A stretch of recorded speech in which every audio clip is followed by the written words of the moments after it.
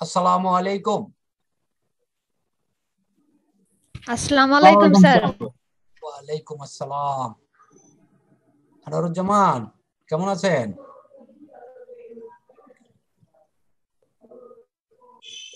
আপনার আওয়াজ শুনতে পাচ্ছি না কেন? আমি মিউট করে রাখছিলাম। ও আচ্ছা আচ্ছা। বাসায় না বাইরে কোথাও? এই মাত্র বাসায় ঢুকলাম। আচ্ছা আচ্ছা শুকুর আলহামদুলিল্লাহ শুকুর আলহামদুলিল্লাহ।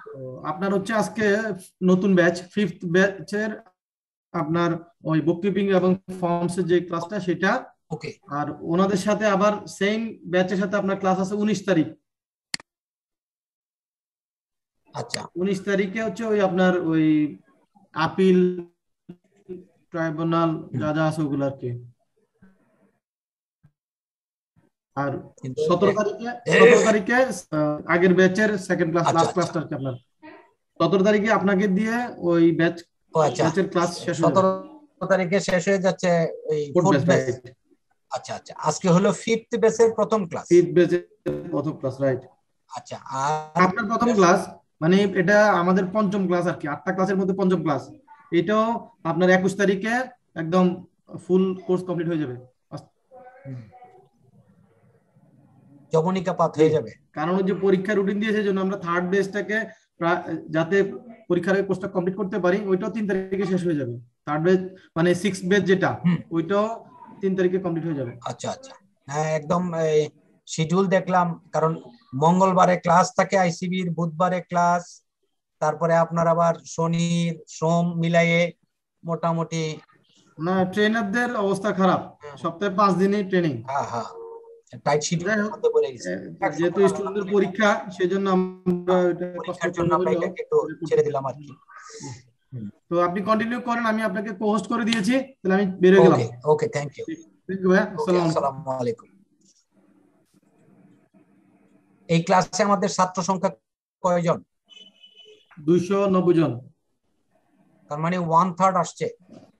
আসবে আস্তে ধীরে একশো সত্তর আশি জন থাকবে। লোকজন বেশি বিজি তো।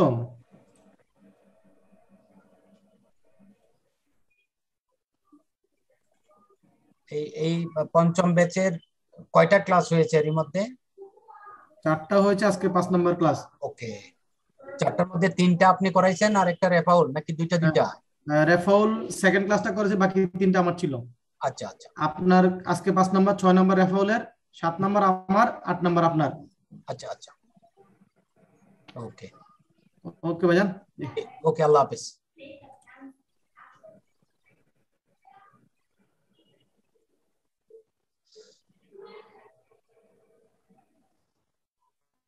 সবাই কেমন আছেন?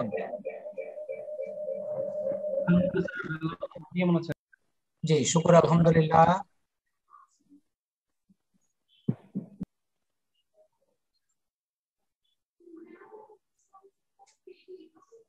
আমাদের এই পর্যন্ত একশো ছয় জন এসেছে।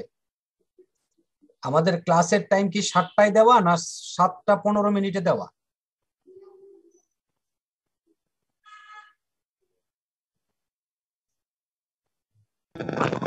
আসসালামু আলাইকুম স্যার, সাতটা পনেরোতে দেওয়া ক্লাস টাইম ওকে ওকে। সাতটা পনেরোতে দেওয়া, এই জন্যই হয়তো সবাই একটু ধীরে ধীরে ই করছে জয়েন করছে। তো আমরা প্রাথমিক কিছু আলাপ আলোচনার মধ্যে যাই। ইতিমধ্যে যেহেতু চারটা ক্লাস হয়ে গেছে, সুতরাং বেশ কিছু জিনিস আপনাদের নলেজে চলে আসছে। আজকে আমরা বিশেষ করে ফর্মগুলো নিয়ে আলোচনা করব।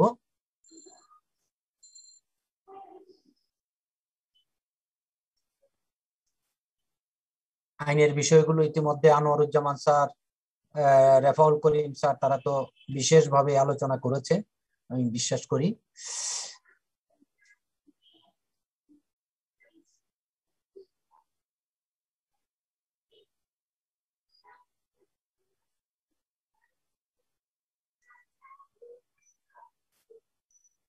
পুরনো আইনে অবশ্য ফর্ম ফর্মের ব্যবহারগুলো অনেক কম ছিল।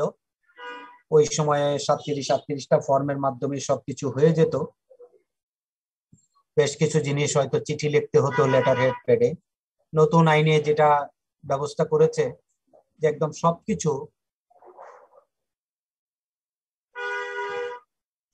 ফর্মের মাধ্যমেই সাবমিট করার জন্য অথরিটি বিভিন্ন ফর্ম গুলোকে ই করেছে ইন্ট্রোডিউস করেছে। এগুলো সবগুলি মূসক নামেই পরিচিত।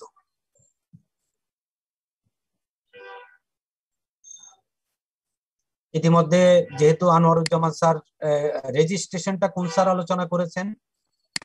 রেফল করিম স্যার নাকি Anwaruzzaman sir? Raffle Karim sir.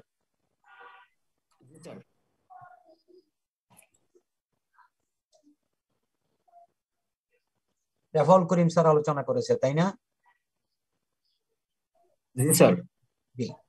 সেখানে ফর্ম টু পয়েন্ট ওয়ান নিয়ে আলোচনা করেছে, ঠিক কিনা এই রেজিস্ট্রেশনের যে আবেদনটা, সেটা হচ্ছে ফর্ম টু পয়েন্ট ওয়ান। আমাদের যে ফর্মগুলো আছে, সেগুলো টু পয়েন্ট ওয়ান রেজিস্ট্রেশন দিয়ে শুরু হয়েছে। তারপরে শেষ হতে হতে গিয়ে একদম এইটিন পয়েন্ট সিক্স পর্যন্ত গিয়ে শেষ হয়েছে। এর মধ্যে টোটাল পঁচাত্তরটা ফর্মের ইন্ট্রোডাকশন আছে। ইতিমধ্যে আমরা যে ক্লাসগুলো করেছি, সেই ক্লাসগুলোতে রেজিস্ট্রেশন যেখানে আলোচনা হয়েছে, সেখানে রেজিস্ট্রেশন ভ্যাট এবং turnover tax registration form যেটা, সেটা মূসক টু পয়েন্ট ওয়ান আমাদের যদিও এই আইনে ঠিক পঁচাত্তরটা ফর্মের ব্যবহার আছে সবগুলো ফর্ম আপনাদেরকে মুখস্থ করে রাখতে হবে, মনে রাখতে হবে। সেটা প্রয়োজন নাই। যেগুলো প্রয়োজন আছে, সেগুলো আমরা আলোচনার মধ্যে আনব। বাকি যে ফর্মগুলো আছে, সেগুলো এজ এন হয় এন্ড রিকোয়ার্ড বেসিসে আপনারা বই পুস্তকে আছে, সেগুলো এখান থেকে ব্যবহার করে নিতে পারবেন। এছাড়াও অনেক কিছু আছে, অনেক ফর্ম আছে, যে ফর্মগুলো আসলে আমাদের দৈনন্দিন কার্যক্রমের সাথে, একদম দৈনন্দিন কার্যক্রমের সাথে প্রয়োজন হয় না। সেগুলো এক একটা এক এক সময় এক এক ভাবে প্রয়োজন হয়। সুতরাং ওই জিনিসগুলো আমাদেরকে মুখস্থ করে রাখতে হবে নট নেসেসারিলি আমরা মোটামুটি একটা গ্ল্যান্স বিষয়গুলো জানার চেষ্টা করব জেনে রাখব। যাতে করে যখনই প্রয়োজন হবে তখন আমরা এগুলো খুঁজে পেতে পারি। আমাদের যখনই আমরা টু পয়েন্ট ওয়ানে এটা আগের ক্লাসেও আলোচনা হয়েছে টু পয়েন্ট ওয়ানে আমরা যখন টার্ন ওভার অথবা ভ্যাটের রেজিস্ট্রেশন ফর্মটা ফিল আপ করি, আমাদের যখন ফর্মটা সাকসেসফুলি ফিল আপ হয়ে যায়, তখন আমাদেরকে রেজিস্টার্ড করে নেওয়া হয়। হয় আইদার এনলিস্টমেন্ট করে অথবা রেজিস্টার করে। সেই এনলিস্টমেন্ট এবং রেজিস্টার করার ফলে তারা আমাদেরকে একটা সার্টিফিকেট ইস্যু করে সার্টিফিকেট প্রদান করে, সেই সার্টিফিকেটটা হচ্ছে মূসক টু পয়েন্ট থ্রি মূসক টু পয়েন্ট থ্রি সেটা হচ্ছে নিবন্ধিত অথবা তালিভুক্ত করদাতার সংক্ষিপ্ত বিবরণ ওখানে থাকে। ওখানে বিজনেসের নেচার ইকোনমিক অ্যাক্টিভিটিস নাম পিন এই সব বিষয়গুলো উল্লেখ করা থাকে। ওইখানে কিছু একদম পার্টিকুলারগুলো উল্লেখ থাকে। বিশেষত এই বিন নাম্বারটাই হচ্ছে ভেরি ইম্পর্টেন্ট কারণ এই বিনটাই হচ্ছে ব্যবসায়ী বিজনেস আইডেন্টিফিকেশন নাম্বার আমরা ভ্যাট রেজিস্ট্রেশন নাম্বার যদি বলি, কখনো কখনো আমরা বলি, কিন্তু এটা পপুলারলি বিন নামে পরিচিত বিআইএন বিজনেস আইডেন্টিফিকেশন নাম্বার আমরা নিশ্চয়ই এটার সাথে পরিচিত আছি। আমরা যারা চাকরিতে আছি, তারা যে সমস্ত প্রতিষ্ঠানে আছে, ওই সমস্ত প্রতিষ্ঠানে এটা অহরহর ব্যবহার হচ্ছে। আর যারা বিশেষ করে ভ্যাট ডিপার্টমেন্টে কাজ করেন, তারা তো এটা, এটার ব্যবহার নিয়ে কোনো বলার অপেক্ষায় রাখে না। অ্যাকাউন্টস ডিপার্টমেন্টে যারা আছেন তারা বিনের সাথে একদম সর্বক্ষণই কোনো না কোনো ভাবে পরিচিত হন। সেটা নিজের প্রতিষ্ঠানের বিন নিয়েই শুধু চর্চা করতে হয় তা না, ক্রয়, বিক্রয় সবকিছুর ক্ষেত্রেই আলটিমেটলি বিনের ব্যবহারটা অতীব জরুরি অতীব জরুরি। আমাদের যতগুলো ই আছে ফর্ম আছে, তার মধ্যে পাঁচ ছয়টা ফর্ম খুবই গুরুত্বপূর্ণ, যেগুলো আমাদেরকে একদম বিজনেসের রিলেটেড এবং প্রত্যেক সময়ই এটাকে আমাদের ব্যবহার করতে হয়। দৈনন্দিন ব্যবহার করতে হয় প্রোডাক্ট ওয়াইজ ব্যবহার করতে হয় র মেটেরিয়াল ওয়াইজ ব্যবহার করতে হয় এবং ব্যবসা শুরু করার ক্ষেত্রে রেজিস্ট্রেশন নেওয়ার পরে আপনি যখন ইকোনমিক অ্যাক্টিভিটি শুরু করবেন ইকোনমিক অ্যাক্টিভিটি শুরু করার পূর্বেই আপনাকে অবশ্যই ব্যাট অথরিটির কাছে আপনাকে জানাতে হবে যে আপনি কি পণ্য বিক্রি করবেন, আপনার ইকোনমিক অ্যাক্টিভিটিসটা কি হবে এবং কি পণ্য বিক্রি করবেন এবং পণ্যটার ইনপুট আউটপুট কোএফিসিয়েন্ট কি হবে? আগে পুরাতন আইনের যারা আছেন যারা পুরাতন আইনটা পড়েছেন বা জেনেছেন তারা নিশ্চয়ই জানেন পুরাতন আইনে মূসক ওয়ান মূল্য ঘোষণা বলে একটা ফর্ম ছিল। এই নামটা আগে কে শুনেছেন? এমন কেউ আছেন আমাদের আজকের ক্লাসে জি স্যার আছি স্যার। জি মূল্য ঘোষণা বলা হতো রাইট জি জি স্যার ওটাকে মূল্য ঘোষণা বলা তো মূসক ওয়ান মূসক ওয়ান সেই এখন এখন যেটা আছে সেটা এখন ফোর পয়েন্ট থ্রি এবং এটা এখন আর মূল্য ঘোষণা নাম নাই কারণ এখানে input output coefficient input output coefficient হয়ে গেছে। এই ইনপুট আউটপুট কোএফিসিয়েন্ট যখনই আমরা বলি এইটা একদম শব্দটা কোএফিসিয়েন্ট শব্দটা যেহেতু আর জড়িত আছে সেহেতু আহ, আমরা অনেকটা স্ট্যাটিস্টিক্স এর ভাষায় কোএফিসিয়েন্ট শব্দটাকে পেয়ে গেছি। কিন্তু মূলত এখানে ইনপুট এবং আউটপুটের যে রিলেশনটা এবং আপনার যে মূল ভ্যালু এডিশন কি করতেছেন, এইটার হিসাবটাই এখানে উল্লেখ করা থাকে। ইনপুটের হিসাবটা উল্লেখ করা থাকে ভ্যালু এডিশন কি হবে সেটা উল্লেখ করা থাকে এবং ইনপুট করতে গিয়ে যে কি পরিমাণ ওয়েস্টেজ হওয়ার পসিবিলিটি আছে, সেটার এস্টিমেশনটা এখানে উল্লেখ করা থাকে। আমরা যখন ইনপুট আউটপুট কোএফিসিয়েন্টটার কথা বলতে যাই, তখন তার সাথে আরও দুইটা ফর্ম এবং দুইটা ক্ষেত্র অত- অতি অতিপ্রুতভাবে উতপ্রোতভাবে জড়িত আছে। সেটা হচ্ছে একটা হচ্ছে ইনপুট একটা কি? Output output input and output ইনপুটের প্রশ্ন যখন আসে তখন স্বাভাবিকভাবেই ইনপুটের ডেফিনেশনটা আমাদের জানা অতীব জরুরি। সেটা হচ্ছে দুই এর আঠারোর ক। আমরা নিশ্চয়ই বাই দিস টাইম দুই এর আঠারোর ক পড়ে ফেলেছি ঠিক না? জি স্যার। দুই এর আঠারোর ক কেন জানতে হবে সেটা আমরা আলোচনা যখন আস্তে আস্তে আগা সামনের দিকে আগাচ্ছি, তখন আমরা এটাকে বিশেষভাবে বুঝতে পারব। এক নম্বর হচ্ছে ইনপুট যেহেতু বলা হচ্ছে ইনপুট আউটপুট কোএফিসিয়েন্ট তার মানে হচ্ছে কি ইনপুট দিলেন, কি আউটপুট করলেন, এই জিনিসটার কোএফিসিয়েন্টটা আপনি গভর্নমেন্টের কাছে ডিক্লেয়ার করলেন। ইনপুটের যখন প্রশ্ন আসছে, তখন স্বাভাবিকভাবেই ইনপুটের ডেফিনেশনটা জানা আমাদের অতীব জরুরি। তাইলে আমাদেরকে দুই এর আঠারোর ক জানাটা অত্যন্ত গুরুত্বপূর্ণ। আশা করি আপনারা সেটা জেনে গেছেন। ইনপুটের প্রশ্নটা যখন আসছে, তখন ইনপুটের হিসাব রাখার একটা প্রশ্ন আসছে। তাই না, স্যার? ইনপুটের হিসাবটা আমাকে রাখতে হবে। ইনপুটের হিসাবটা যা রাখতে হইলে আমাদেরকে একটা বই মেনটেন করতে হবে। আইনগতভাবেই, বিধিবদ্ধভাবে আমাকে একটা বই মেনটেন করার জন্য বাধ্যবাধকতা আছে। এই আইনে যে বইগুলো বাধ্যবাধকতা আছে, সেটা এরকম যদি আপনার সেটা শূন্য হার হয় এক্সাম্পটেড গুড হয়, আর আপনি যদি রেজিস্টার্ড পার্সন হিসাবে আদর্শ হারে অথবা আপনি যদি ডিসকাউন্টেড প্রাইসেও মালামাল বিক্রি করেন, আপনার ইনপুট আউটপুট কোএফিসিয়েন্টের রিলেটেড সমস্ত বুকসগুলো রাখা আপনার জন্য বাধ্যতামূলক, যেটা সেকশন ওয়ান জিরো সেভেন এবং রুল ফর্টি আপনাকে কমপ্লাই করা বাধ্যতামূলক। ইভেন আপনি যদি শূন্য হারে অথবা এক্সেমটেড গুড বিক্রি করেন এক্সেমটেড গুডস বিক্রি করেন বলতে থার্ড শিডিউল অনুযায়ী সরি ফার্স্ট শিডিউল অনুযায়ী আপনি যদি কোনো কারণে এক্সেমটেড হন অথবা এসআরউর মাধ্যমে যদি আপনি বিশেষ আদেশ দ্বারাও এক্সেমটেড হন তাহলে দুইটা এক্সেমশনের জন্যই আপনাকে কি করতে হবে? বুকস মেনটেন করা বাধ্যতামূলক বুক কিপিং করা বাধ্যতামূলক। সেই বুক কিপিং এর মধ্যে কি আছে? বুক কিপিং এর মধ্যে আছে এক নাম্বার হচ্ছে আপনাকে ফোর পয়েন্ট থ্রি অর্থাৎ ইনপুট আউটপুট কোফিসিয়েন্ট যখন আপনাকে দিতে হবে তেমনি এই ইনপুটের প্রশ্ন যখন আসছে তখনই আপনাকে পারচেজের প্রশ্ন আসবে। পারচেজের প্রশ্নে যখন আসছেন পুরনো আইনে এটাকে বলা হতো পারচেজ রেজিস্টার যেটার নাম্বার ছিল ষোলো। এখন সেটা হয়ে গেছে পারচেজ রেজিস্টার মূসক সিক্স পয়েন্ট ওয়ান মূসক সিক্স পয়েন্ট ওয়ান আউটপুটের প্রশ্ন যখন আসছে তখন আউটপুট মানে হচ্ছে আপনি বিক্রি করলেন। বিক্রির জন্য আপনাকে পুরনো আইনে ছিল বিক্রয় বহি যেটার নাম্বার ছিল সতেরো। এখন এটা হয়ে গেছে বিক্রয় বহি, এই নাম্বার হচ্ছে, মূসক নাম্বার হচ্ছে সিক্স পয়েন্ট টু আর আপনি যদি ব্যবসায়ী পর্যায়ে বই পুস্তক রাখেন, আপনি যদি ব্যবসায়ী হন থার্ড শিডিউলের একদম শেষের দিকে ব্যবসায়ীর একটা ডেফিনিশন দেওয়া আছে। ওই ডেফিনিশনের আওতায় যদি আপনি ব্যবসায়ী হন, সে তাহলে আপনাকে একটা বই রাখতে হবে, সেই বইটা রাখতে হবে six point two point one right Faisal Ahmed?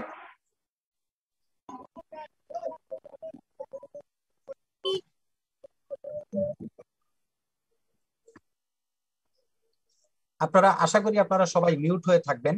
কারণ মিউট না হয়ে থাকলে একজন কথা বললে বাকি একশো তেত্রিশ জনের ডিস্টার্ব হয়। আপনারা নিশ্চয়ই একজনের মাধ্যমে অন্য একশো তেত্রিশ জন ডিস্টার্ব হোক এটা চান না।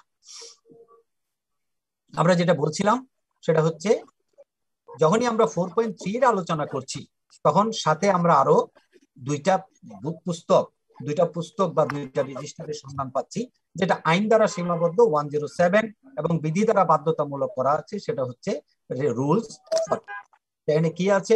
ইনপুটের জন্য বলেছে four point one six point one এবং আউটপুটের জন্য বলেছে সিক্স পয়েন্ট টু অর্থাৎ বিক্রয় বহি আবার আপনাকে মেনটেন করতে হবে। আমরা যারা স্টোরের ইনভেন্টরি করেছি ইনভেন্টরি করতে গিয়ে আমরা বিন কার্ড দেখেছি। বিন কার্ড দেখেছেন কে আছেন? ফিজিক্যালি স্টোর ভেরিফিকেশন করেছেন এমন কেউ আছেন আজকের ক্লাসে জি স্যার আছি। সেখানে আমরা গিয়ে আমরা গিয়ে প্রোডাক্টের গায়ে একটা কার্ড লেখা পেতাম। সেখানে। লেখা ওপেনিং স্টক কত মাল ইন করেছে কত মাল আউট হয়েছে অর্থাৎ কত মাল কতটুকু মাল ডেলিভারি দেওয়া হয়েছে অথবা ব্যবহারের জন্য প্রোডাকশন ফ্লোরে দেওয়া হয়েছে ক্লোজিং স্টক কত? এরকমের একটা কার্ড আমরা প্রত্যেকটা প্রোডাক্টের গায়ে লেখা পেতাম।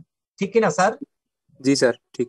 এই যে বিন কার্ডটা, ঠিক এই বিন কার্ডার, কার্ডটার আদলেই পারচেজ বুকটা তৈরি করা opening stock of raw materials plus purchase বা প্রকিউরমেন্ট বা সাপ্লাই গ্রহণ মাইনাস কনজামশন সমান সমান closing stock of raw materials এটা হচ্ছে পারচেজ বুক মানে সিক্স পয়েন্ট ওয়ানের ফরম্যাট আর হচ্ছে সিক্স পয়েন্ট টু মানে হচ্ছে সিক্স পয়েন্ট টু হচ্ছে বিক্রয় বহি, সেখানে finish goods opening stock of finish goods plus হচ্ছে প্রোডাকশন ফ্লোর থেকে রেডি ফর সেল অথবা প্রোডাকশন কতটুকু হয়েছে, সেই ইনপুটটা আপনি এখানে নিলেন মাইনাস সেল কতটুকু করলেন, তারপরে ক্লোজিং স্টক কি থাকল।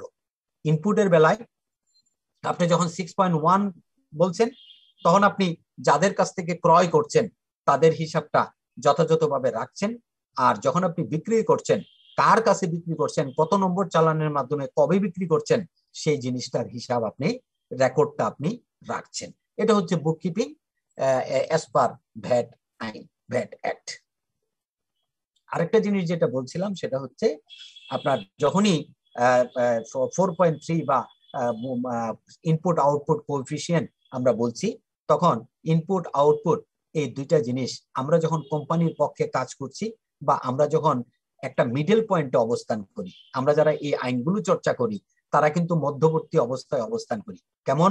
সরকারের আইনটা যথাযথভাবে কমপ্লাই হচ্ছে কিনা, এটাও যেমন আমাদের দেখার দায়িত্ব, অপর পক্ষে যে সমস্ত প্রতিষ্ঠানে আমরা কাজ করছি, সেখানে বিনা কারণে আমার মালিক, আমার প্রতিষ্ঠানের কর্ম, ই কর্ণধার অথবা আমার প্রতিষ্ঠান কোনোভাবে লস হচ্ছে কিনা, অথবা আমার কোনো আইনের ব্যাখ্যা বুঝা, না বুঝার কারণে কোনোভাবে আমার প্রতিষ্ঠান ক্ষতিগ্রস্ত হচ্ছে কিনা, এই জিনিসটা আমার দেখার দায়িত্ব, ঠিক কিনা? আসিন সাদ ঠিক বলেছি? জি জি স্যার। স- আমরা যেহেতু রেসপন্সিবল পারসন কেন কে- জন্য responsible person because we are all professionals right sir হ্যাঁ, জি স্যার। আমরা একটা ডিগনিফাইড প্রফেশনের মেম্বার তাই না? জি। কেউ হয়তো মেম্বার হয়ে গেছে আর বাকি যারা আপনারা যারা আছেন তারা পাইপলাইনে আছেন টু বি মেম্বার রাইট তাইলে আমরা যেহেতু একটা ডিগনিফাইড প্রফেশনের মেম্বার সো আমাদের রেসপন্সিবিলিটি হচ্ছে গভর্নমেন্টের লটা একদম টোটো যেভাবে তারা বলেছে সেভাবে কমপ্লাই হচ্ছে কিনা এটাকে যেমন দৃষ্টিতে রাখতে হয়, তেমনি আমার প্রতিষ্ঠান আইনের ব্যাখ্যা না বোঝার কারণে either it is my default my fault অথবা আইনের যে ব্যাখ্যাটা দেওয়া হয়েছে সেই ব্যাখ্যাটা আমার প্রতিষ্ঠানের যে দৈনন্দিন কার্যক্রম তার সাথে ম্যাচিং না করার কারণে আমার প্রতিষ্ঠান কোনোভাবে লস করছে কিনা। এই দুইটা জিনিসই আমাকে দেখতে হবে। ঠিক কিনা স্যার? জি স্যার ঠিক। এই জিনিসটাকে বোঝার জন্য আমাদের কি করতে হয়?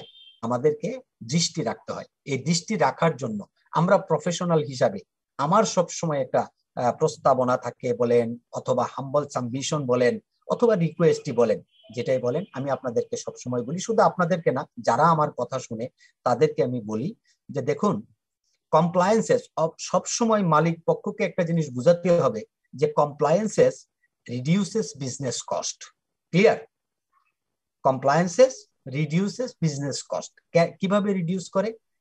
যেমন, গত কয়েকদিন আগে, দুই দিন বা তিন দিন আগে আপনাদের ফোর্থ ব্যাচের সাথে একটা ক্লাস হচ্ছিল। তখন আমি একটা উদাহরণ দিয়েছিলাম। সেই উদাহরণটাই আবার মনে পড়ছে আপনাদেরকে বলি। ধরুন, একটা প্রতিষ্ঠান, যে কোনো কারণেই হোক, অথবা আইনের ব্যাখ্যাটা ঠিক মতো না বুঝার কারণে হোক, সে কিছু ভ্যাট কম পরিশোধ করেছে। আলটিমেটলি কিছু ভ্যাট কম পরিশোধ করেছে।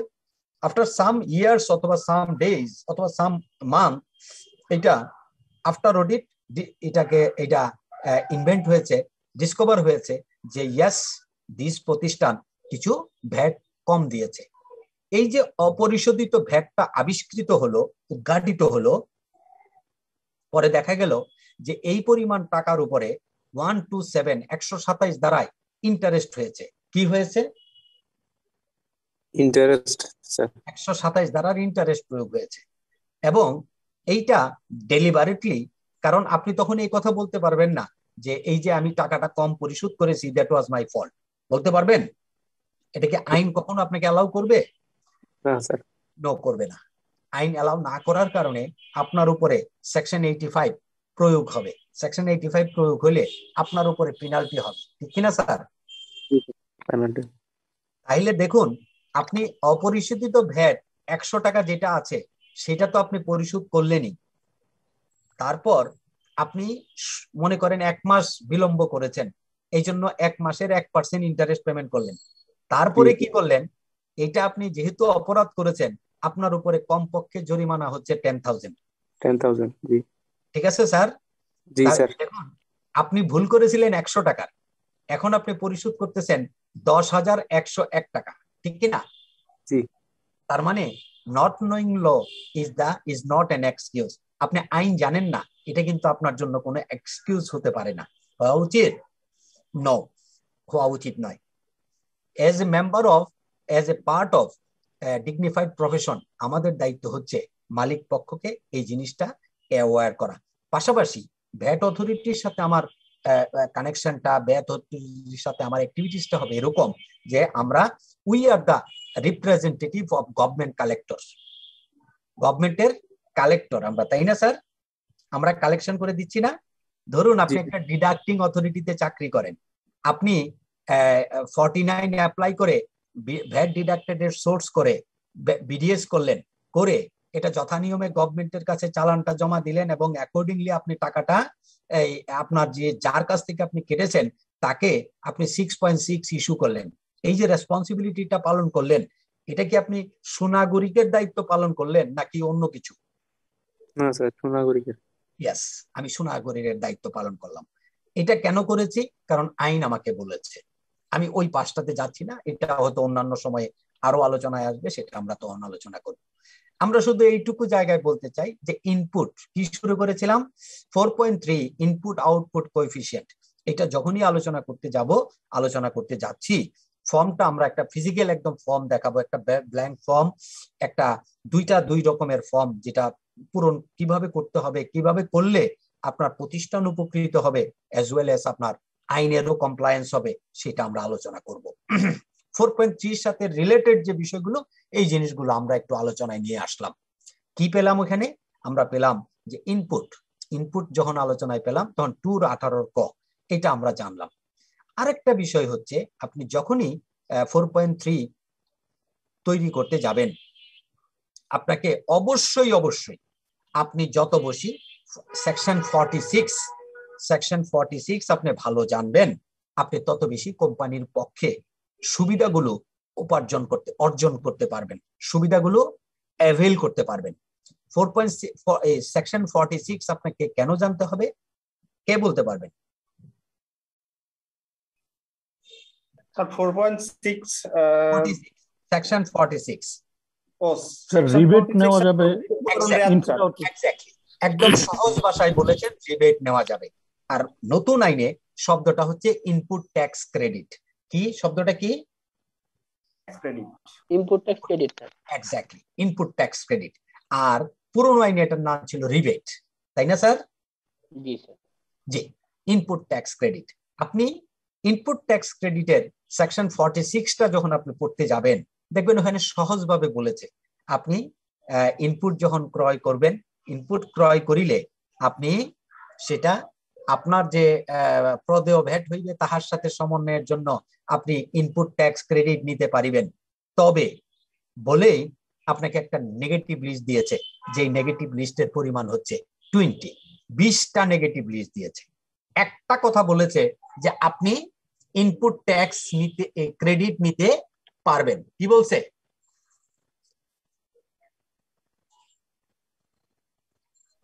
ইনপুট ট্যাক্স ক্রেডিট নেওয়া যাবে। অর্থনৈতিক প্রক্রিয়ায় করযোগ্য সরবরাহের উপর উৎপাদ করের বিপরীতে। কি করের বিপরীতে? আউটপুট ট্যাক্সের বিপরীতে। নিম্নলিখিত ক্ষেত্র ব্যতীত। বলেছে আন্ডার দ্য ফলোইং মেনশন ই আছে ক্লজেসগুলো আছে, সেই ক্লজেসগুলো ছাড়া বাকি সব আপনি নিতে পারবেন। এই ক্লজেস বলতে গিয়া আপনাকে সর্বসাকুল্যে বিশটা ক্লজ বলেছে যে বিশটা ক্লজকে বলা হয় নেগেটিভ লিস্ট কি list negative list negative list means আপনি করতে পারবেন না। তার মানে হচ্ছে আপনি করতে পারবেন না। তাহলে আপনার কি করতে পারবেন নাটা জানা অতীব জরুরি? নাকি যেটা করতে পারবেন সেটা জানা জরুরি? যেটা পারব না, ওটা জানা জরুরি। এক্স্যাক্টলি যেটা পারব না, সেটা জানা জরুরি।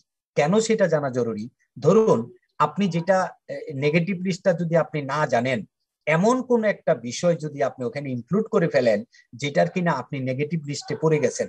আপনি এখন মনে করছেন যে, এটাতে ইনপুট ট্যাক্স ক্রেডিট নেওয়া যাবে। আপনি ক্রেডিট নিতে থাকলেন। নিতে নিতে দেখা গেল যে এক লক্ষ টাকা ক্রেডিট নিয়ে নিছেন। আপনার কোম্পানি খুব খুশি হয়েছে মালিকও খুশি হয়েছে, কারণ কেউই জানে না। কিন্তু এক এক মাস পর, এই এক বছর পরে অডিট করে ভিএটি অফিস বের করল যে আপনি যে ইনপুটটার ক্রেডিট নিয়েছেন, এই ইনপুটটা আসলে অ্যালাউবল না। এটা নেগেটিভ লিস্টের অন্তর্ভুক্ত। তখন একদিনে এই এক লক্ষ টাকা আপনাকে কি করবে? বুকে সে অ্যাডজাস্টমেন্ট করে দিবে।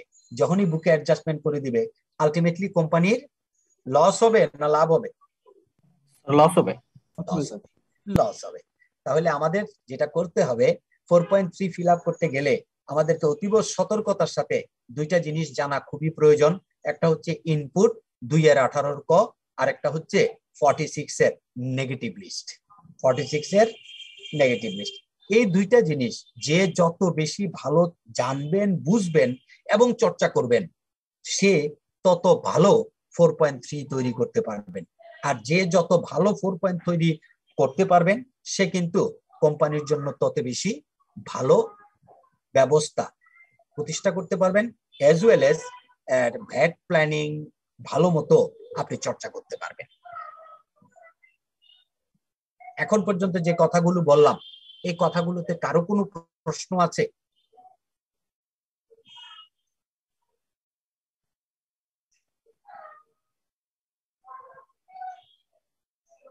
না sir thank you thank you তাহলে আমরা ফোর পয়েন্ট থ্রিতে আবার একটু আমি রিভিউ করে নেই এটা। ফোর পয়েন্ট থ্রি আমাদেরকে তৈরি করতে হলে ইনপুট আউটপুট কোএফিসিয়েন্ট এটার নাম হচ্ছে input output coefficient by the way আপনারা আমার কথা ভালো মতো শুনতে পাচ্ছেন তো আপনারা? জি স্যার। জি স্যার শুনতে পাচ্ছি। থ্যাংক ইউ এটা আসলে আমার প্রথমেই জিজ্ঞেস করা উচিত ছিল। আই এম সরি হ্যাঁ যেটা বলছিলাম ফোর পয়েন্ট থ্রি কি বলছিলাম? Four point three four point three বলতে গিয়ে আপনাদেরকে দুইটা জায়গায় একটু বিচরণ করার জন্য আমি পরামর্শ দিয়েছি। একটা হচ্ছে ইনপুট ইনপুট মিনস দুই এর আঠারোর ক। আর একটা বলেছি যে ফর্টি সিক্স এর নেগেটিভ লিস্ট আপনারা একটু ভালো করে পড়বেন। এই দুইটা জিনিস আপনারা ভালো করে পড়বেন। এই দুইটা জিনিস নিয়ে আমরা এক্ষুনি একটু আলোচনায় আনব। কেন ইনপুট আমাদেরকে ভালো মতো জানতে হবে?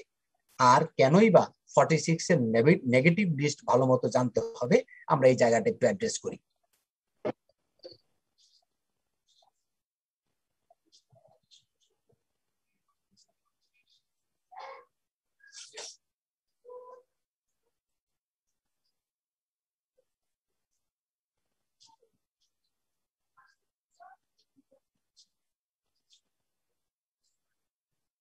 আপনারা ফর্মটা নিশ্চয়ই দেখতে পাচ্ছেন। এবং এটা এটা দেখার কিছু নাই, এটাতে নতুন করে সারের তৈরি করা কোনো কিছুই নাই। শুধু এটা এই জন্য দেখাচ্ছি যে আপনারা একটু দেখে সাথে সাথে আপনাদের, আমি যে কথাগুলো বলছি, কথাগুলো যেন আপনাদের চোখে বাজে এই জন্য। নাহলে এটা বইতে দেওয়া আছে, বইয়েরই জিনিস। আচ্ছা আমরা যেটা বলছিলাম, এই four point three four point থ্রির জন্য আরে তিনটা কথা একটু বলে আমরা ইনপুটের জায়গায় যাব। সেটা হচ্ছে ফোর পয়েন্ট থ্রিতে আপনি যখনই যখনই আপনি অর্থনৈতিক কার্যক্রম শুরু করতে যাবেন, প্রথম অর্থনৈতিক কার্য, প্রথম যে চালান, প্রথম যে ডেলিভারি এইটা দেওয়ার কমপক্ষে পনেরো দিন পড়বে। পনেরো দিন আগেই আপনাকে ইনপুট আউটপুট কোএফিসিয়েন্টটা সাবমিট করতে হবে to the regulator to the VAT authority আরেকটা হচ্ছে, আপনার যে ইনপুট আছে ইনপুট অর র মেটেরিয়ালস যেটাই আছে সেটার প্রাইস যদি সাড়ে সাত পার্সেন্টের বেশি চেঞ্জ হয়। সাড়ে সাত পার্সেন্ট বা তার বেশি যদি চেঞ্জ হয়, তাহলে অবশ্যই অবশ্যই আপনাকে নতুন করে four point three coefficient submit করতে হবে। এগুলো থিওরিটিক্যাল কথাবার্তা, এগুলো আগেই আপনাকে, আপনাদের আলোচনা হয়ে গেছে। তারপরে একটু মনে করাই দিলাম। সালাম আলাইকুম, স্যার। আমি একটু বলতে চাচ্ছি কি যে এখানে আপনি যেটা বললেন যে পনেরো দিন আগে আসলে এটা কি পনেরো দিন আগে নাকি পনেরো দিনের মধ্যে? মানে পূর্ববর্তী পনেরো দিনের মধ্যে বলছে যে ফার্স্ট সাপ্লাই এর পনেরো দিন পূর্বে উইদিন আর কি শব্দটা উইদিন হ্যাঁ উইদিন ফিফটিন ডেজ তো আমরা এটা উইদিন ফিফটিন ডেজ এটা বলতে আমরা মধ্যেই বুঝে থাকি। জি sir G thank you next হচ্ছে আমরা যেটা বলছিলাম ইনপুট ইনপুট কি বলছিলাম? ডেফিনিশনটা দুই এর আঠারোর ক বলেছিলাম। দুই এর আঠারোর কতে বলা আছে এগুলি নিয়ে অলরেডি আলোচনা হয়েছে। আশা করি আপনাদেরকে খুব ভালো মতোই দুই এর আঠারোর ক বুঝিয়েছে। তাই না স্যার?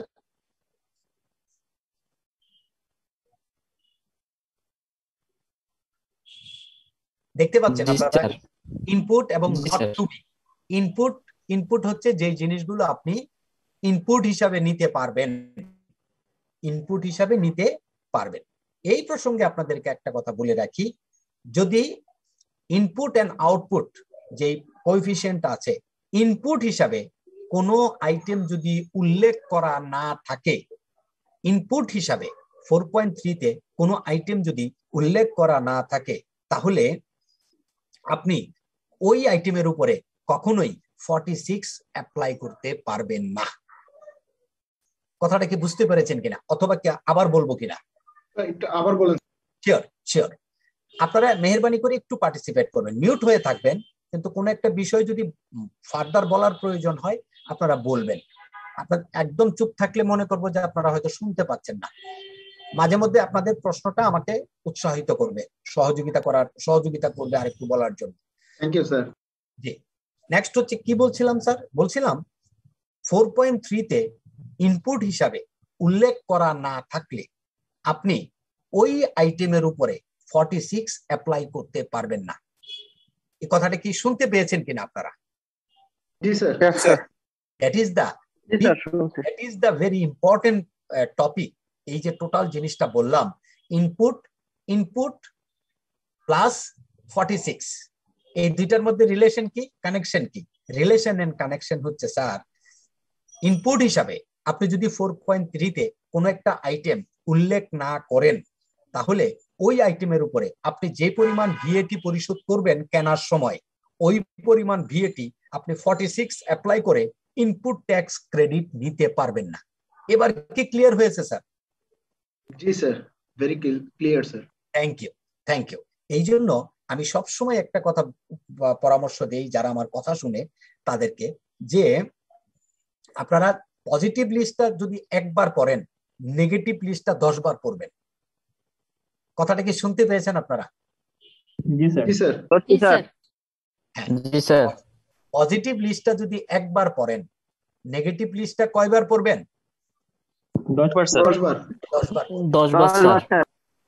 তাহলে আপনি কখনোই ফোর পয়েন্ট থ্রিতে উল্লেখ না করে আপনি যেমন ফর্টি সিক্স থেকে বঞ্চিত হবেন না।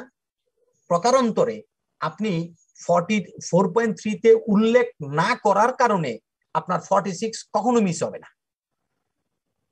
আর নেগেটিভ লিস্টটা ফর্টি সিক্স এর নেগেটিভ লিস্টটা যদি আপনি ভালো মতো জানেন তাহলে আপনার যেটা হবে আপনার কখনোই কৃত ইনপুট ট্যাক্স ক্রেডিট কখনোই বাতিল হবে না।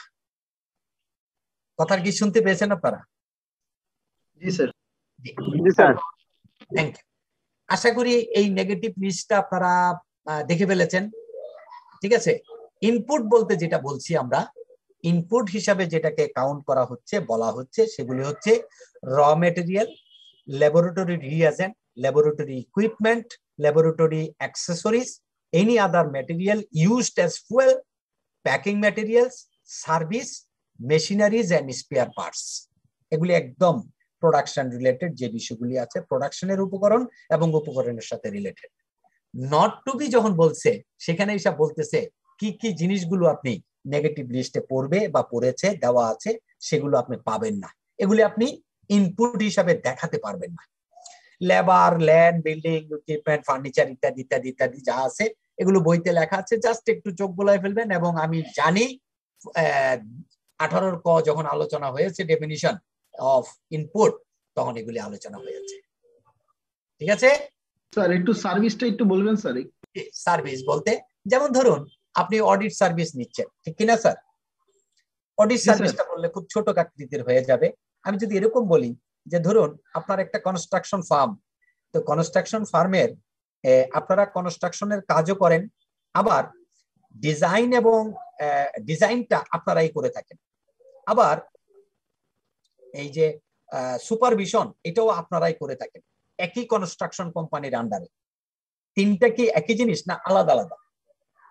আলাদা এই ডিজাইন এবং সুপারভিশন মনিটরিং এটা কি স্যার প্রোডাক্ট পণ্য নাকি স্যার সার্ভিস সার্ভিস সার্ভিস এখন আপনি যদি কোনো একটা কনসালটেন্সি ফার্ম থেকে কনসালটেশন নেন এবং তাকে যদি পেমেন্ট করেন আপনি যদি সেখানে সিক্স পয়েন্ট থ্রি নেন এবং এই কনসালটেশনটা যদি আপনি ফোর পয়েন্ট থ্রিতে উল্লেখ করা থাকে আপনি কি ইনপুট ট্যাক্স ক্রেডিট নিতে পারবেন কি পারবেন না?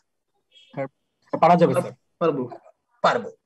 কেন এটাকে এইটা দিয়ে উদাহরণ দিলাম? যেমন ধরুন আমি তিনটা জিনিসের উদাহরণ দেই।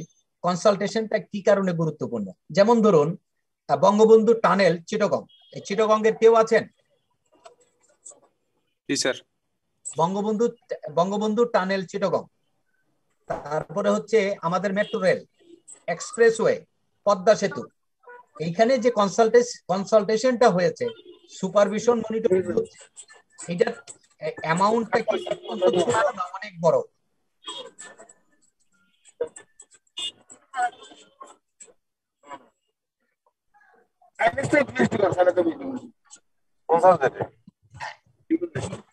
ক্ষেত্রে আপনি যদি প্লিজ একটু করে নিবেন সবাই। সবাই একটু মিউট করে নিবেন। কথা ক্লিয়ার আসতেছে না স্যার? কথা কি এখন এখন বুঝতে পারছেন? জি স্যার।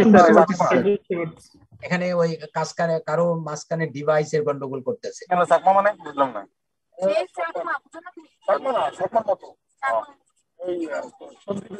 একটা অল্প বয়সে যে পিএইচডি কেমনে করল। আপনারা ওখান থেকে মিউট করে দেন সবাই। তিরিশ বছর বয়সে পিএইচডি করে বলতে পারছে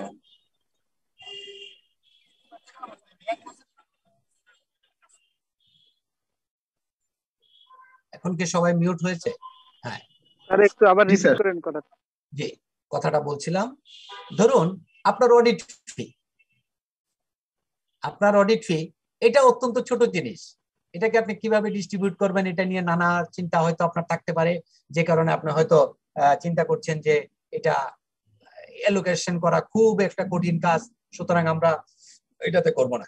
কিন্তু আপনার যে বিজনেসটা একটা উদাহরণ দিয়েছিলাম Bangabandhu tunnel expressway Padma Setu metro rail এখানে কনসালটেশন মনিটরিং সুপারভিশন এই অর্থটা কি সামান্য নাকি অনেক টাকা?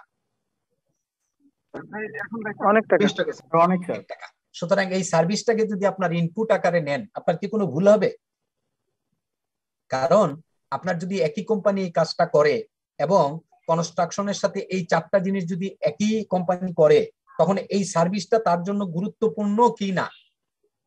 জি স্যার গুরুত্বপূর্ণ এক লাখ টাকা অডিট ফি কিংবা তার এগেনস্টে পনেরো হাজার টাকা ভিএটি এটা হয়তো তার জন্য ক্রেডিট নেওয়াটা অতীব জরুরি নয়।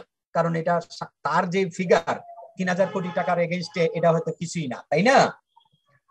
কিন্তু সেখানে তিন হাজার কোটি টাকা বিলের মধ্যে যদি পঞ্চাশ কোটি টাকা হয় কনসালটেন্সি তাহলে এটা কি ফিগার জি স্যার এটা material yes this is material যেহেতু যেটা ম্যাটেরিয়াল এবং পঞ্চাশ কোটি টাকার এগেনস্টে কমপক্ষে পনেরো পার্সেন্টে কত হবে? সাড়ে সাত কোটি টাকা ভিএটি হবে রাইট জি সাড়ে সাত কোটি টাকা যদি আপনি ইনপুট ট্যাক্স ক্রেডিট নিতে না পারেন আলটিমেটলি এটা আপনার কস্ট বাড়াবে না কমাবে? বাড়িয়ে দিবে.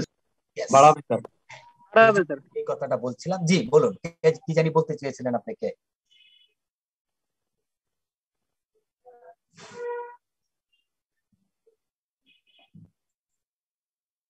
স্যার সার্ভিসটাকে এখানে স্যার মেটেরিয়াল আর কমটা বা বেশি কি আমরা যেটা বলতে চাচ্ছিলাম সেটা কি স্যার ফিগার এর উপর নির্ভর করে আমরা ইনপুট ট্যাক্স ক্রেডিট নিব? সার্ভিসটা আপনি যে সার্ভিসটা এখানে উল্লেখ করবেন, ওই সার্ভিসটার ইনপুট ট্যাক্স ক্রেডিট আপনি নিতে পারবেন।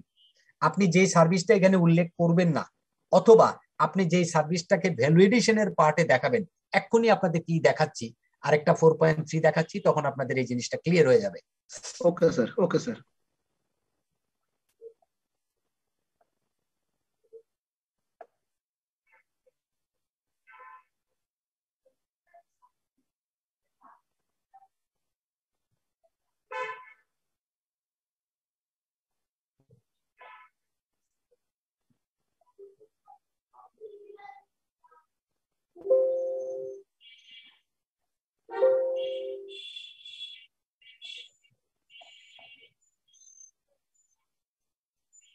হ্যাঁ। দেখতে পাচ্ছেন? সবাই দেখতে পাচ্ছেন এটা? জি স্যার।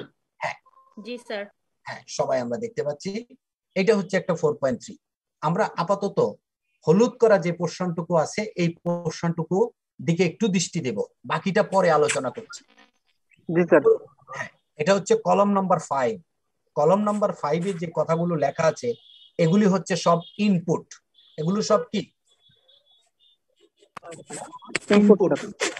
ইনপুট এগুলি হচ্ছে সব ইনপুট এবং এগুলি হচ্ছে সব দুইয়ের আঠারোর ক অনুযায়ী ডিক্লেয়ার যেগুলো ইনপুট এবং যা এই যে এগুলো ফোর পয়েন্ট থ্রিতে উল্লেখ থাকার কারণে আপনি কি করতে পারবেন?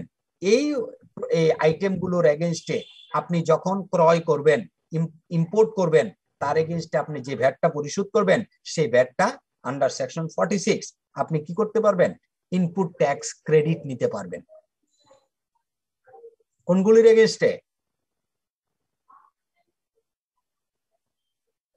আর কিছু সময়ের যেগুলো- প্রবলেম ছিল স্যার আমরা শুনতে পাইনি কিছু সময়ের জন্য। আমরা যেটা বলছিলাম ফোর পয়েন্ট থ্রিতে আমরা যখন ইনপুটটা লিখছি ইনপুটটা লিখছি আমরা শুধুমাত্র এই হলুদ অংশটুকু আপনারা দেখতে পাচ্ছেন কিনা? জি স্যার হ্যাঁ column number five column number five এটা হচ্ছে ইনপুট এগুলো এটা কি? ইনপুট ইনপুট এই ইনপুটের কোয়ালিফিকেশন কি? ইনপুটের কোয়ালিফিকেশন হচ্ছে সেকশন দুই এর আঠারোর ক। এর যে পজিটিভ লিস্টটা আছে, সেটা হচ্ছে কলম নম্বর ফাইভ এখানে বলা হয়েছে, বাংলায় লেখা আছে একদম, বাংলায়। আমি আপনাদেরকে পড়ে শোনাই, একক পণ্য বা সেবা সরবরাহ ব্যবহার্য যাবতীয় উপকরণের কাঁচামাল ও প্যাকিং সামগ্রীর বিবরণ, পরিমাণ ও ক্রয় মূল্য, উপকরণ ভিত্তিক, অবচয়ের শতকরা হার সহ। আমরা পরে আর দুইটা কলমে যাচ্ছি।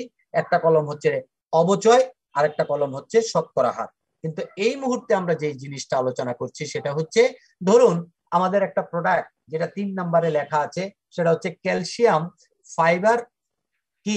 Master batch sorry filler calcium filler master batch একটা প্রোডাক্টের নাম। এই প্রোডাক্টটা তৈরি করতে আপনার যেই উপকরণগুলো লাগে, যেই ইনপুটটা দিতে হয়, সেই ইনপুটটা হচ্ছে এই কলম নাম্বার ফাইভে লেখা আছে।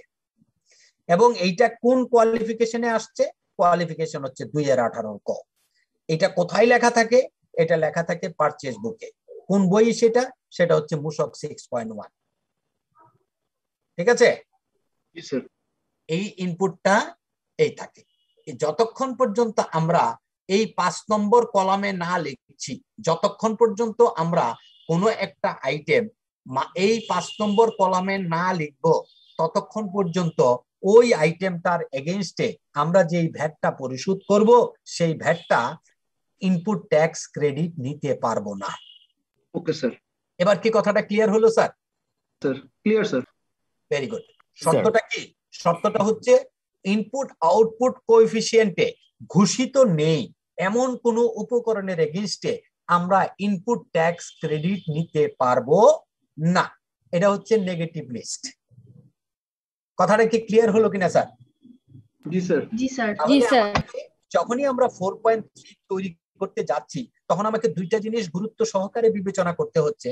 এক নাম্বার হচ্ছে ইনপুটের পজিটিভ লিস্ট আরেকটা বিবেচনা করতে হচ্ছে ফর্টি সিক্স এর নেগেটিভ লিস্ট এবং আমাদেরকে মাথায় রাখতে হচ্ছে যে ইনপুটের কোয়ালিফিকেশন করার সাথে সাথে আমাকে অবশ্যই ফোর পয়েন্ট থ্রিতে এটা উল্লেখ থাকতে হবে। যদি উল্লেখ না থাকে তাহলে আমি এটার ইনপুট ট্যাক্স ক্রেডিট নিতে পারব না। ক্লিয়ার হয়েছে স্যার স্যার থ্যাংক ইউ আমরা তাহলে কি ফোর পয়েন্ট থ্রি এর কলম পাঁচটা বুঝতে পারলাম কিনা জি স্যার এবং কলম পাঁচের সাথে সম্পৃক্ত হচ্ছে অবচয়ের পরিমাণ কলম নম্বর সিক্স আর আরেকটা জিনিস হচ্ছে আরেকটা জিনিস হচ্ছে সেটা এইট এবং নাইন একটা হচ্ছে কি? আমার কি পরিমাণ? পরিমাণটা হচ্ছে কলম নম্বর সিক্স আমার টোটাল কতটুকু প্রোডাক্ট ইনপুট দিতে হবে? কতটুকু মাল আমাকে মেশিনে ইনপুট দিতে হবে? এই ইনপুট দেওয়ার পর আমি আউটপুট কতটুকু পাবো? যেমন এখানে ধরেন একটা ক্যালসিয়াম ফিলার মাস্টার ব্যাচের কথা বলেছি। আর একটু সহজ উদাহরণ দেই। ধরুন আমরা তো সকালবেলা নাস্তার সময় পাউরুটি খাই তো। কে কে পাউরুটি খান? আছেন কেউ পাউরুটি খান? আর মাঝে মাঝে খাই স্যার। মাঝে মাঝে খাওয়া হয় স্যার। ওকে মাশাল্লাহ তার মানে আমরা খাই। একজন দুইজন বলছে যে আমরা খাই। বাকিরা চুপ করে আছে। যে চিন্তা করতেছে যদি পাউরুটি খাওয়ার কথা বলি এখন যদি স্যার বলে যে একদিন সকালে পাউরুটি বাসায় দিয়ে যায় তাহলে কত বড় বিপদে পড়তে হবে? এই জন্য চুপচাপ আছে নাকি? আচ্ছা থ্যাংক ইউ সেটা হচ্ছে আমরা পাউরুটি খাই। একবার চিন্তা করেন তো এই পাউরুটিটা যে তৈরি হলে তৈরি হয়ে আপনার ডাইনিং টেবিল পর্যন্ত চলে আসলো এটা কি এইভাবেই ছিল নাকি এটার কোনো প্রক্রিয়া হয়েছে? প্রক্রিয়া হয়েছে। প্রসেস করেছে। একটা প্রক্রিয়া হয়েছে। প্রক্রিয়াটা কীভাবে হয়েছে আমি বলি। দেখুন এই আপনার একটা ফুড ফ্যাক্টরিতে কিছু ময়দা কিছু চিনি কিছু ডিম কিছু ডালডা তারপরে হচ্ছে কিছু সিএ পাউডার কিছু ইস্ট কিছু ক্যালসিয়াম প্রোপোনেট এগুলি সব এক জায়গায় ঢেলেছে। ঢেলে ধরুন আপনার পঞ্চাশ কেজির ময়দা ওখানে ঢেলেছে। ঢালার পর ওগুলি মিক্সিং হয়েছে। মিক্সিং হওয়ার পর আলাদা আলাদা ডো হয়েছে। ডো হওয়ার পর এগুলি এক জায়গায় গিয়ে এগুলি ই হয়েছে প্রসেস হয়েছে। প্রসেস হওয়ার পর এগুলি ফুলেছে তাই না? নাকি ফুলে নাই? ফুলেছে ফুলেছে। ফুলেছে স্যার। ইয়েস ফুলার পরে এটা ড্রায়ারে চলে গেছে। ড্রায়ারে গিয়ে এটা ড্রাই হয়েছে। ড্রাই হওয়ার পরে এটা এক জায়গায় গিয়ে স্লাইস হয়েছে। স্লাইস হওয়ার পরে আরেক জায়গায় গিয়ে একটা প্যাকিং হয়েছে একটা পলিথিনের ভিতরে ঢুকেছে। পলিথিনটা আগুন দিয়ে মুখটা আটকানো হয়েছে। আটকানো হওয়ার পর এটা আরেকটা বিগার কার্টুনে এসে ঢুকেছে যেটাকে আমরা মাস্টার কার্টুন বলি। মাস্টার কার্টুনে ঢুকেছে ঢুকে একটা দোকানে আসছে। এর মাঝখানে হয়তো আরও কিছু প্রসেস ছিল। দোকানে আসছে দোকান থেকে আপনি গিয়ে একটা পাউরুটি নিয়ে আসছে। ঠিক কিনা স্যার? জি স্যার। ওই পাউরুটির গায়ে হয়তো লেখা আছে ওজন চারশো গ্রাম। দেখেছেন কখনো পাউরুটির গায়ে লেখা থাকে কিনা? জি স্যার চারশো গ্রাম। চারশো গ্রাম। দেড়শো গ্রাম দুশো গ্রাম আড়াইশো গ্রাম তিনশো গ্রাম সাড়ে তিনশো চারশো গ্রাম। এই এই চারশো গ্রামের রুটিটা আপনার হাতে যে পৌঁছালো এটা কি চারশো গ্রাম আটা দিয়ে তৈরি হয়েছে নাকি কম বেশি? আরও বেশি আটা দিয়ে তৈরি হয় বেশি আটা দিয়ে তৈরি হয়েছে সরি বেশি আটা দিয়ে অবশ্যই তৈরি হয়েছে অথবা কম আটা দিয়ে তৈরি হয়েছে আরও অনেক উপকরণের মধ্যে মিশ্রিত হয়েছে। তার মধ্যে বেশি মিশ্রিত হয়েছিল কি? পানি। কি মিশ্রিত হয়েছিল? পানি। এখন আপনাদেরকে একটা জায়গায় ফিরিয়ে নিয়ে যাই। রুটিটা তুন্দুলের ভিতরে ঢোকার আগে অর্থাৎ ড্রায়ারের ভিতরে ঢোকার আগে এটার যে ওজন ছিল আপনার টেবিলে পৌঁছানোর যে ওজন দুইটা কি এক? এক।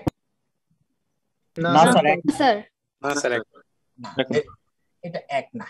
এই যে মাঝখানে যে কম কমলো ধরুন পাঁচশো গ্রাম ময়দার একটা ডো তুন্দুলে যাওয়ার পরে এটা সাড়ে চারশো গ্রাম রুটি হয়ে বের হয়েছে। এই যে মাঝখানে পঞ্চাশ গ্রাম কমে গেল এটা কি আপনার কস্টিং ইম্প্যাক্ট আছে কে নাই? আছে স্যার এই যে এই জিনিসটা এই জিনিসটা এনশিওর করার জন্য কলাম নাম্বার এইট ব্যবহার করা আছে। এবার কি ক্লিয়ার জি স্যার। এখন আপনি চোখ বন্ধ করে চিন্তা করুন। ছয় নম্বরে আছে পাঁচশো গ্রাম। কত? পাঁচশো গ্রাম। আপনি ইতে কি জানি বলে আট নাম্বার কলামে আছে পঞ্চাশ গ্রাম। এখন এই পাঁচশো আর পঞ্চাশ আপনি যদি একটা ইকুয়েশন করেন অবচয়ের শতকরা হার কত? দশ পার্সেন্ট রাইট? জি স্যার। জি স্যার। এবার কি আমরা ছয় আট এবং নয় বুঝতে পারলাম? জি স্যার। তাহলে আমরা যখন কোনো একটা জিনিস তৈরি করতেছি তখন আমাদেরকে এই জিনিসটা বিশেষভাবে চিন্তা করতে হবে। এই জিনিসটা চিন্তা করতে হবে। এইটার আবার এখানে দেখুন এই পাশে ভ্যালু এডিশন এই যে দশ নম্বর কলমে যেটুকু লেখা আছে এই সবগুলির নাম হচ্ছে দশ নম্বর কলমে যা কিছু লেখা আছে এই সবগুলির নাম কি? ভ্যালু এডিশন ভ্যালু এডিশন এই ভ্যালু এডিশনের বিপরীতে আপনি কোনো কখনোই কি নিতে পারবেন না? ফর্টি সিক্সে ইনপুট ট্যাক্স ক্রেডিট নিতে পারবেন না। কি নিতে পারবেন না? ইনপুট ট্যাক্স ক্রেডিট নিতে পারবেন না। এখানে দেখুন একটা জায়গায় হলুদ করে রাখছি। এটা কেন হলুদ করা কে বলতে পারবেন? এটা স্যার ইনপুট ট্যাক্স হিসেবে রিবিট নেওয়া যেতে পারে। ভেরি গুড এটা ইনপুটের একটা অংশ কিন্তু আমি এখানে লিখে ফেলেছি ভুল করে। যেহেতু ভুল করে লিখে ফেলেছি এটা নিশ্চয়ই এই জন্য আমি হলুদ করে রাখছি যে আপনাদেরকে জিজ্ঞেস করার জন্য যে স্যার এটা কি সঠিক আছে কিনা? থ্যাংক ইউ সো মাচ এটা প্যাকিং কস্টটা আমার হচ্ছে ইনপুট প্যাকিং কস্টটা কি? ইনপুট ইনপুট যেহেতু ইনপুট আমি যদি এইখানে এই পাঁচ নম্বর কলমে না লিখি না লিখে যদি আমি দশ নম্বর কলমে লিখি আমি কি ইনপুট ট্যাক্স ক্রেডিট নিতে পারব কি পারব না? না পারব না স্যার। পারব না পারব না। তাইলে আমার যত প্যাকিং মেটেরিয়াল আছে ওই যে পাউরুটিটা আমি খেয়েছি সেই পাউরুটিটা যেই পলিথিনে করে আমার বাসা পর্যন্ত আসলো ওই পলিথিনের ভ্যালুটা যদি আমি পাঁচ নম্বর কলমে না লিখে দশ নম্বর কলমে লিখি আমি ইনপুট ট্যাক্স ক্রেডিট নিতে না পারলে আমার কোম্পানির লস হবে না লাভ হবে? লস হবে স্যার লস হবে। কারণ আমি যদি ভ্যালুটা যদি, ভ্যাটটা যদি আমি ইনপুট ট্যাক্স ক্রেডিট নিতে না পারি it will increase the cost কি করবে এটা? ধরুন, একশো পনেরো টাকা দিয়ে, একশো পনেরো টাকা দিয়ে আপনি একটা পলিথিন কিনেছেন পাউরুটিটাকে প্যাক করার জন্য। একশো টাকা হচ্ছে আপনার কস্ট পনেরো টাকা হচ্ছে ভিএটি আপনি যদি ইনপুট ট্যাক্স ক্রেডিট নিতে পারেন আলটিমেটলি আপনি পেমেন্ট করে থাকলেও সেটা কিন্তু আপনি আরেকজনের কাছে শিফট করে দিলেন। এই যে ইনপুট ট্যাক্স ক্রেডিট নেওয়া তার মানে হচ্ছে আপনার যে কস্টটা আছে সেই কস্টটা আপনি অন্যজনের ঘাড়ে শিফট করে দিলেন। আর আপনি যদি ইনপুট ট্যাক্স ক্রেডিট নিতে না পারেন তাহলে ওই কস্টটা আপনাকে বিয়ার করতে হবে। যখনই কস্ট আপনি বিয়ার করবেন তখন প্রফিট ইনক্রিজ করবে না ডিক্রিজ করবে? ডিক্রিজ করবে। ডিক্রিজ করবে। ডিক্রিজ করবে স্যার প্রফিট ডিক্রিজ করবে। ভেরি গুড তাহলে আমরা কি এখন এই যে পাঁচ এবং দশ আট এবং নয় এই চারটা জিনিসের যে সম্পর্ক এই সম্পর্কটা কি বুঝতে পারলাম কিনা? জি স্যার। পাঁচ নাম্বার হচ্ছে আমার ইনপুট ইনপুট মানে হচ্ছে দুই এর আঠারোর ক। এইটার মধ্যে যদি কোনোটা উল্লেখ না থাকে তাহলে আমি কখনোই ফর্টি সিক্স কমপ্লাই করতে পারব না ফর্টি সিক্স অ্যাপ্লাই করতে পারব না। আর ফর্টি সিক্স যদি আমি অ্যাপ্লাই করতে না পারি তাহলে কি হবে? আমার ইনপুট ট্যাক্স ক্রেডিট বাতিল হয়ে যাবে। ইনপুট ট্যাক্স ক্রেডিট যদি আমার বাতিল হয়ে যায় তাহলে কি হবে? আমার কস্ট বেড়ে যাবে আমার প্রফিট কমে যাবে ঠিক কিনা স্যার জি স্যার আর যখনই ইনপুটটাকে ইনসার্ট করতেছি ইনপুটটাকে আমি ডিজাইন করতেছি তখন আমি অবশ্যই অবশ্যই ওই যে কতটুকু ময়দা দিলে কতটুকু পানি দিলে কতটুকু চিনি দিলে আমার একটা চা সাড়ে চারশো গ্রামের পাউরুটি হবে এটাকে মাথায় রেখে আমি কি করব? সবটাকে ডিজাইন করলাম। মাছ পথে যেটা আগুনের তাপে শুকিয়ে গেছে সেটা আমার কি? নর্মাল লস অবচয় রাইট অপচয়টুকু ওই অপচয়টুকু আমার কষ্টের মধ্যে ইনক্লুড আছে এবং ভ্যাট অথরিটি এটা আমাকে মেনে নিচ্ছে। ভ্যাট অথরিটি আমাকে এটা মেনে নিচ্ছে বলছে যে ইয়েস আপনার যে অপচয়টা আছে সেই অপচয়টা আমরা মেনে নিচ্ছি। অর্থাৎ আপনি পাঁচশো গ্রাম ময়দা পানি ডিম ডালডা একসাথে ইনপুট দিলে আপনি সাড়ে চারশো গ্রাম একটা পাউরুটি পান এটা নিয়ে আমাদের কোনো আপত্তি নাই। কথাটা কি ক্লিয়ার হলো স্যার স্যার অবচয় সর্বোচ্চ ধরা যাবে স্যার স্যার স্যার অবচয় সর্বোচ্চ কত ধরা যাবে প্রোডাক্টের hundred percent hundred percent. Hundred percent. একটু পরে দেখাচ্ছি হান্ড্রেড পার্সেন্ট কীভাবে হয়। স্যার একটা কথা ছিল স্যার। কি বলেন। ক্ষেত্রে স্যার আপনার এই এক্সাম্পলটাই স্যার সার্ভিসটা কীভাবে আমরা এখানে মেনশন করব স্যার?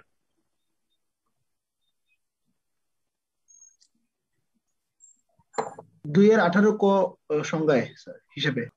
এখানে এখানে যদি আমি সার্ভিস দেই কনসালটেশন হ্যাঁ এখানে এখানে লিখলাম এটা- কি এইরকম হতে পারে স্যার প্রোডাক্ট ডেভেলপমেন্ট কনসালটেশন নিয়েছি স্যার থার্ড পার্টি থেকে। ডিজাইন হ্যাঁ ডিজাইন কস্ট আপনি যখন এখানে ডিজাইন কস্ট লিখবেন ব্রেকেটে আপনি কি একটা শব্দ বলেছিলেন? প্রোডাক্ট ডেভেলপমেন্ট রাইট জি স্যার। প্রোডাক্ট ডেভেলপমেন্টের জন্য আপনি ডিজাইন কস্ট খরচ করেছেন। এটার এগেনস্টে আপনি যে ভিএটিটা পরিশোধ করবেন ওই ভিএটিটা আপনি এখানে রিবেট নিতে পারবেন। বুঝতে পারছি স্যার। এখন এখানে স্যার কস্টটা অ্যালোকেট করব কীভাবে স্যার? ডিজাইনটা তো অনেকদিন যাবত হ্যাঁ হ্যাঁ হ্যাঁ। এই জন্য এইটাই বলছিলাম শুরুতে আপনাদেরকে যখন এক্সাম্পলটা দিয়েছিলাম তখন বলেছিলাম আপনাকে নিশ্চিত হইতে হবে। যেমন ধরুন আপনি যদি একটা প্রোডাক্ট বানান তখন কিন্তু আপনার ডিজাইন অ্যালোকেশন করতে আপনার কোনো সমস্যা নাই। কিন্তু আপনি যদি ধরেন একটা বিস্কিট ফ্যাক্টরিতে একশো বিশ পদের বিস্কিট হয় পঁচাত্তর রকমের পাউরুটি হয় তিরিশ রকমের টোস্ট হয় ঠিক কিনা স্যার তখন আলাদা আলাদা ভাবে এই ডিজাইন কস্টটা হ্যাঁ? অথবা মোল্ড তৈরি করার জন্য পরামর্শ যে আপনার প্রোডাক্টের ডিজাইন চেঞ্জ করলে মার্কেটে অনেক সময় চেঞ্জ হয় না চেঞ্জ হয়? জি হয়। একটা উদাহরণ দেই তাইলে আপনারা আরও একটু ক্লিয়ার হতে পারবেন। ইউনিলিভারের নাম শুনেছেন? জি স্যার। জি স্যার। কি ধরুন হেড এন্ড শোল্ডার অথবা সানসিল্ক শ্যাম্পু আছে দুইশো এম এর বড় বড় বোতল। একটার দাম হচ্ছে একশো পঁচিশ টাকা। কোন রিক্সাওয়ালার পক্ষে ওই একশো পঁচিশ টাকা দিয়ে একটা শ্যাম্পু কিনে মাসে একবার বা সপ্তাহে একবার চুলে শ্যাম্পু করা সম্ভব? না স্যার। আমরা থিওরিটিক্যালি বললাম নো থিওরিটিক্যালি বললাম নো বাস্তবিকতা অন্যরকম হতে পারে। আমরা উইল নট আন্ডারমাইনিং রিক্সাওয়ালাকে আন্ডারমাইনিং করছি না। ডোন্ট টেক ইট আদারওয়াইজ আপনাকে আপনারা কেউ আবার ওইটাকে রেসিজমে নিবেন না। আহ, ওইটা আমরা না এটা উদাহরণের জন্য উদাহরণ দিয়েছি। কেন বলেছি? এটাকে নিম্ন আয় বুঝাতে বলেছি। ক্লিয়ার এরপরে হচ্ছে তখন ইউনিলিভার চিন্তা করল যে নো আমরা যদি এক টাকা বা দুই টাকা অথবা তিন টাকার যদি শেষের তৈরি করি মিনিপ্যাক আছে রাইট কে দেখেছেন মিনিপ্যাক আছেন কেউ? মিনিপ্যাক দেখেছেন? দেখেছি জি স্যার স্যার দোকান দোকানে দেখেছি স্যার এবং আমরাও কিনি আমরাও কিনি তাই না? স্যার ব্যবহার করেছি স্যার জি স্যার আমিও কিনি। ইয়েস কোথাও বেড়াইতে যাইতে পাঁচটা কিনে নিয়ে গেলাম ওই পাঁচটা ব্যবহার করে চলে আসলাম ঠিক কিনা? বোতলটাকে আর ক্যারি করতে হলো না কাপড় চুপুর নষ্ট হইল না তাই না? জি স্যার। স্যার। এখন এরকমের একটা জিনিস দুই টাকা দিয়ে যে কেউ এফোর্ড করতে পারে পারে কিনা? জি স্যার পারে। জি স্যার। আমি যে কথাটা বোঝানোর চেষ্টা করছি আমরা এইটাতে কনসেন্ট্রেট না করে এই যে বোতল থেকে মিনি প্যাক এইখানে যে প্রোডাক্টের যে মডেলটা চেঞ্জ করার জন্য যে কনসালটেশনটা দরকার হয়েছে এটা কি প্রোডাক্ট রিলেটেড কনসালটেশন নাকি মার্কেটিং ডেভেলপমেন্ট কনসালটেশন কোনটা? মার্কেটিং মার্কেটিং কনসালটেশন মার্কেটিং এর আগে স্যার প্রোডাক্ট ডেভেলপমেন্ট ঠিক কিনা? মার্কেটিং হয়েছে পরে আগে হচ্ছে প্রোডাক্টটা ডেভেলপ হয়েছে ঠিক কিনা? জি স্যার মার্কেটিং এর কনসেপ্টটাকে ডেভেলপ করার জন্য বা এই এই বাস্তবে রূপ দেওয়ার জন্য প্রোডাক্টটাকে ডিজাইন করতে হয়েছে ঠিক না? সেই জন্য তাকে একটা প্লাস্টিকের স্যাসেটের মেশিন কিনতে হয়েছে এবং শ্যাম্পুটাকে ওইটা দিয়া ফিলিং করার প্রয়োজন হয়েছে। তার কারণ হলো বোতলে ফিলিং করা আর স্যাসেটে ফিলিং করার মেশিন কি এক হবে। এই যে এই ধরনের যে কনসালটেশন আছে এই কনসালটেশন গুলি আপনি কিন্তু একদম প্রোডাক্ট রিলেটেড করতে পারবেন। এই প্রোডাক্ট রিলেটেড কনসালটেশনগুলো আপনি যদি সেপারেট করার মতো ক্ষমতা থাকে সুযোগ থাকে আপনি অবশ্যই প্রোডাক্টের সাথে এটা ইনপুট হিসাবে ওই সার্ভিসটাকে ইনক্লুড করতে পারবেন কোনো সমস্যা নেই। এবার কি ক্লিয়ার সার্ভিসের কথা যে প্রশ্ন করেছিলেন? জি sir clear sir. Thank you sir. এবার আসি আমরা যে কথাটা আলোচনা গিয়ে আবার ফেরত আসছিলাম সার্ভিসে সেটা হচ্ছে আমার প্যাকিং কস্ট এটা আশা করি প্যাকিং কস্ট নিয়ে আপনাদের কারও কোনো প্রশ্ন নাই। আমি ইচ্ছা করে ওইটা ওই পাশে রাখছিলাম। যে কোনো কারণে হলুদ দাগটা মুছা হয়নি। যে কারণে আপনারা শর্টকাট ধরে ফেলতে পারছেন। থ্যাংক ইউ তারপর আপনারা ধরতে পেরেছেন এই জন্য ধন্যবাদ। যে ইয়েস স্যার প্যাকিং কস্টটা হচ্ছে ইনপুট সুতরাং ইনপুট যেহেতু এটা অবশ্যই পাঁচ নম্বর কলমে থাকবে এবং এটা থেকে আমরা ইনপুট ট্যাক্স ক্রেডিট নিতে পারব। আশা করি ফোর পয়েন্ট থ্রিতে আপনাদের আর কোনো প্রশ্ন নেই। Sir thank you sir okay sir আমার একটা কোশ্চেন আছে স্যার ফোর পয়েন্ট বলুন বলুন। স্যার আপনি যে এখানে ওই যে দশ নাম্বার কলামে ইলেকট্রিসিটি বিল তারপর হচ্ছে যে ওয়াটার গ্যাস যেটা ওখানে দশ নম্বর কলামে দিচ্ছেন কিন্তু এখন ফর্টি সিক্স এর সাবসেকশন থ্রিতে তো বলা আছে যে গ্যাস পানি বিদ্যুতের উপর যদি আমি উঠছে কর দিয়ে থাকি তাহলে সেটা আমি রিবেট পাবো। ইয়েস পাবেন। তাহলে এটা তো আমি দশ নাম্বার কলামে দিছি তাহলে কি আমি রিবেট পাবো এখন? এই তো আপনি ধরে ফেলছেন। এবার কি দশ নম্বর কলমে আছে?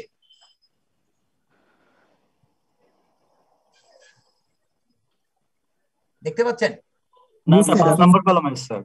এখন কোন কলমে আছে? পাঁচে স্যার। আছে এবার কি আপনার প্রশ্নের উত্তর পেয়েছেন? স্যার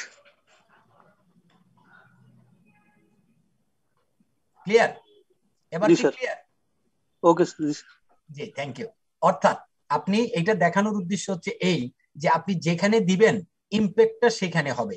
ক্লিয়ার এবার? জি স্যার স্যার আমার একটা কোশ্চেন ছিল স্যার বলেন। স্যার আমরা ইম্পোর্টের ক্ষেত্রে যে সিএনডেফ কমিশন আছে বা পোর্টে অ্যাঙ্করেজের যে খরচগুলো আছে সেটার উপর যে ভ্যাটটা কাটি সেটা কি আমি এখানে আলাদাভাবে সিএনডেফ কমিশন বা অ্যাঙ্করেজের যে কষ্ট আছে আলাদা লাইন আইটেম করে দেখাবো? আপনি রিবেট নেওয়ার জন্য। আপনাকে ছোট্ট একটা জিনিস দেখাই। এই যে হেড ওয়াইজ কস্ট আপনারা অবশ্যই এরকমের একটা ল্যান্ডেড কস্ট বের করে নেবেন। দেখুন আপনার যত রকমের কস্ট আছে এখানে ইনক্লুড করা আছে। ঠিক আছে স্যার? জি স্যার। ইলেকট্রিসিটি হিসাব করা আছে। একদম ইউনিট ওয়াইজ আপনি হিসাব করে নেবেন। হেড ওয়াইজ করে নেবেন। তারপরে আপনি কি করবেন? হেড অফিসের কি কস্ট আছে সেটাও আপনি এখানে ইনক্লুড করে নেবেন। আছে? জি স্যার। র মেটেরিয়ালের জন্য আপনি এইভাবে প্রাইসিং করে নেবেন। মানে সর্বশেষ কথা হচ্ছে এটা আমি জানি আপনাদেরকে একদম টোটাল ইনপুটটা আনোয়ারুজ্জামান স্যার ভালো করে বুঝিয়ে দিয়েছে। ল্যান্ডেড কস্ট আপনারা কীভাবে বের করবেন? ঠিক না স্যার? জি স্যার। এরপরে আপনারা প্রয়োজনে এই কস্ট শিটটা বের করে নেবেন। এই কস্ট শিটটা আপনারা সবাই করেন এবং আমি জানি আপনারা এটা করেন এবং জানেন। এই যে দেখুন এখানে raw material cost packing cost আপনার অ্যাডমিনিস্ট্রেটিভ কস্ট ফাইন্যান্স কস্ট এরপরে যত কিছু আছে সমস্ত কিছু এখানে করার পরে এরপরে আপনারা সেলস ভ্যালু দিয়ে মাল এই ক্যালকুলেশন করে দেখেন ক্রস চেক করে দেখেন যে আপনার প্রফিট হচ্ছে না লস হচ্ছে। তারপরেই কিন্তু আপনারা ফোর পয়েন্ট থ্রিটা সাবমিট করেন ঠিক না? জি স্যার। জি। আপনি সিএনএফ কমিশনের এগেনস্টে যেই ভ্যাট দিচ্ছেন সেই ভ্যাটটা আপনি সিএফ অবশ্যই অবশ্যই রিবেট নিয়ে নিতে পারবেন। কারণ আপনি তখন সিএনএফ কস্টটাকে কোন জায়গায় ইনপুট দিবেন? পাঁচ নাম্বার কলামে স্যার ইয়েস পাঁচ নাম্বার। কলমে স্যার আপনি ল্যান্ডেড কস্ট হিসাবে যখন ইনক্লুড করে রাখবেন তখন আপনি অটোমেটিক্যালি এটা নিয়ে নিতে পারবেন নিয়ে নিবেনও। ঠিক আছে? জি sir thank you four point থ্রিতে আশা করি আপনাদের আর কোনো প্রশ্ন নাই। আছে? স্যার একটা কোশ্চেন ছিল। বলেন। স্যার এই যে আহ, আমার যদি দশটা প্রোডাক্ট বানাই আমি সেক্ষেত্রে কি ফোর পয়েন্ট থ্রি কি কীভাবে সাবমিট করব? প্রত্যেকটার জন্য আলাদা আলাদা। আচ্ছা স্যার। প্রত্যেকটার জন্য আলাদা আলাদা। স্যার একটা কোশ্চেন ছিল। আমার একটা স্যার আমার একটা কোশ্চেন ছিল। কি বলেন। স্যার যে হলো যে আমরা যে পাঁচ নাম্বার কলমে এখানে ধরেন আমার এমন কিছু ম্যাটেরিয়াল আছে যেগুলোর জন্য আমি আসলে ব্যাট ইয়ে করতে পারি না ব্যাট চালান নিতে পারি না।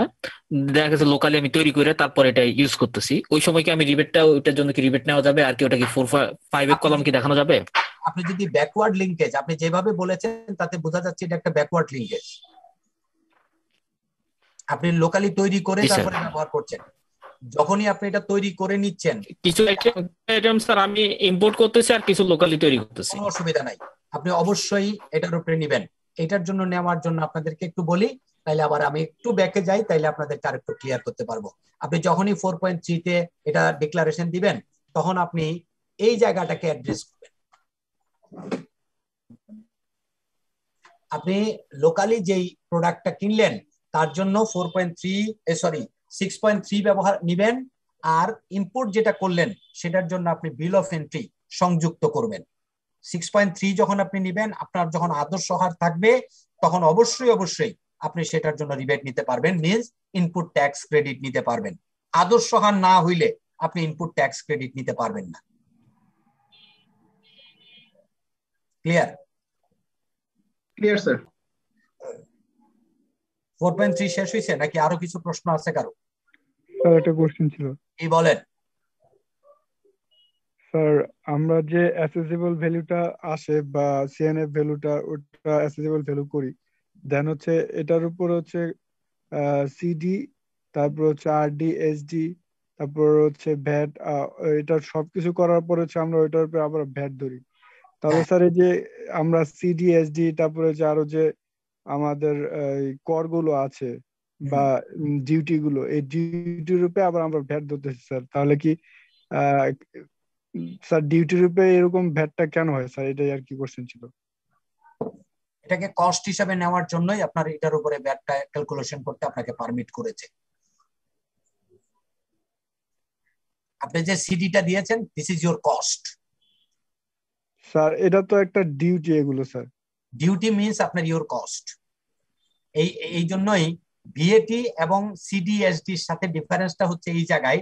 সিডি এই আপনার সিডির সাথে আপনি সিডিটা যখন পে করছেন ইম্পোর্ট স্টেজে এটা আর আপনি কিন্তু রিবেট নিতে পারছেন না, এটা আর ফেরত নিতে পারছেন না। যদি আপনি এক্সপোর্টার না হন এক্সপোর্টার হইলে আপনি হয়তো সিডিটা ফেরত নিতে পারবেন। কিন্তু ভ্যাটটা হচ্ছে আপনি অন্যের কাছে শিফট করে দিতে পারছেন। এই শিফট করে দেওয়ার সুবিধাটা যেহেতু আপনি পাচ্ছেন, এই জন্যই আপনাকে ওইটাকে কস্ট হিসাবে ট্রিট করার সুযোগ দিচ্ছে। স্যার, একটা কস্ট হচ্ছে তাহলে স্যার ডিউটি আর একটা কস্ট হচ্ছে প্রোডাক্টের ডিরেক্ট কস্ট তাহলে। ওটা একটা direct cost duty direct cost duty not written refundable যে সমস্ত কস্টগুলো রিফান্ড নেওয়া যাচ্ছে না যে সমস্ত কস্টগুলো আপনি রিবেট নিতে পাচ্ছেন না সবগুলি আপনার ল্যান্ডেড কস্টের মধ্যে অন্তর্ভুক্ত হবে।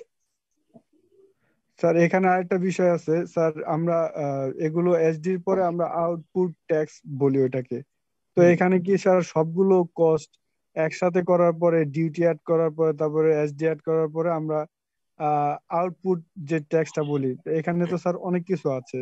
আউটপুট কস্টটা ট্যাক্সটা কেন বলি স্যার যে আউটপুট ট্যাক্স হচ্ছে একদম ফাইনালি আপনি যেই, আপনার ভ্যালু এডিশন করার পরে আপনার যে সেলেবল বা ট্রান্সফারেবল প্রাইস যখন আপনার দাঁড়াচ্ছে, আপনি যেই প্রাইসে এটা ট্রান্সফার করতে যাচ্ছেন সেল করতে যাচ্ছেন রেডি ফর সেল ওই প্রাইসটা যখন নির্ধারণ হলো, ওইটার উপরে, ওইটা হলো আপনার আউটপুট আর ওইটার উপরে আপনার যে ট্যাক্সটা নির্ধারিত হচ্ছে দ্যাট ইজ আউটপুট ট্যাক্স তাহলে স্যার দুই এখানে দুইটা জিনিস আউটপুট ট্যাক্স একটা ট্যাক্স একটা হচ্ছে আউটপুট টোটাল ভ্যালু হ্যাঁ হচ্ছে একটা পার্ট দুইটা পার্ট এখানে। একটা হচ্ছে your cost of good sold কি? জি স্যার কস্ট অফ গুড সবগুলো কস্ট একসাথে এসে।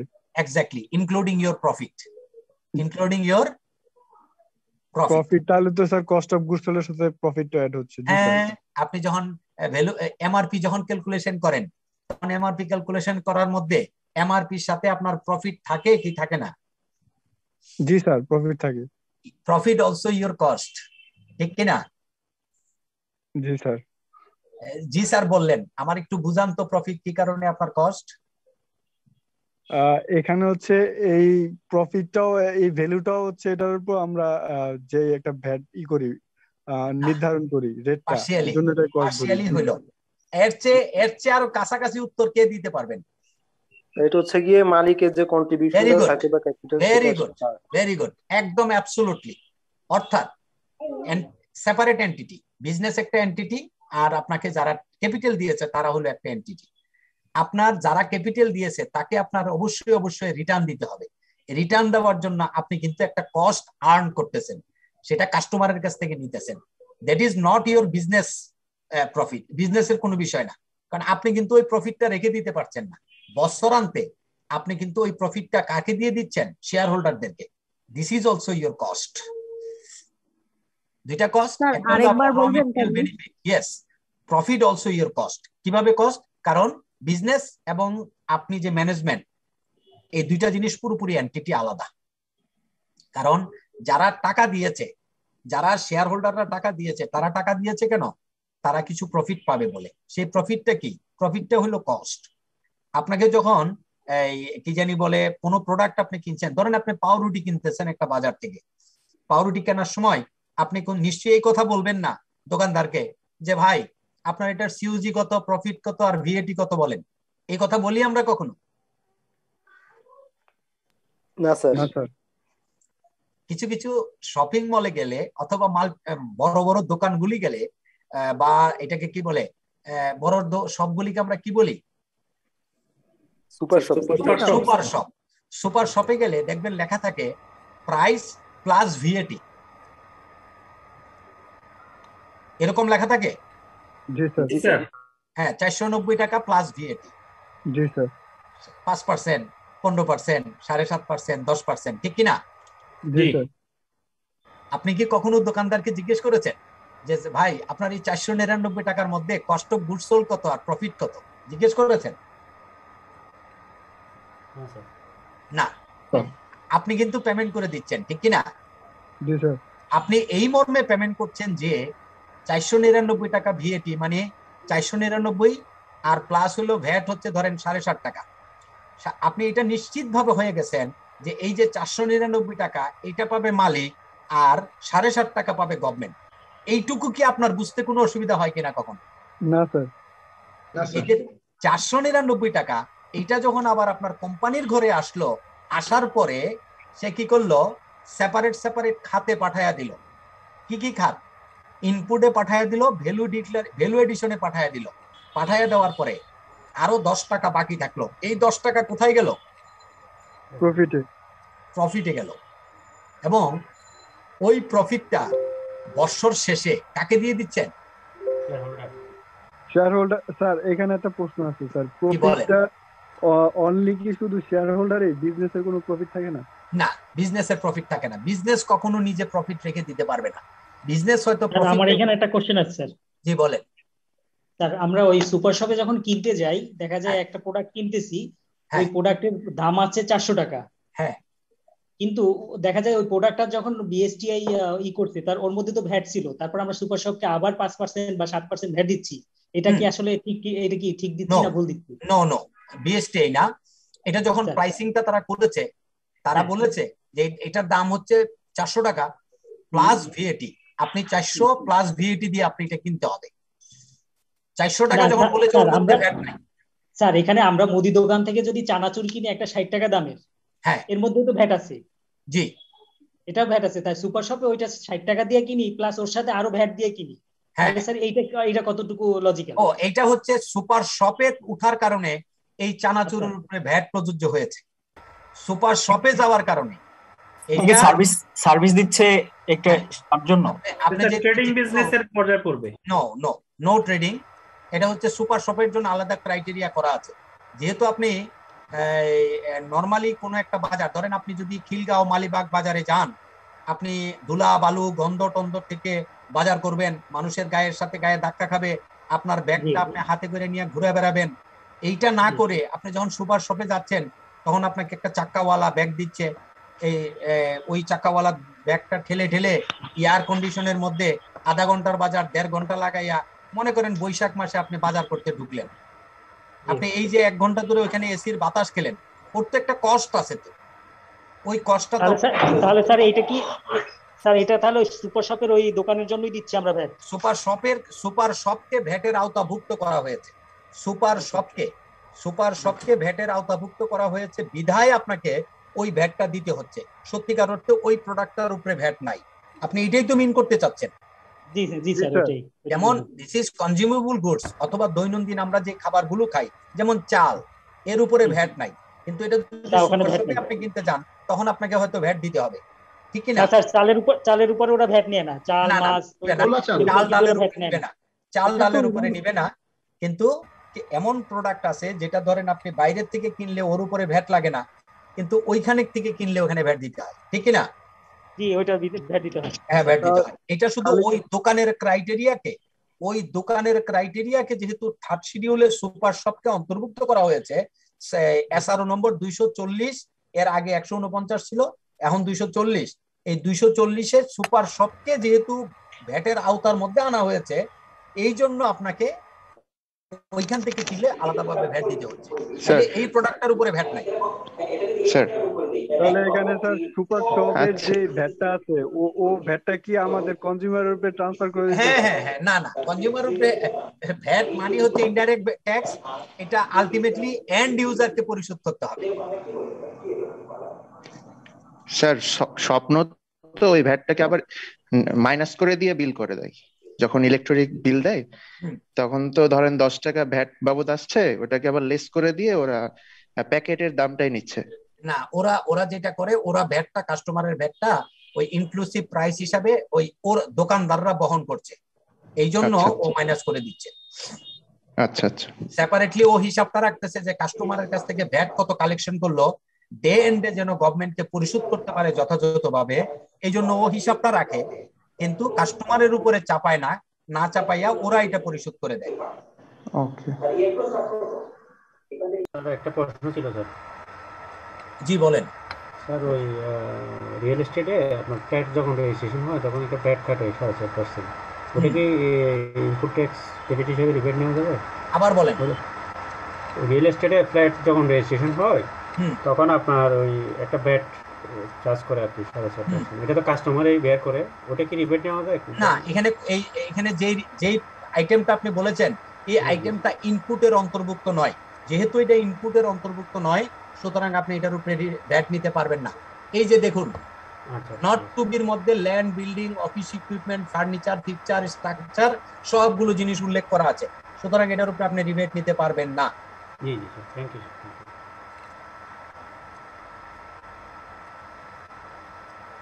স্যার ওই বিজনেসের যে বিষয়টা বললেন স্যার বিজনেসে কোনো প্রফিট নেই। তাহলে বিজনেসের যে বিভিন্ন কস্টগুলো আমরা সেগমেন্ট করি অ্যাডমিনিস্ট্রেটিভ সেলিং প্রমোশনাল তারপর হচ্ছে প্রোডাক্টের কস্ট ডিরেক্ট ইনডিরেক্ট যত কিছু আছে। তো ওরা কি বিজনেস স্যার কীভাবে চলবে? যদি আহ, স্যার স্টক হোল্ডারদের প্রফিট হয় বিজনেস চলবে বিজনেসের তো কিছু হয় না। বিজনেস হইল সেক্টর ওয়াইজ ধরেন ও ও শুধু রিসোর্স মোবিলাইজেশন করছে। রিসোর্স মোবিলাইজেশন করছে। সে র মেটেরিয়ালের টাকাটা র মেটেরিয়াল ওয়ালাকে পরিশোধ করে দিচ্ছে। সে অ্যাডমিনিস্ট্রেটিভের যে লোকজন খাটাচ্ছে, তার টাকা অ্যাডমিনিস্ট্রেটিভের স্যালারিতে দিয়ে দিচ্ছে। ব্যাংকের থেকে লোন নিয়েছে ফাইন্যান্স কস্ট দিয়ে দিচ্ছে। আর দিন শেষে যে প্রফিটটা থাকতেছে, সেটা ব্যবসায়ের যে মালিক শেয়ার হোল্ডাররা তাদেরকে প্রফিট হিসেবে দিয়ে দিচ্ছে। তাই সে শূন্য। সে সমান সমান।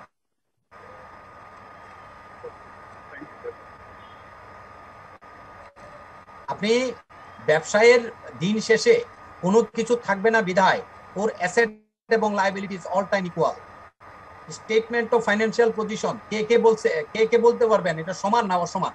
সমান। কারণ কি? কারণ কি? ABCD limited or statement of financial position equal or not equal equal তার মানে কি? এবিসিডি লিমিটেড ওর ব্যালেন্স শিটের লায়াবিলিটিস এবং অ্যাসেট পরিশোধ করলে এবিসিডি লিমিটেড কি? জিরো জিরো জিরো ওকে এটা নিয়ে আর আলোচনা করব না এটা তর্কের বিষয় না। Statement of financial statement is the এটা হচ্ছে একদম প্রমাণ যে বিজনেস হচ্ছে জিরো ওকে আর স্যার এক মালিকানার ক্ষেত্রে স্যার এখানে যদি আমরা ওইখানে ফাইন্যান্সিয়াল স্টেটমেন্টে লাইবিলিটির দিকে profit owner security and liability owner security owner security ওইটাও ওনার সিকিউরিটি জি স্যার ওখানে তো স্যার ক্যাপিটাল তো থাকে ইয়ে ক্যাপিটাল থাকে না ওখানে ওনার সিকিউরিটি থাকে। জি স্যার ওই ওনার সিকিউরিটির সাথে তো আমরা প্রফিট অ্যাড করি মালিকানা প্রফিটটা ওখানে আলটিমেটলি যোগ হয়ে ওনার সিকিউরিটিটা বড় হতে থাকে। জি স্যার ওই ক্ষেত্রে হচ্ছে ওটা কম অর্গানাইজেশনের প্রফিট মালিকের না না মালিকের। মালিকের মালিকের। টাকা কে খাটাচ্ছে? মনে করেন এক মালিকানা একটা প্রতিষ্ঠান। ধরেন আপনার একটা মুদির দোকান। মুদির দোকানটার যদি ব্যালেন্স শিট তৈরি করেন অ্যাসেট এবং সমান হবে না সমান হবে না? সমান হবে স্যার ব্যাস এরপরে আর কোনো কথা নেই। আসেন এবার হচ্ছে আমরা সিক্স পয়েন্ট ওয়ানটা একটু বলছিলাম। কীভাবে বলছিলাম? যে সিক্স পয়েন্ট ওয়ানটাতে মজুদ থাকবে উপকরণের উপকরণের প্রারম্ভিক জ্যাট স্যার এটা কথা ছিল স্যার একটা সাউন্ড শোনা যাচ্ছে শোষা আওয়াজ স্যার। এটা কারোর ডিভাইস থেকে আসতেছে। স্যার একটু কাইন্ডলি আপনি সবাইকে মিউট করে আবার নিজেকে একটু কাইন্ডলি আনমিউট করেন স্যার। এটা অন্য কারোর ডিভাইস থেকে আসতেছে। আপনারা কি আমাকে শুনতে পাচ্ছেন এখন? থ্যাংক ইউ স্যার ঠিক আছে। এটা কারোর ডিভাইস থেকে আসতেছিল। ওকে এবার আসেন six point one six point one এটা আমাদের অত অনেক জটিল এবং কঠিন একটা বিষয় নয়। এটাতে কি আছে? এটাতে আছে প্রারম্ভিক মজুদ। এটা আগেই বলেছিলাম opening stock of raw materials তারপরে হচ্ছে, আপনি যে পারচেজ করবেন, সেই পারচেজের বিবরণটা, কীভাবে পারচেজ করছেন সেই বিবরণটা। এরপরে হচ্ছে আপনার কনজামশন কনজামশনের পরে যেটা থাকবে, সেটা হচ্ছে ক্লোজিং স্টক প্রত্যেকটা আইটেমের জন্য আপনাকে এরকমের একটা পেজ ব্যবহার করতে হয়। এই পেজ ব্যবহার করে আপনাকে প্রত্যেকটা আইটেম ব্যবহার হিসাব রাখতে হবে। হিসাব রাখতে হবে। একটা সহজ হিসাব এখানে আমরা যদি দেখি দুই একুশ সালের পহেলা জুলাই পঞ্চাশ কেজি আমার মজুদ ছিল একটা প্রোডাক্ট এই প্রোডাক্টটার নাম ধরুন কোনো একটা নাম আর কি ওয়াই জেড পঞ্চাশ কেজি ছিল, যার মূল্য ছিল দশ হাজার আটশো কুড়ি টাকা। আমি এক পাঁচ চার পাঁচ ছয় এই বিল অফ এন্ট্রির মাধ্যমে দুই সাত একুশ সালে আমি কি করেছি? ওখানে কিছু প্রোডাক্ট কিনেছি, যার ভ্যাট নাম্বার হচ্ছে এরকম। এটার নাম হচ্ছে ফিলার মাস্টার বিশার সিএফ একশো কেজি মালামাল আমি বিক্রি করেছি। দেখুন, এটা হলুদ করা আছে। একশো কেজি প্রোডাক্ট আমি কিনেছি, যেটার ভ্যালু হচ্ছে একুশ হাজার ছশো চল্লিশ টাকা। একুশ হাজার ছশো চল্লিশ টাকা। এই একুশ হাজার ছশো চল্লিশ টাকার প্রোডাক্ট কেনার সময় আমি তিন হাজার দুশো ছিচল্লিশ টাকা ভিএটি পরিশোধ করেছি। এবং আমি ওই এক মাসে আমি একশো কেজি প্রোডাক্ট কি করেছি? একশো কেজি একশো কেজি র মেটেরিয়াল ব্যবহার করেছি। আমার আর এখন মালামাল কটুকু আছে? ক্লোজিং স্টক কি আছে? পঞ্চাশ কেজি। পঞ্চাশ কেজি। এটা হচ্ছে পারচেস বুক এটা এটার আগে ষোলো ছিল এখন হয়েছে মূসক সিক্স পয়েন্ট ওয়ান স্যার আমাদের কি এই এগুলো কি স্যার দেওয়া যাবে? যেগুলো আছে স্টেটমেন্টগুলো যে কয়টা স্যার দেখালেন? এগুলি আরে এগুলি তো বইতে আছে বইয়ের জিনিসপত্র। স্যার আপনি তো জিনিসগুলো হচ্ছে দেখাতে পারলে ভালো হতো স্যার আচ্ছা এই ক্লাসটা শেষ করে ফেলেন স্যার হ্যাঁ। আচ্ছা।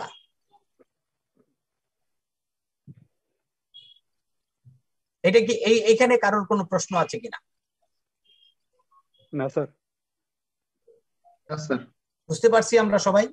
র মেটেরিয়ালটা এইটা এই র মেটেরিয়ালের এখানের যে হিসাবটা আছে কোন হিসাবটা? এইখানের এই যে এই যে প্রক্রিয়াকরণের জন্য প্রক্রিয়াকরণের জন্য এই যে পনেরো নম্বরের যে প্রক্রিয়াকরণের জন্য প্রস্তুতকরণের জন্য আমি পাঠাইয়া দিলাম। এইটা সংযুক্ত হয় কোথায় জানেন? ফোর পয়েন্ট থ্রির ইনপুটে গিয়ে। কোথায়? ফোর পয়েন্ট থ্রি ইনপুটে ইয়েস ফোর পয়েন্ট থ্রির ইনপুটে গিয়ে এটা যুক্ত হয়। এখানে আর কারোর কোনো প্রশ্ন আছে? না স্যার। ওকে এবার আসেন। সিক্স পয়েন্ট টু যেটা হচ্ছে আউটপুট সিক্স পয়েন্ট টু ও আরেকটা জিনিস ওখানে একটু বলে দেই তাইলে আপনাদের জন্য। মনে রাখতে সুবিধা হবে। ভুলে গেছিলাম।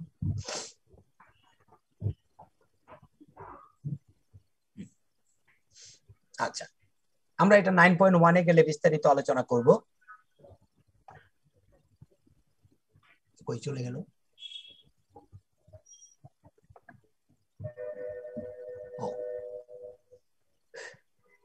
ফোর পয়েন্ট থ্রিতে note number fourteen, note number fourteen.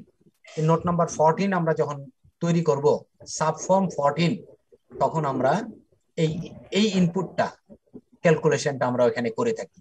কীভাবে করি? যে আমি কত টাকার পারচেজ করেছি এবং কত টাকা ভিএটি পরিশোধ করেছি। টোটাল জিনিসটা এখানে একটা হিসাব তৈরি হয়। এই হিসাবটা আলটিমেটলি আমার input tax credit input tax credit হিসাবে আমি যখন ক্যালকুলেশন করি নাইন পয়েন্ট ওয়ানে তখন কীভাবে ক্যালকুলেশনটা করি?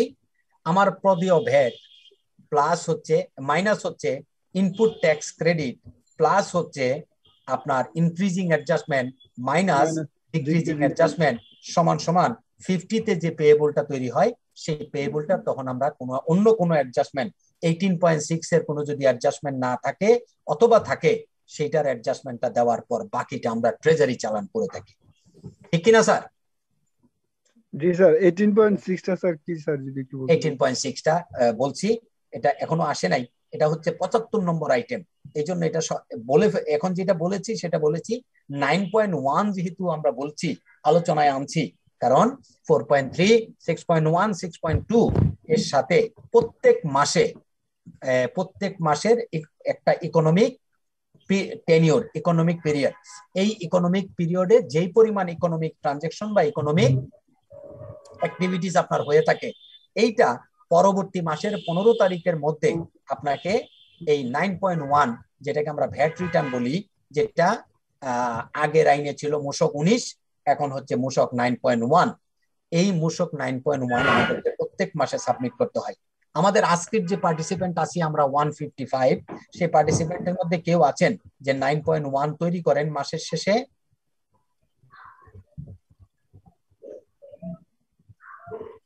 জি স্যার করি স্যার। ভেরি গুড কে? রতন। জি স্যার। জি নাইন পয়েন্ট ওয়ান তৈরি করেন। নাইন পয়েন্ট ওয়ান যারা তৈরি করেন তারা যে জিনিসটা সব সময় খেয়াল রাখেন কারণ অনলাইনে নাইন পয়েন্ট ওয়ান তৈরি করতে গেলে আপনি সাব ফর্ম যদি সবগুলো ফিল আপ করতে না পারেন যখনই আপনি বলবেন যে ইকোনমিক অ্যাক্টিভিটিস আছে তখন আপনাকে প্রত্যেকটা সাব ফর্ম ফিল আপ করতে হবে আদারওয়াইজ আপনি নাইন পয়েন্ট ওয়ান সাবমিট করতে পারবেন না। রতন আমি কি ঠিক বলছি? জি কিন্তু স্যার, আমরা ম্যানুয়ালি দিচ্ছি এখন পর্যন্ত। হ্যাঁ এই- জন্য আমি অনলাইন শব্দটা ব্যবহার করেছি। ম্যানুয়ালি দিলে তখন আপনি অনেক ক্ষেত্রেই সাব ফর্ম ফিল আপ ছাড়াও আপনি সাবমিট করে ফেলতে পারবেন। কিন্তু অনলাইনে যেহেতু এখনও পর্যন্ত হান্ড্রেড পার্সেন্ট অটোমেশন কমপ্লিট হয় নাই, সে কারণে অনেক ক্ষেত্রেই আমরা দুই পদ্ধতিতেই দিতে পারছি। কিন্তু অনলাইনের যে স্পিরিটটা অটোমেশনের যে স্পিরিটটা সেটা হচ্ছে আপনি ব্যাট অনলাইনে যখনই নাইন পয়েন্ট ওয়ানে গিয়ে বলবেন যে এই মাসে আপনার ইকোনমিক অ্যাক্টিভিটিস আছে, তখনই আপনার কাছে বলবে যে আপনি সাব ফর্মগুলো ফিল আপ করুন। সাব ফর্মগুলো ফিল আপ না করলে আপনি ultimately nine point one submit করতে পারবেন না। সাবমিট নিবে না অটোমেটিক্যালি নিবে না।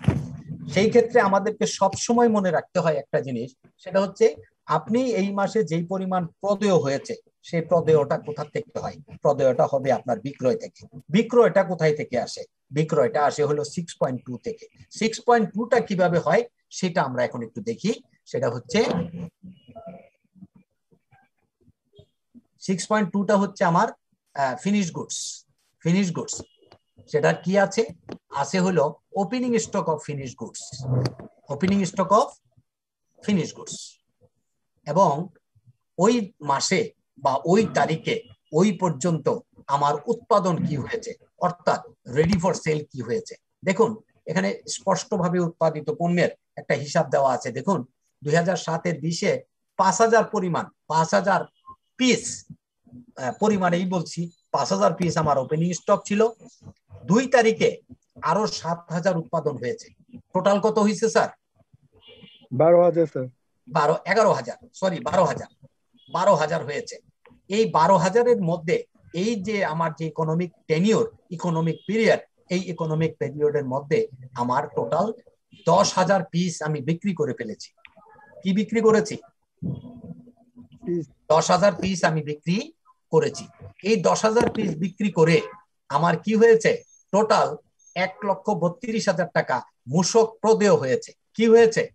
এক লক্ষ বত্রিশ হাজার টাকা মূসক। মূসক প্রদেয় হয়েছে। আরেকটা জিনিস এখানে আমরা পাচ্ছি সেটা হচ্ছে আমার finish goods of finish goods এই কত পরিমাণ আমার স্টক আছে? কত আছে? দুই হাজার। আছে। আরেকটা জিনিস কি আছে? সেটা আছে আমি দশ হাজার বিক্রি করেছি তার এগেনস্টে আমার এক লক্ষ বত্রিশ হাজার টাকা ভিএটি পেয়েবল হয়েছে। কতটুকু? এক লক্ষ বত্রিশ হাজার। ভিএটি পেয়েবল হয়েছে। এইটা হলো আমার যে সাবফর্ম নাম্বার ফোর আছে। সাবফর্ম নাম্বার ফোর যখন আমি ফিল আপ করতে যাব তখন এই যে দেখুন এই যে একটা লিঙ্ক দেওয়া আছে এই লিঙ্কে দেখেন এইখানে এক লক্ষ বত্রিশ হাজার টাকা এসে আছে। আছে দেখছেন? জি স্যার। এই যে সাব এক লক্ষ বত্রিশ হাজার টাকা। এই এক লক্ষ বত্রিশ হাজার টাকা কোথায় পেয়েছিলাম আমরা? এই যে এখানে পেয়েছিলাম ঠিক কিনা? ষোলো নম্বরে হ্যাঁ। হ্যাঁ ষোলো নম্বরে আমরা পেয়েছিলাম। ষোলো নম্বরে ষোলো নম্বর কলমে পেয়েছিলাম আমার পেয়েবল ভ্যাট কত হয়েছে? আর এখানে এসে আমরা পাইলাম যেহেতু দুইটা প্রোডাক্ট ওরা বিক্রি করে, একটাতে এক লাখ বত্রিশ হাজার টাকা পেয়েবল হয়েছে, আর একটাতে এক লক্ষ পঁয়ত্রিশ হাজার টাকা পেয়েবল হয়েছে। তাতে দুই লক্ষ সাতষট্টি হাজার টাকা প্রথম টোটাল পেয়েবল হয়েছে। এই হচ্ছে আপনার সিক্স পয়েন্ট টু এই সিক্স পয়েন্ট টু এটা আমার হচ্ছে আউটপুট ট্যাক্স সিক্স পয়েন্ট টুর মাধ্যমে আমার ক্যালকুলেশন হয় আউটপুট ট্যাক্স যেটা নাইন পয়েন্ট ওয়ানে ইকুয়েশন চার, পাঁচে। চার পাঁচে যখন আমরা হিসাবটা করি দুই, তিন, চার, পাঁচ সেকেন্ড খণ্ডটাতেই। প্রথম খণ্ডটাতে কোম্পানির বিভিন্ন ইনফরমেশনগুলো থাকে। প্রথম খণ্ডটাতে বিভিন্ন ইনফরমেশনগুলো থাকে। সেকেন্ড খণ্ডটাতেই বলা থাকে, আপনার পেবল ভ্যাট কি? আপনার যে, আপনি যে বিক্রিটা করেছেন, সেটা উৎপাদ কর বলি আমরা। অর্থাৎ আপনি যে উৎপাদন করেছেন, আপনি যে বিক্রি করেছেন, সে বিক্রির এগেনস্টে আপনার কি পরিমাণ ভ্যাট পেবল হয়েছে, সেই হিসাবটা এখানে আসে। এটার ইকুয়েশনটা কি বলছি স্যার এটার ইকুয়েশনটা বলেছি, আপনার প্রদেয় VAT প্রদেয় VAT minus input tax credit plus increasing adjustment minus decreasing adjustment এরপরে আমরা বলছি এইটিন পয়েন্ট সিক্স এর কোন অ্যাডজাস্টমেন্ট যদি থাকে, সে অ্যাডজাস্টমেন্ট বাদ দেওয়ার পরে বাকিটা আপনি টিআর করবেন। বাকিটা আপনি টিআর করবেন। এই এই, এইটুকু কথাতে কারোর কোনো প্রশ্ন আছে কিনা, স্যার? না স্যার আরেকটা হচ্ছে এবার আসি যখনই আমরা এখানে sir six point two six point two point one sir দুইটা কি দুইটা দুই জিনিস স্যার? ইয়েস দুইটা দুই জিনিস। সিক্স পয়েন্ট টু হচ্ছে আপনি আদর্শ হারে ব্যবসা করেন পনেরো পার্সেন্টে ব্যবসা করেন সেই ক্ষেত্রে। আর six point two point one হচ্ছে ব্যবসায়ীদের জন্য। কাদের জন্য? ব্যবসায়ীদের জন্য। ব্যবসায়ীদের জন্য। ব্যবসায়ীদের সংজ্ঞাতে বলা হয়েছে আপনি ব্যবসায়ী যিনি কিনা কোনো একটা পণ্য আমদানি করে অথবা আমদানিকারকের কাছ থেকে কিনে অথবা লোকালি কিনে আপনি কোন রকমের আকৃতি প্রকৃতি ডিজাইন কোনো কিছু প্যাকিং কোনো কিছুর পরিবর্তন না করে এজ ইট ইজ বিক্রি করেন তাহলে আপনি হলেন ব্যবসায়ী। আপনি যখন ব্যবসায়ী তখন আপনি কি? ফাইভ পার্সেন্ট ভিএটির আওতামুক্ত আওতাভুক্ত। ফাইভ পার্সেন্ট ফাইভ পার্সেন্ট আপনি যদি আদর্শ হারে হতে চান হতে পারবেন কিন্তু আদর্শ হারে যদি আপনি হতে না চান আপনি যদি ট্রেডার হিসাবে আপনি যদি ব্যবসায়ী হিসাবে রেজিস্টার করেন এটাতে আপনার কোনো অসুবিধা নাই আপনি করতে পারবেন। কিন্তু একটাই অসুবিধা সেটা হচ্ছে আদর্শ হারে না হইলে আপনি যে পাঁচ পার্সেন্ট ভিএটি আপনি পরিশোধ করছেন সেটা আপনার ইনপুট ট্যাক্স ক্রেডিট আপনি নিতে পারবেন না। কি করতে পারবেন না? তাহলে sir six point one two point ওয়ানটা হচ্ছে স্যার ট্যাক্স ক্রেডিট দিতে পারবে না। না six point two one six point two point one হচ্ছে কমপ্লিটলি ব্যবসায়ীদের জন্য কমপ্লিটলি ব্যবসায়ীদের জন্য। হ্যাঁ।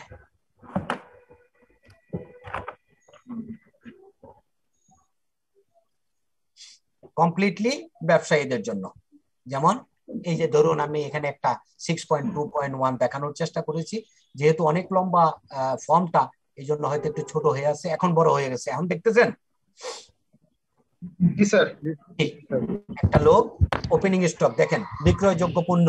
এখানে যেটা থাকে এখানে ওপেনিং স্টক থাকে ক্রয় থাকে সরবরাহ থাকে এবং ক্লোজিং স্টক থাকে সব এখানেই থাকে।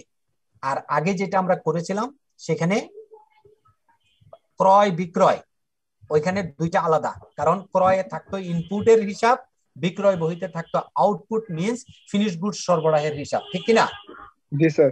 আর এখানে যেহেতু সবটাই হচ্ছে ফিনিশ গুডস এখানে কোনো ই নাই। আছে? প্রক্রিয়াকরণ আছে? না স্যার।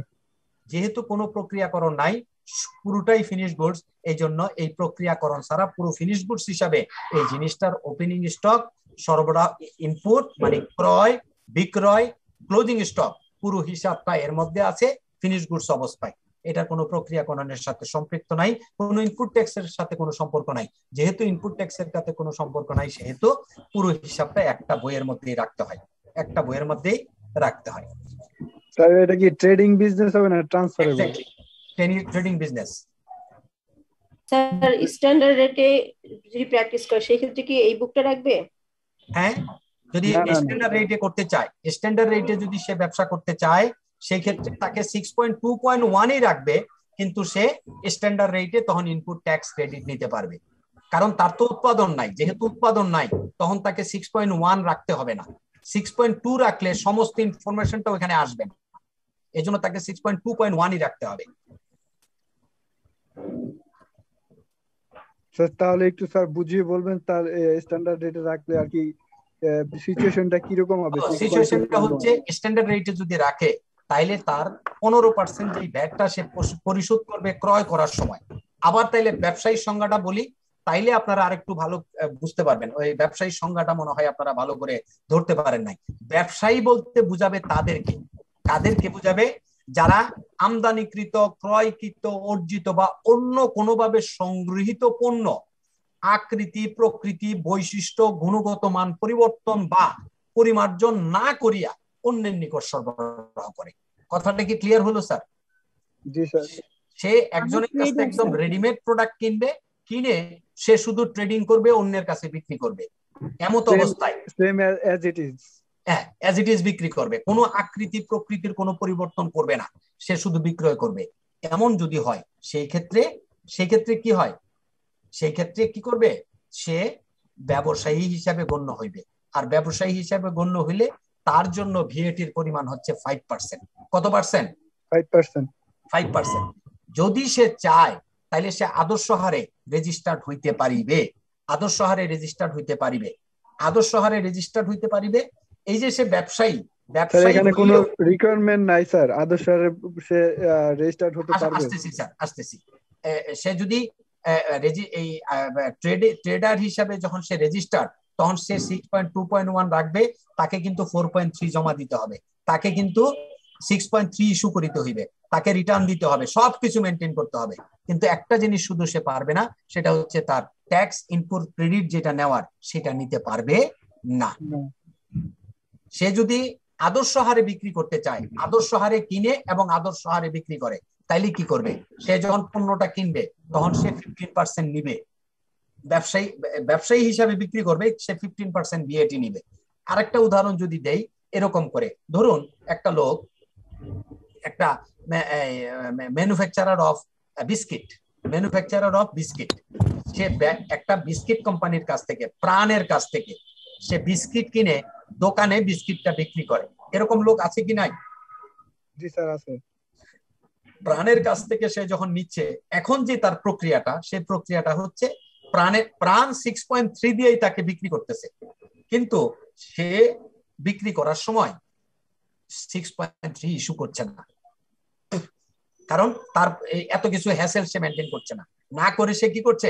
সে একটা সিক্স তার বিক্রির উপরে সে ফাইভ পার্সেন্ট গভর্নমেন্টকে পরিশোধ করে দিচ্ছে। সে কাস্টমারের তাকে নিতে পারছে কি পারছে না, এটা তার কাছে গৌণ। কিন্তু সে যদি এরকম করে যে প্রাণের কাছ থেকে যদি সে six point three fifteen percent six point three নেয় এবং অ্যাকর্ডিংলি সে যদি four percent four point three গভর্নমেন্টের কাছে জমা দেয় এবং সে যদি বিক্রি করার সময় সিক্স পয়েন্ট থ্রি দিয়া বিক্রি করে, তাইলে আলটিমেটলি কি হবে? আলটিমেটলি তখন সে ইনপুট ট্যাক্স ক্রেডিট নিতে পারবে। ব্যবসায়ী হলেও ব্যবসায়ী হলেও সে কিন্তু আদর্শ হারে ব্যবসায়ী হিসাবে ট্যাক্স ক্রেডিট ইনপুট নিতে পারবে। ইনপুটটা ট্যাক্স ক্রেডিট নিতে পারবে। এবার কি ক্লিয়ার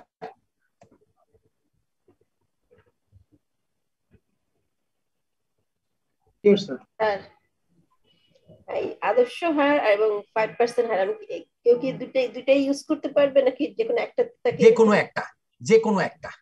এটার জন্য রেজিস্ট্রেশনে কোথাও মেনশন করতে হবে? না রেজিস্ট্রেশন যখন সে মেনটেন করবে তখন সে রেজিস্ট্রেশনটাই নিবে ট্রেডার হিসাবে ব্যবসায়ী হিসাবে। তার রেজিস্ট্রেশনে সে উল্লেখ থাকবে। ব্যবসায়ের প্রকৃতি ধরন।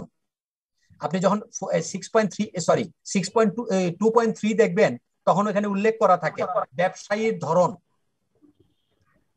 এই ধরন মানে হচ্ছে সে কি ম্যানুফ্যাকচারার সে কি ট্রেডার সে কি প্রকিউরমেন্ট প্রোভাইডার উল্লেখ করা থাকে। এই উল্লেখের উপরে তার ভিএটির পার্সেন্টেজটা ডিপেন্ড করে। তাইলে এখন দেখুন, আমরা ম্যানুফ্যাকচারার উৎপাদনকারী আরেকটা পাইলাম ব্যবসায়ী, মাঝপথে আরেকটা শব্দের সাথে আমরা পরিচিত হলাম। সেটা কি? Procurement provider procurement provider tender quotation work order এর মাধ্যমে কিছু মানুষ আছে, তারা ব্যবসায়ী না, কিন্তু তারা কি করে? মাঝখানে এই কাজটা করে থাকে। এইটা নিয়ে এতদিন পর্যন্ত একটা কনফিউশন ছিল। গত বছর যখন দুই হাজার চল্লিশ দুইশো চল্লিশ এসআরওটা আসছে, তখন এই জিনিসটাকে ব্যাখ্যা করে ক্লিয়ার করা হয়েছে। এরকম যে কোনো ডিডাক্টিং অথরিটি কোনো ডিডাক্টিং অথরিটি যদি কোনো ব্যবসায়ীর কাছ থেকে পণ্য কিনে এবং সে যদি উৎপাদনকারী না হয়, তাহলে সে প্রকিউরমেন্ট প্রোভাইডার হিসেবে ট্রিটেড হবে। অর্থাৎ কোনো কনফিউশন রাখার সুযোগ নাই যে সে কি প্রকিউরমেন্ট প্রোভাইডার নাকি সে ট্রেডার কারণ ফাইভ পার্সেন্ট এবং সাড়ে সাত পার্সেন্ট যেহেতু দুইটা রেট আছে, আড়াই পার্সেন্ট এখানে ভ্যাটের একটা ডিফারেন্স তৈরি হয়, সেই কারণে কোনো কনফিউশনটা এতদিন পর্যন্ত ছিল ওই কনফিউশনটা দূর করার জন্য ব্যবসায়ীরা অনেক সময় কি করতো? আপনি ধরেন ডিডাক্টিং অথরিটি হিসাবে কারোর কাছ থেকে ভিএটি কাটতে গেছেন ভিডিএস করতে গেছেন তখন বলতো কি যে স্যার আপনি ফাইভ পার্সেন্ট কাটবেন আমি ব্যবসায়ী। এরকম বলতো কি না দুইশো চল্লিশ আসার পরে এই জিনিসটাকে একদম ক্লিয়ার করে দিয়েছে যে কোনো ডিডাক্টিং অথরিটি যদি কোনো ব্যবসায়ীর কাছ থেকে পণ্য কিনে সে যদি উৎপাদনকারী না হয় উৎপাদনকারী না হয় বাকি সবাইকে প্রকিউরমেন্ট প্রোভাইডার ধরা হবে। তার মানে বিডিএস হবে সাড়ে সাত পার্সেন্ট কথাটা কি ক্লিয়ার হলো কিনা স্যার সেইটা আরেকবার আরেকবার রিপিট করবেন sir please sure sure deducting authority যদি কার্যাদেশ ওয়ার্ক অর্ডার অন্য যে কোনো প্র- প্রকারে যদি কোনো পণ্য কিনে, যদি কোনো পণ্য কিনে, সে ব্যবসায়ী হোক অথবা প্রকিউরমেন্ট প্রোভাইডার হোক, উৎপাদনকারী ছাড়া, উৎপাদনকারীর কাছ থেকে যদি শুনে সরাসরি কিনে, ধরুন ফ্যাক্টরি থেকে সরাসরি কিনলো, তাইলে কোনো কথা নাই। তাইলে তো আলটিমেটলি সে ফ্যাক্টরি থেকে কিনলো, তার কাছে সিক্স পয়েন্ট থ্রি আসবে পনেরো পার্সেন্টে কোনো কথা নাই। ম্যানুফ্যাকচারারের জন্য কোনো রিডিউস রেটের কোনো সুযোগ নাই অ্যাকসেপ্ট স্পেশাল রেট আছে। যেমন রডের জন্য প্রতি টন প্রতি টাকা নির্ধারণ করা আছে প্রতি সিমের জন্য দুইশো টাকা নির্ধারণ করা আছে। ইটের জন্য আলাদা আলাদা ইটের ধরন অনুযায়ী হাজার প্রতি ভ্যাট নির্ধারণ করা আছে। অর্থাৎ নির্দিষ্ট হার এবং রিডিউস রেট এই তিনটা জিনিস ছাড়া। কয়টা রেট বললাম স্যার? আদর্শ হার। আদর্শ হার শূন্য হার। তারপরে হচ্ছে রিডিউস রেট আর একটা হচ্ছে ফিক্সড রেট কি rate fixed rate fixed rate fixed rate কি? হ্যাঁ ফিক্সড রেট কি? একটা সিম কার্ডের জন্য দুইশো টাকা ভিএটি নাম শুনেছে? এরকম শুনেছেন? নিশ্চয়ই স্টার শিডিউলের সময় বলেছে. হ্যাঁ হ্যাঁ, প্রতি সিম কার্ড প্রতি দুশো টাকা। এটা আনোয়ার জামান স্যার বলছে না থার্ড শিডিউলের সময়? জি প্রতি টনে ষোলোশো টাকা। হ্যাঁ? তারপরে রডে সাড়ে চার হাজার টাকা তাই না? জি স্যার। হ্যাঁ, এরকম। এই এই জিনিসগুলি হচ্ছে ফিক্সড রেট এগুলি হচ্ছে ফিক্সড রেট আর থার্ড শিডিউল পুরোটাই হচ্ছে রিডিউস রেট এটা পাঁচ পার্সেন্ট থেকে শুরু করে দশ পার্সেন্ট পর্যন্ত পাঁচ পার্সেন্ট সাড়ে সাত পার্সেন্ট দশ পার্সেন্ট আছে। স্পেশাল দুইটা রেট আছে। একটা রেট হচ্ছে ওষুধের জন্য টু পয়েন্ট ফোর পার্সেন্ট ঠিক কিনা স্যার? আর পেট্রোল ফুয়েলের জন্য টু পার্সেন্ট ইয়েস আর ডিজেল পেট্রোল কেরোসিন কি কি জানি? ডিজেল কেরোসিন অকটেন পেট্রোল ওটা ফুয়েল না। ওখানে হচ্ছে ওইটা আলাদা করে দিছে। দুইশো চল্লিশ যখন আসছে তখন এটা একদম ক্যাটাগোরাইজ করে দিছে। এর আগে ছিল শুধুমাত্র জ্বালানি। জ্বালানি শব্দটা ব্যবহার ছিল। ওই জ্বালানিটাকে আলাদাভাবে ব্যাখ্যা করে দিয়েছে যে ডিজেল কেরোসিন অকটেন পেট্রোল তারপরে হচ্ছে ফার্নেস ওয়েল এলপি গ্যাস ইত্যাদি। এগুলির উপরে কয় পার্সেন্ট টু পার্সেন্ট দুই পার্সেন্ট দুই পার্সেন্ট তাহলে রিডিউস রেট হলো কয়টা? জি বলুন।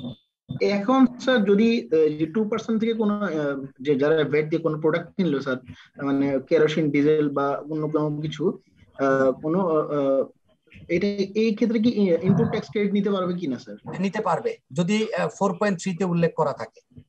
ওকে স্যার ওকে হুম।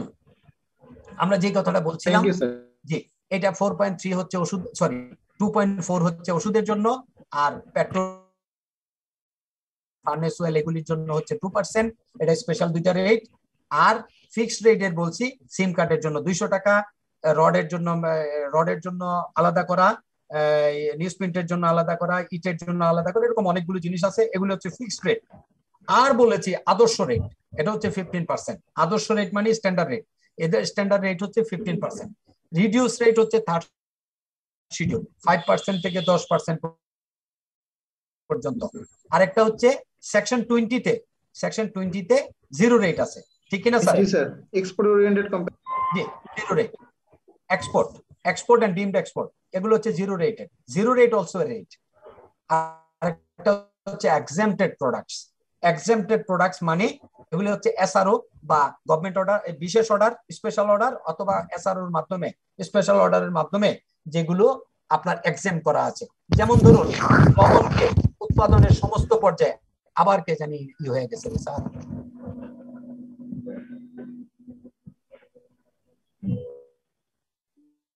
তো যেটা বলছিলাম, লবণ, উৎপাদনের সমস্ত পর্যায়ে এটাকে এক্সাম করা হয়েছে। এই যে এক্সাম করা হয়েছে, কিন্তু this is not zero rated কথাটা কি clear sir zero rate also a rate zero rate also a rate exempted goods অবশ্যই অবশ্যই। এই জায়গাতে একটা কথা বলে রাখি স্যার।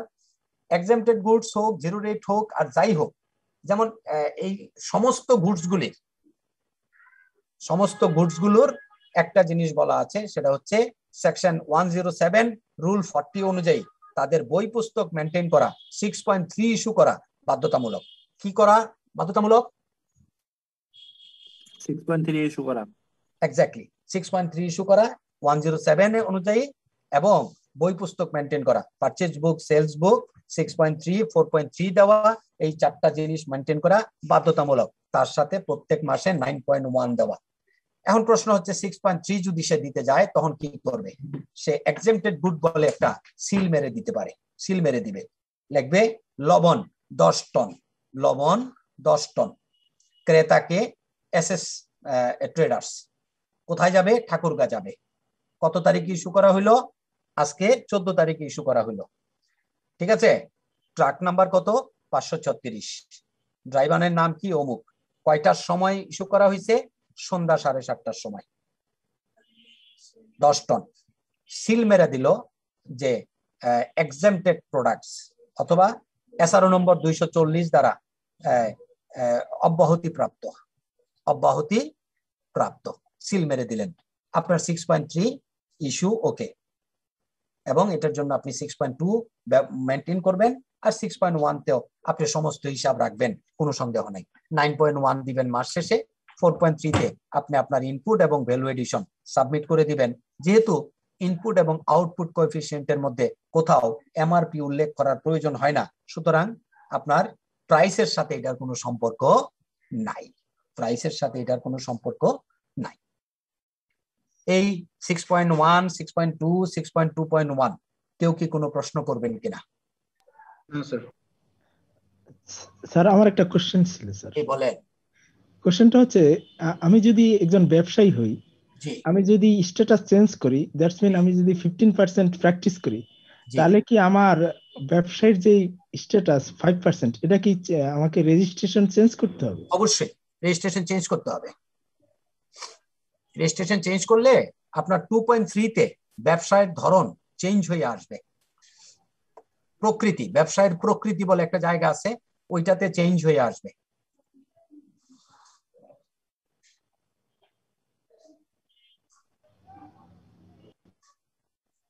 আপনার আপনি যদি ধরেন টু পয়েন্ট থ্রিতে আপনি ব্যবসায়ের স্ট্যাটাস চেঞ্জ করতে চান আপনি টু পয়েন্ট ফাইভ যদি সাবমিট করেন তখন আপনাকে নতুন করে একটা টু পয়েন্ট থ্রি ইস্যু করবে নতুন করে। টু পয়েন্ট ফাইভ দিয়ে আপনাকে আবেদন পত্রটা করতে হবে।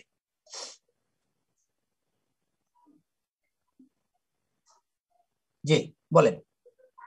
স্যার যদি কোনো এক্সপোর্ট ওরিয়েন্টেড কোম্পানি হয় তাদেরকে তো সব ফোর পয়েন্ট থ্রি মেনটেন করতে হচ্ছে না? না ফোর পয়েন্ট থ্রি দিতে হবে না। এই ক্ষেত্রে তখন ইনপুট আউটপুটের ব্যাপারটা সে কীভাবে রিবেট নেবে? এই ক্ষেত্রে কি প্রতিবার সে ইনপুট সে ওই এক্সপোর্ট ওরিয়েন্টেড অর্গানাইজেশনগুলো যেহেতু ফোর পয়েন্ট থ্রি দেওয়া বাধ্যতামূলক নয় এই জন্য তাকে ইনপুট আউটপুট কোএফিসিয়েন্ট জমা দিতে হয় না। শুধু বই পুস্তক মেনটেন করতে হয়। ওকে স্যার ওকে স্যার জি স্যার থ্যাংক ইউ স্যার ওদের জন্য ফোর পয়েন্ট থ্রি এক্সামশন করা আছে। স্যার আমার একটা কোশ্চেন ছিল। জি বলেন। হ্যাঁ স্যার একটা ম্যানুফ্যাকচারিং কোম্পানি এটার ফ্যাক্টরিটা হলো ঢাকার বাইরে ঠিক আছে? তো ঢাকাতে তার দুইটা আউটলেট আছে। তো এই আউটলেটের জন্য কি সিক্স পয়েন্ট ওয়ান বা সিক্স পয়েন্ট টু বা six point two point one maintain করা লাগবে? রেজিস্ট্রেশন কি সেন্ট্রাল রেজিস্ট্রেশন না ইউনিট রেজিস্ট্রেশন স্যার এটা সেন্ট্রাল রেজিস্ট্রেশন সেন্ট্রাল রেজিস্ট্রেশন হলে একদম স্পেসিফিক্যালি গাইডলাইন দেওয়া আছে। যেহেতু প্রশ্নটা উঠেছেন এবার আমরা যাই তাইলে একটু স্ক্রিন শেয়ারটা দেখেন। তারপরে আপনার প্রশ্নটার জবাব দিচ্ছি।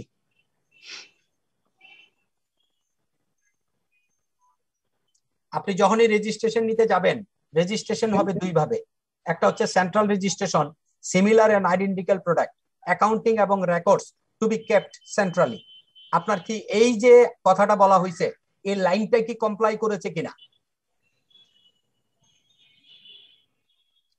হ্যাঁ জি স্যার। সিমিলার এবং হ্যাঁ। এক্স্যাক্টলি সিমিলার এবং identical product number one number two accounting এবং রেকর্ডস সেন্ট্রালি কিনা? কি সেন্ট্রালি বাস শেষ। আপনাকে আলাদা আলাদা ভাবে বই রাখতে হবে। কি স্যার হ্যাঁ? আইডেন্টিক্যাল প্রোডাক্টটা হ্যাঁ আইডেন্টিফাই করা যায়। যেমন ধরুন আপনি একটা দোকান আপনার একটা ব্যবসা প্রতিষ্ঠান আছে। সেখানে আপনি শাহ সিমেন্ট বিক্রি করেন ক্রাউন সিমেন্ট বিক্রি করেন আকিস সিমেন্ট বিক্রি করেন। Identical or not G sir identical similar or not similar sir. Clear G sir. জি। আপনি কোক ফান্টা স্প্রাইট বিক্রি করেন। আবার। পেপসি মিরিন্ডা আরেকটা জানি কি আছে? Seven up seven up identical or not identical sir. এই similar or not similar sir. Clear G sir. Thank you sir যদি এরকম হয় যে পেপসির সাথে আবার ইয়ে রাখা হইল জুস রাখা হইল ঠিক আছে? তাহলে এটা কি সিমিলার হবে? নাকি আপ- আপনারাই বলেন আমাকে প্রশ্ন করছেন কেন? না স্যার সিমিলার না স্যার। আচ্ছা। হুম।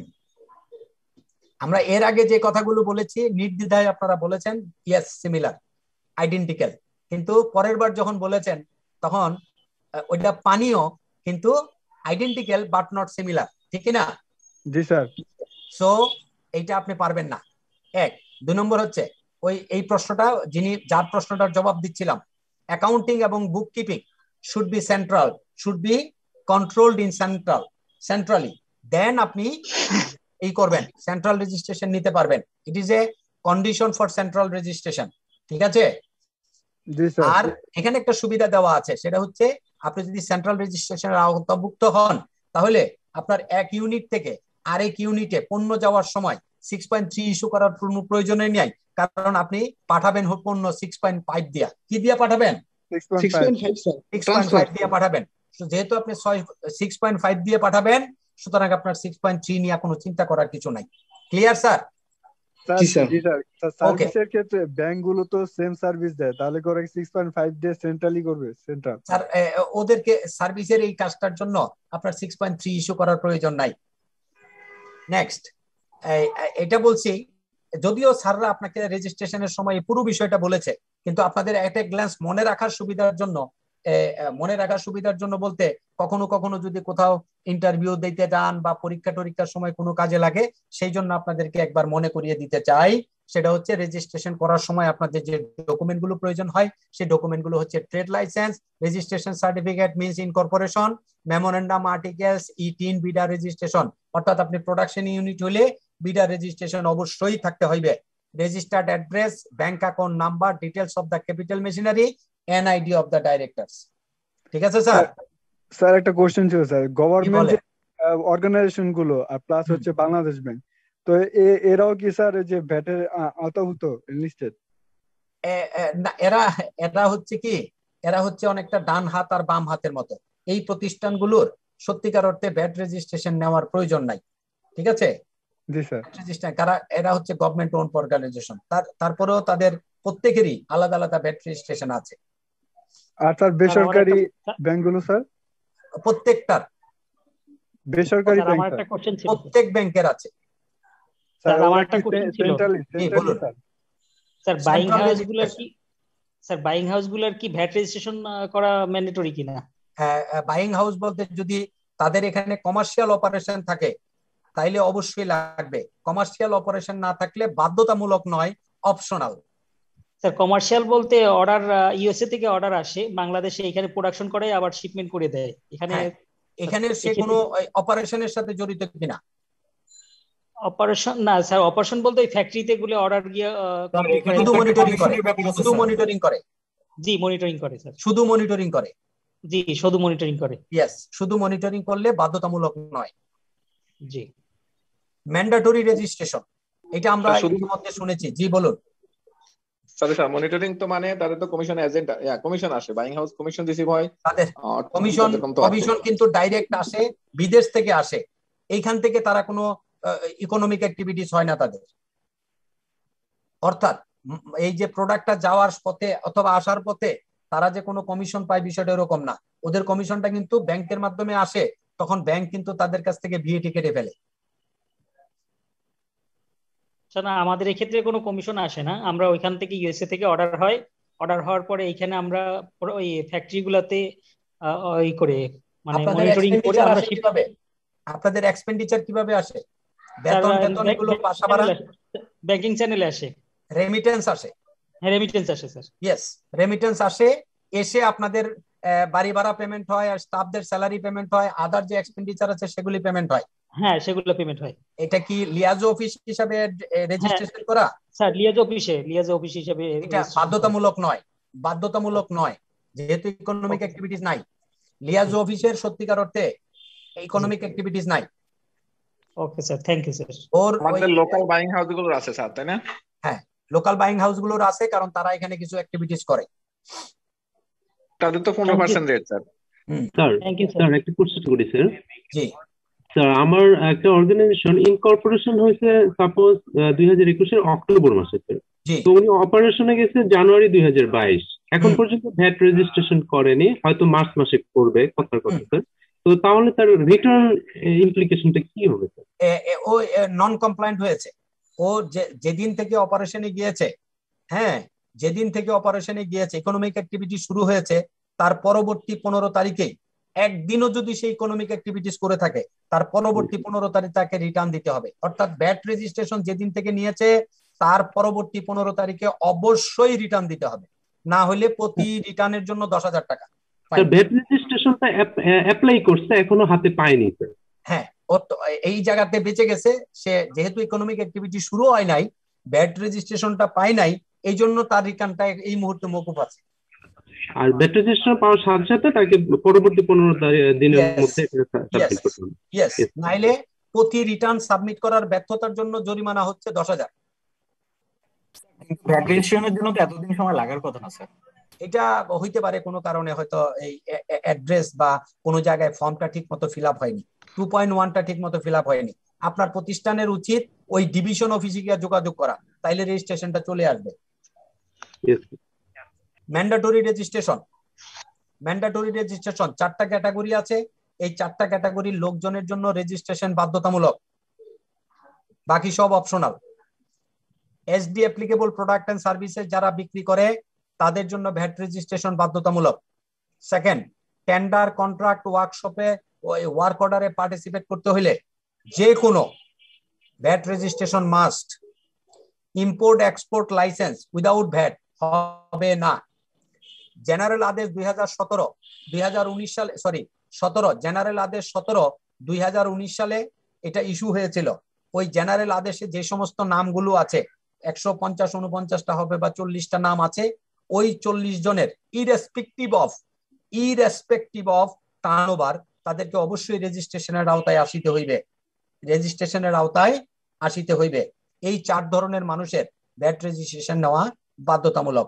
Other than threshold given by the law যেই থ্রেশহোল্ড দেওয়া আছে টার্নওভার ট্যাক্সের জন্য এবং ভিএটির জন্য ওই থ্রেশহোল্ড ছাড়াও এই চারজন মানুষের ব্যাট রেজিস্ট্রেশন নেওয়া বাধ্যতামূলক। ব্যাট রেজিস্ট্রেশন নেওয়া বাধ্যতামূলক। স্যার থ্রেশহোল্ডটা কি স্যার? থ্রেশহোল্ডটা হচ্ছে তিন কোটি টাকা পঞ্চাশ লাখ টাকা। জি স্যার। এই কপিটা কি দিয়ে দিবেন স্যার? কোন কপিটা এটা? স্যার আমরা ক্লাস ম্যাটেরিয়ালগুলো পাচ্ছি না স্যার। এই আর আমরা কি এগুলো স্যার পাবো স্যার? এগুলো আমি দেখি এগুলো একটু দিয়ে দিতে পারি কিনা। আমি ওই কম্পিউটার টম্পিউটারে খুব দুর্বল যে কারণে এগুলো আচ্ছা ঠিক আছে আমি চেষ্টা করব এগুলো আপনাদের দিয়ে দেওয়ার জন্য। একটা হোয়াটসঅ্যাপ গ্রুপ আছে স্যার এগুলো হোয়াটসঅ্যাপ গ্রুপে আমি দেখি আপনাদের ওই যে মেইল আইডি দিয়ে দিতে পারি স্যার রেজিস্ট্রেশন নিয়ে একটা গ্রুপ মেইলে দিয়ে ওখানে সবাই আছে তো স্যার? ওকে নেক্সট বলেন বলেন কি বলতে কোশ্চেনটা হচ্ছে স্যার আমরা হচ্ছে উইথহেল্ডিং অথরিটি হিসাবে রেজিস্ট্রেশন নিয়েছি একটা এনজিও। হুম। তো আমাদেরকে উইথহেল্ডিং রিটার্ন দিতে হচ্ছে আর কি। এখন রেজিস্ট্রেশন কি আমাদের ম্যান্ডেটরি ছিল কিনা? হ্যাঁ। আমরা হচ্ছে এনজিও উইথহেল্ডিং অথরিটি হুম। ফলে আমরা রেজিস্ট্রেশন নিয়েছি এবং আমরা রিটার্ন সাবমিট ব্যাট রেজিস্ট্রেশন নিয়েছেন? জি জি। ওয়ান্স আপনি যখন ব্যাট রেজিস্ট্রেশন নিয়ে নিয়েছেন এখন আর কোনো কথা নাই। আপনি যেহেতু এনজিও আপনাকে ব্যাট রেজিস্ট্রেশন নিতে নিয়েছেন এখন আপনাকে এটা মেনটেন করতে হবে। কিছু করার নেই। না অফিস থেকে যেটা বলছিল যে আমাকে রিটার্ন দিতে হলে মানে উইথহোল্ডিং রিটার্ন তো দিতে হচ্ছে। হ্যাঁ। তাহলে আমাকে রেজিস্ট্রেশন নিতে হবে তখন আমরা রেজিস্ট্রেশন না এই রেজিস্ট্রেশনটা আপনাকে ভুলভাবে তারা বলেছে।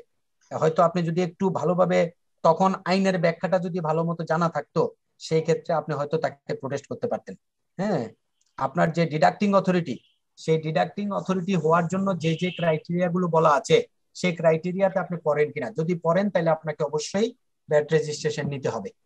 হ্যাঁ আমরা আমরা ডিডাক্টিং অথরিটির মধ্যে লিস্টে আছি। হ্যাঁ ডিডাক্টিং লিস্টের মধ্যে যেহেতু আছেন আপনি ব্যাট রেজিস্ট্রেশন নিয়ে আপনি ডিডাক্টিং অথরিটি হিসাবে দায়িত্ব পালন করছেন। ডিডাক্টিং অথরিটি হিসাবে আপনি ব্যাট রেজিস্ট্রেশন ছাড়াও দায়িত্ব পালন করতে পারেন। পারেন না? পারেন কিনা সেটা আমরা যেহেতু নিয়েছি আমরা আসলে জানি না যে পারি কিনা। হ্যাঁ পারেন। কেন পারেন? কারণ হচ্ছে হ্যাঁ এটার মধ্যে পার্থক্য কি? আপনি যদি রেজিস্টার্ড পারসন হন, তাহলে আপনি মাস শেষে ইনক্রিজিং ডিক্রিজিং অ্যাডজাস্টমেন্ট করতে পারেন। আর আপনি যদি আনরেজিস্টার্ড পারসন হিসাবে আপনি যদি কোনো ডিডাক্ট করেন, তাহলে আপনাকে যেটা করতে হবে, সেটা হচ্ছে পনেরো দিনের মধ্যে আপনাকে যে কর্তনকৃত মূসকটা সরকারি কোষাগারে জমা দিতে হবে, তিন কার্য দিবসের মধ্যে সিক্স পয়েন্ট সিক্স ইস্যু করতে হবে। এই দায়িত্বটা আপনাকে পালন করার কথা। অনিবন্ধিত প্রতিষ্ঠান হিসাবে আপনি যদি কোনো ডিডাক্ট করে থাকেন, ঠিক আছে? আর আপনি যদি ই করেন কি জানি বলে ডিডাক্টিং অথরিটি হন সরি আপনি যদি রেজিস্টার্ড হন, সেই ক্ষেত্রে একটা সুবিধা হইল যে আপনি ই করতে পারবেন। আপনার যে নাইন পয়েন্ট ওয়ান সেখানে একটা সমন্বয় করতে পারবেন। ইনক্রিজিং অ্যাডজাস্টমেন্ট এবং ডিক্রিজিং অ্যাডজাস্টমেন্ট করতে পারবেন। ইনক্রিজিং এবং ডিক্রিজিং অ্যাডজাস্টমেন্টের সুযোগ যাদের আছে, তারা কারা? তারা শুধু রেজিস্টার্ড পারসন যারা নাইন পয়েন্ট ওয়ান সাবমিট করে। নাইন পয়েন্ট ওয়ান যারা সাবমিট করে, তারা ওই পনেরো দিনের মধ্যে তাদের টাকা জমা দেওয়ার প্রয়োজন নাই। তারা কি করতে পারে? তারা হলো ই করতে পারে, এই deduct sorry increasing adjustment decreasing adjustment করতে পারে। অর্থাৎ অর্থাৎ সেটা হচ্ছে আপনার সেকশন ফর্টি নাইন এবং সেকশন ফিফটি ফর্টি নাইনে হচ্ছে ইনক্রিজিং অ্যাডজাস্টমেন্ট আর ফিফটিতে হচ্ছে ডিক্রিজিং অ্যাডজাস্টমেন্ট দুইটা করে সে তখন রিটার্নটা সাবমিট করতে পারে। ক্লিয়ার জি জি। আমরা আমরা জাস্ট স্যার ডিডাক্টিং অথরিটি হিসাবে উইথহোল্ডিং পার্টটা ফিল আপ করে 9.1 সাবমিট করে দেই এবং যত ওই যে ইটা করেন আর কি শুধু ইনক্রিজিং অ্যাডজাস্টমেন্টটা করে ই করে দেন। আপনার গভর্নমেন্টের কাছে টাকাটা সরি ট্রেজারি চালান করে ট্রেজারি জি জি জি জি। ট্রেজারি চালান করে দেন যেটা ওই আপনি ওই দুই এর একুশের সাব সরি ডেফিনিশনটা ভালোভাবে ই করেছেন আর কি কমপ্লাই করেছেন। তাই না?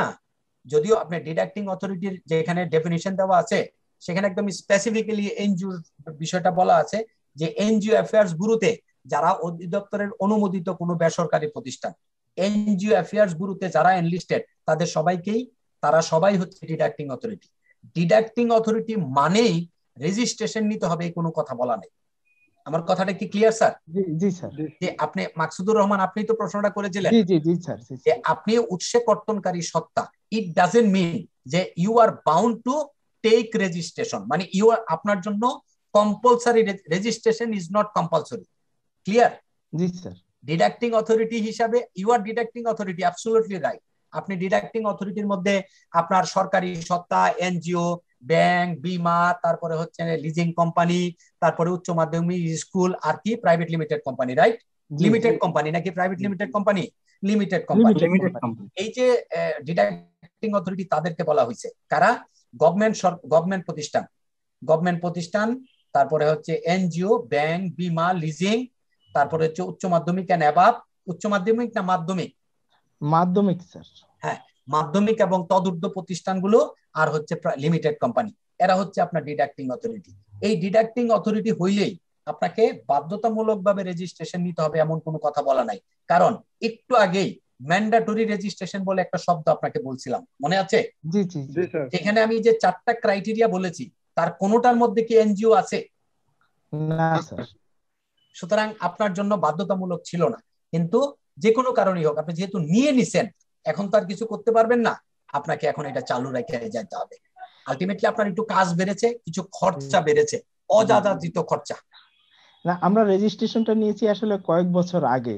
যেটা আগের আইন অনুযায়ী যখন ছিল তখন রেজিস্ট্রেশন এখন সেটা কন্টিনিউশন হচ্ছে। হ্যাঁ হ্যাঁ সেটাই। আমি যেটা বলতে চাচ্ছিলাম সেটা হচ্ছে যে এনজিও হিসাবে you are not mandatorily bound to take registration এইটুকু আমি শুধু অ্যাড্রেস করতে চেয়েছি। থ্যাংক ইউ থ্যাংক ইউ আপনি ডিডাক্টিং অথরিটি হিসাবে রেজিস্ট্রেশন নিয়েছেন ইজ গুড আপনি কিছু কাজ বেড়েছে। কিছু কাজ বেড়েছে। কিন্তু এনজিও হিসাবে অর্থাৎ ডিডাক্টিং অথরিটি হইলেই রেজিস্ট্রেশন নিতে হবে। এই কথাটা আইনে নাই। এই কথাটা আপনাকে আমি মিন করতে চাইছি। না এটা clear sir. Okay thank you sir.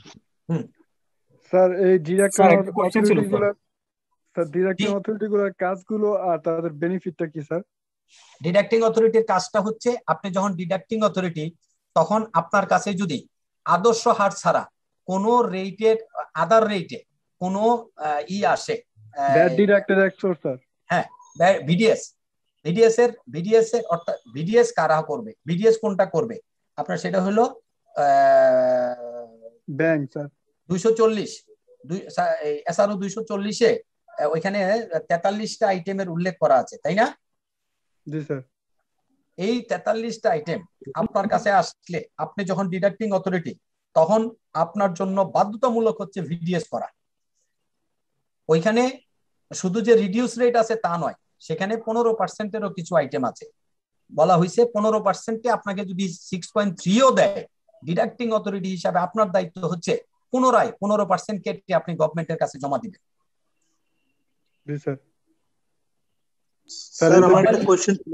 জি বলুন।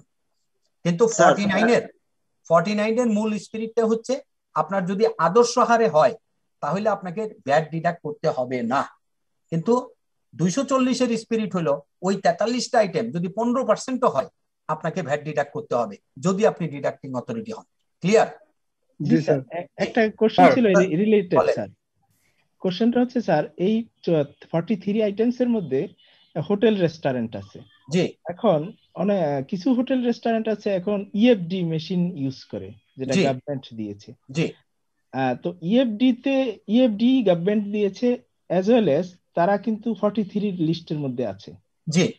আমরা আমাদের কাছে যারা এরকম আছে ক্লায়েন্ট তারা মানে তারা আসলে ভ্যাট কাটতে নিষেধ করছে। কিন্তু আমরা আসলে যেহেতু ফর্টি থ্রি আছে ফর্টি থ্রি আইটেমস এর মধ্যে আছে এই জন্য আমরা ভ্যাট কেটে দিয়েছি। জি। আমরা তো ঠিক আছি না স্যার? জি হান্ড্রেড পার্সেন্ট হান্ড্রেড পার্সেন্ট কারণ ওইখানে বলা হয়েছে পনেরো পার্সেন্টে ফর্টি নাইনের স্পিরিট হচ্ছে আপনাকে যদি কেউ আদর্শ হারে সিক্স পয়েন্ট থ্রি দেয় আপনি ভ্যাট ভ্যাট কাটতে হবে না। এইটুকু আমরা ক্লিয়ার কিনা? জি স্যার। জি স্যার। কিন্তু যখনই আপনি দুইশো চল্লিশে যাবেন এখানে বলেছে যে এই forty three item irrespective of rate rate কি হলো সেটা বড় কথা নয়। বড় কথা হলো আপনি যখন ডিডাক্টিং অথরিটি আপনার দায়িত্ব হচ্ছে ডিডাক্ট করে ফেলা। তবে নর্মালি আমরা কাজ কমানোর জন্য পনেরো পার্সেন্টগুলো ডিডাক্ট করি না অ্যাকসেপ্ট সম্প্রচার এবং বিজ্ঞাপন। কারণ সম্প্রচার এবং বিজ্ঞাপনের জন্য দুইটা এডিশনাল ক্লজ দেওয়া আছে। মনে আছে আপনাদের এটা? ক্লজ দেওয়া আছে যদি সার্কেল অফিস থেকে সার্টিফাই করাই আনতে ঠিক আছে? তো সেই জন্য সেই জন্য আমরা কি করি? আমরা কি করব? আমরা কেটে ফেলব পনেরো পার্সেন্ট হলে। বাট আমরা কাজ বাড়ানোর স্বার্থে মানে কাজটা কমানোর স্বার্থে পনেরো পার্সেন্ট যদি হয় আমরা সাধারণত পনেরো পার্সেন্টগুলো অন্তত বিডিএস করি না। স্যার আমার একটা কোশ্চেন ছিল। আমার কোশ্চেনটা ছিল এরকম যে স্যার ইএফডি মেশিন যেটা এখন গভর্নমেন্ট প্রোভাইড করেছে আগে এক সময় ছিল যে গভর্নমেন্ট ইসিআর মেশিন দিয়েছিল। জি জি। তো ইলেকট্রনিক ফিজিক্যাল ডিভাইস হ্যাঁ ইসিআর মেশিনের কোনো রিসিপ্ট থাকলে গভর্নমেন্টের একটা অর্ডার ছিল যে ভ্যাট কাটতে হবে না। কিন্তু ইএফডি এর ক্ষেত্রে এরকম কোনো আমার আসলে নোটিসে আসে নাই। না না না। দুইশো চল্লিশে ওই সব কথা উতরায় গেছে। বলছে যে এই তেতাল্লিশ আইটেম আপনার কাছে আসলেই আপনি ভ্যাট ডিডাক্ট করে ফেলবেন। এটা ইএফডি মেশিন হোক ইসিআর মেশিন হোক অন্য যে কোনো পদ্ধতিতে হোক। এই তেতাল্লিশ আইটেমের ব্যাপারে কোনো কথা নেই। স্যার আমার একটা কোশ্চেন ছিল। জি বলেন। স্যার আমরা এজিএস গ্রুপ থেকে এই নিচ্ছি ডিসইনফেকশনের সার্ভিস নিচ্ছি আমাদের অফিসে হ্যাঁ জি ওরা ওই ডিসইনফেক্ট করে দেয় করোনার জন্য। হ্যাঁ। তার ওরা যে বিল দেয় ওরা সিক্স পয়েন্ট থ্রিতে ওই দিয়ে দেয় পনেরো পার্সেন্ট রেটে ভ্যাট মূসক দিয়ে দেয়। এখন আমাদের যে অডিট ফার্ম আছে ওরা কি করে? মূসক সিক্স পয়েন্ট থ্রিতে দেওয়ার পরও তারা ভ্যাট কেটে তারপর ওরা সিক্স পয়েন্ট সিক্স ইস্যু করে। এটা কি স্যার ঠিক আছে? হ্যাঁ সিক্স পয়েন্ট সিক্স ইস্যু করে। জি। ওই ডিজেক্ট ইনফেক্টেড দুইশো চল্লিশের আওতায় মধ্যে এই জন্য। জি ওই জন্য ওই মানে সিক্স পয়েন্ট থ্রি দিচ্ছে। ওরা পনেরো পার্সেন্ট দিচ্ছে তারপরেও আবার কেটে সিক্স পয়েন্ট সিক্স দিচ্ছে। জি দিচ্ছে এটা কি ঠিক আছে স্যার? হ্যাঁ সঠিক পদ্ধতি। দুশো চল্লিশ তাতে কিন্তু ওর কোনো লস হচ্ছে না। কিছু টাকা পয়সা হয়তো আপনার ই করতে হচ্ছে আপনার এদিক সেদিক হচ্ছে আবার নতুন করে ওখানে জমা হচ্ছে এই তার দুইবার হচ্ছে না। কারণ আপনি যেটা ইনক্রিজিং অ্যাডজাস্টমেন্ট করতেছেন সে কিন্তু সাথে সাথে ওইটা ডিক্রিজিং অ্যাডজাস্টমেন্ট করে ফেলতেছে। Okay sir. Thank you sir আমার কোন সালের আইন স্যার? এছাড়াও স্যার? এটা 2021 সালের জুন মাসের। স্যার আমার একটা কোশ্চেন ছিল স্যার। বলেন। স্যার স্যার আপনি একটু একটু আগে বললেন যে এনজিও এনজিওর ক্ষেত্রে ভ্যাট মানে ভ্যাট রিটার্ন ভ্যাট রেজিস্ট্রেশন বাধ্যতামূলক না।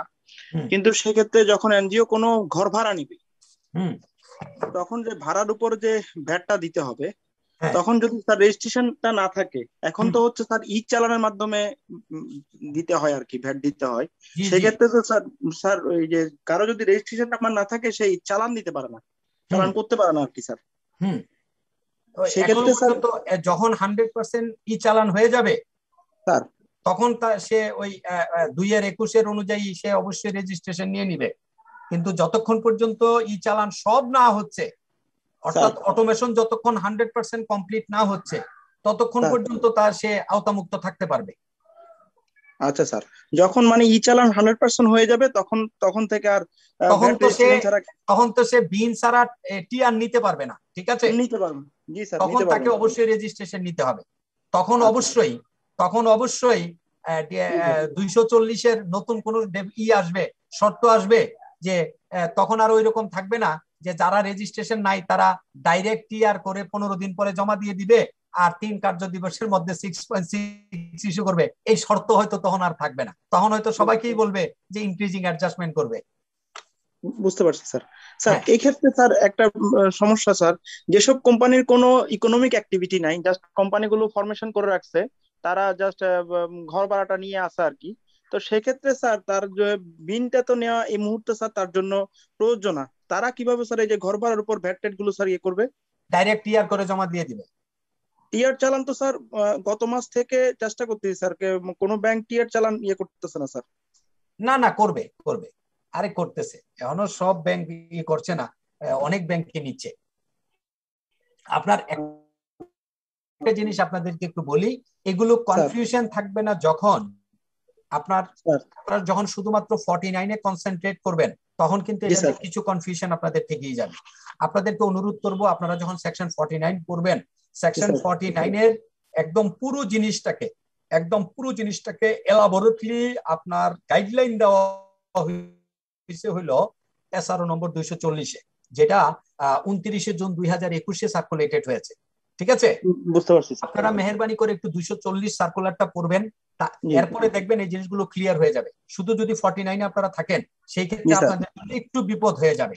কেন? দুইশো চল্লিশের স্পিরিটটা কীরকম? বলছে যে আপনার থার্ড শিডিউলে উল্লেখিত পনেরো শতাংশের নিম্নে থার্ড শিডিউলে উল্লেখিত পনেরো শতাংশের নিম্নে যারা আছে অথবা সুনির্দিষ্ট করের বিপরীতে উল্লিখিত পণ্যসমূহ সরবরাহের ক্ষেত্রে সরবরাহ গ্রহণকারী সরবরাহ গ্রহণকারী উৎসে কর্তনকারী সত্তা হইলে সমুদয় মূল্য সংযোজন কর উৎসে কর্তন করিতে হইবে।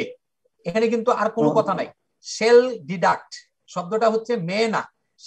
শব্দটা কি? ডিডাক্ট করিতে হইবে। Number two number three number one number two tender চুক্তি কার্যাদেশ বা অন্য কোনো বিধভাবে অন্য কোনো বিধভাবে মিনস যে কোনো পদ্ধতিতে। আর কোনো কথা বাকি থাকবে এর মধ্যে? জি না। টেন্ডার চুক্তি কার্যাদেশ বা অন্যবিধ আর কোনো কিছু বাকি থাকবে স্যার? জি না স্যার। কেনার ক্ষেত্রে আর কোনো কিছু বাকি আছে? নাই। না না সরবরাহের ক্ষেত্রে সরবরাহের ক্ষেত্রে সরবরাহের ক্ষেত্রে নিম্নের ছকে বর্ণিত নিম্নের ছকে বর্ণিত যেই আইটেমগুলোর কথা বলেছিলাম। কয়টা item forty three forty three item এই ফর্টি থ্রি আইটেমের বর্ণিত হারে আবশ্যিকভাবে শব্দটা কি? আবশ্যিকভাবে। আবশ্যিকভাবে উৎসে কর্তনকারী সত্তা কর্তৃক উৎসে কর্তন সত্তা কর্তৃক উৎসে কর্তন করিতে হইবে। এরপরে কি আর কোনো কনফিউশন থাকার সুযোগ আছে স্যার? জি না স্যার। বুঝতে পারছি। সুতরাং আমরা ওই কনফিউশনটাতে যাব না। কারণ কি? আইনে যে জিনিসটা সহজভাবে বলা আছে সেটা আমরা নিজেদের মতো করে ব্যাখ্যা তৈরি করে ওইখানে কোনো কনফ্লিক্টে গেলে হবে কি? দেখা যাবে যে আইনটাও প্রয়োগ হচ্ছে না। আমার প্রতিষ্ঠানও হয়তো দেখা যাবে যে একটা অপরচুনিটি লস করে। ঠিক কিনা স্যার? জি স্যার। জি স্যার। আর বারবার যেটা আমি আপনাদেরকে বলছি বিক্রয় যন্ত্রের কথা বলা আছে সেকশন ফর্টি ফোরে তাই না?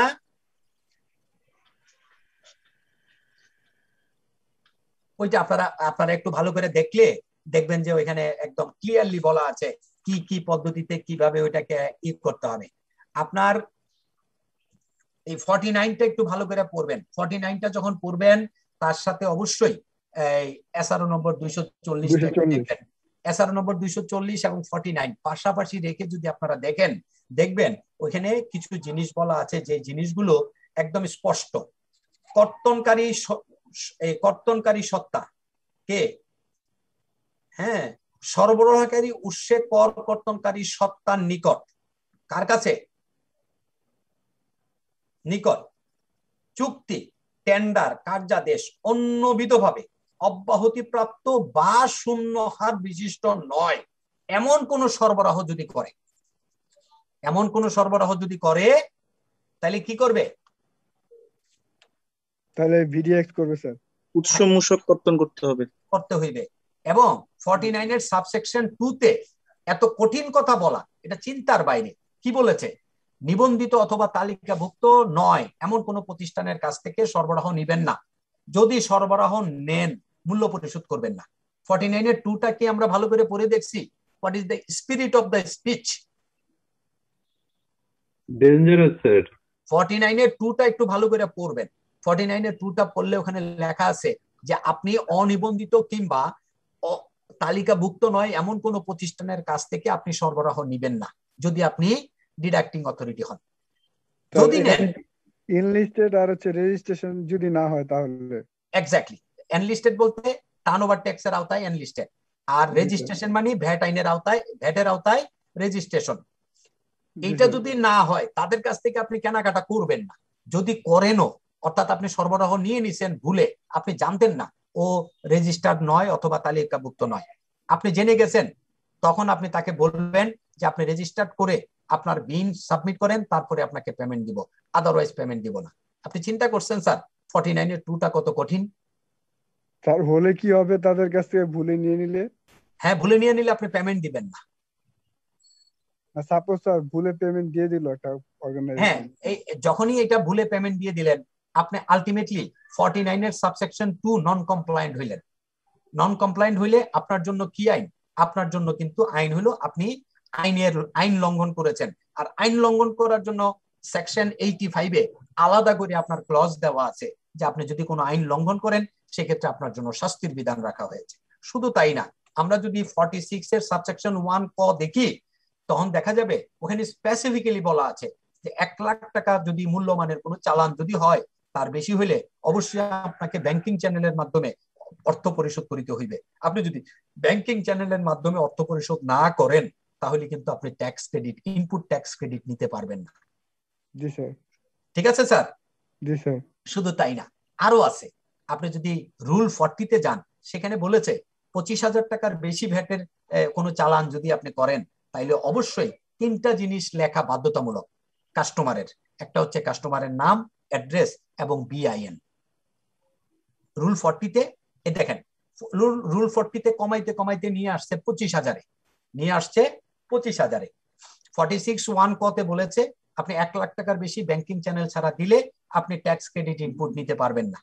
তারপরে ফর্টি নাইনের টুতে এসে আপনাকে বলছে আপনি অনিবন্ধিত ও তালিকাভুক্ত প্রতিষ্ঠানের কাছ থেকে ক্রয় করবেন না।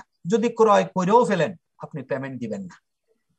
এছাড়াও আপনি আরেকটু যখন একটু ইলাবোরেটলি বিষয়টাকে যাবেন তখন দেখবেন একটু পরেই আমরা হয়তো সিক্স পয়েন্ট টেন এর কথা বলব। Six point ten high value আমি এটাকে বলি হাই ভ্যালু ট্যাক্স এই high value invoice high value invoice কি? দুই লক্ষ টাকার বেশি ইনভয়েস যে এই ভ্যাট যেখানে জড়িত আছে এই রকমের যে ইনভয়েসগুলো আছে সেই ইনভয়েসগুলোর জন্য নাইন পয়েন্ট ওয়ান সাবমিট করার সময় আলাদা করে একটা ফর্ম সাবমিট করতে হয়। সেই ফর্মটা হচ্ছে form number six point ten আমরা কি এই শব্দটা শুনেছি আগে কখনো? সিক্স পয়েন্ট টেন জি স্যার শুনেছি। হাই ভ্যালু রাইট দুই লাখ টাকার বেশি। দুই লাখ টাকার উপরে। দুই লাখ টাকার বেশি। দুই লাখ টাকার বেশি কোনো ভ্যালু যদি হয় সেই ভ্যালুর ক্ষেত্রে বলা হয়েছে যে আপনাকে রিটার্নের সাথে সিক্স পয়েন্ট টেন সাবমিট করতে হবে।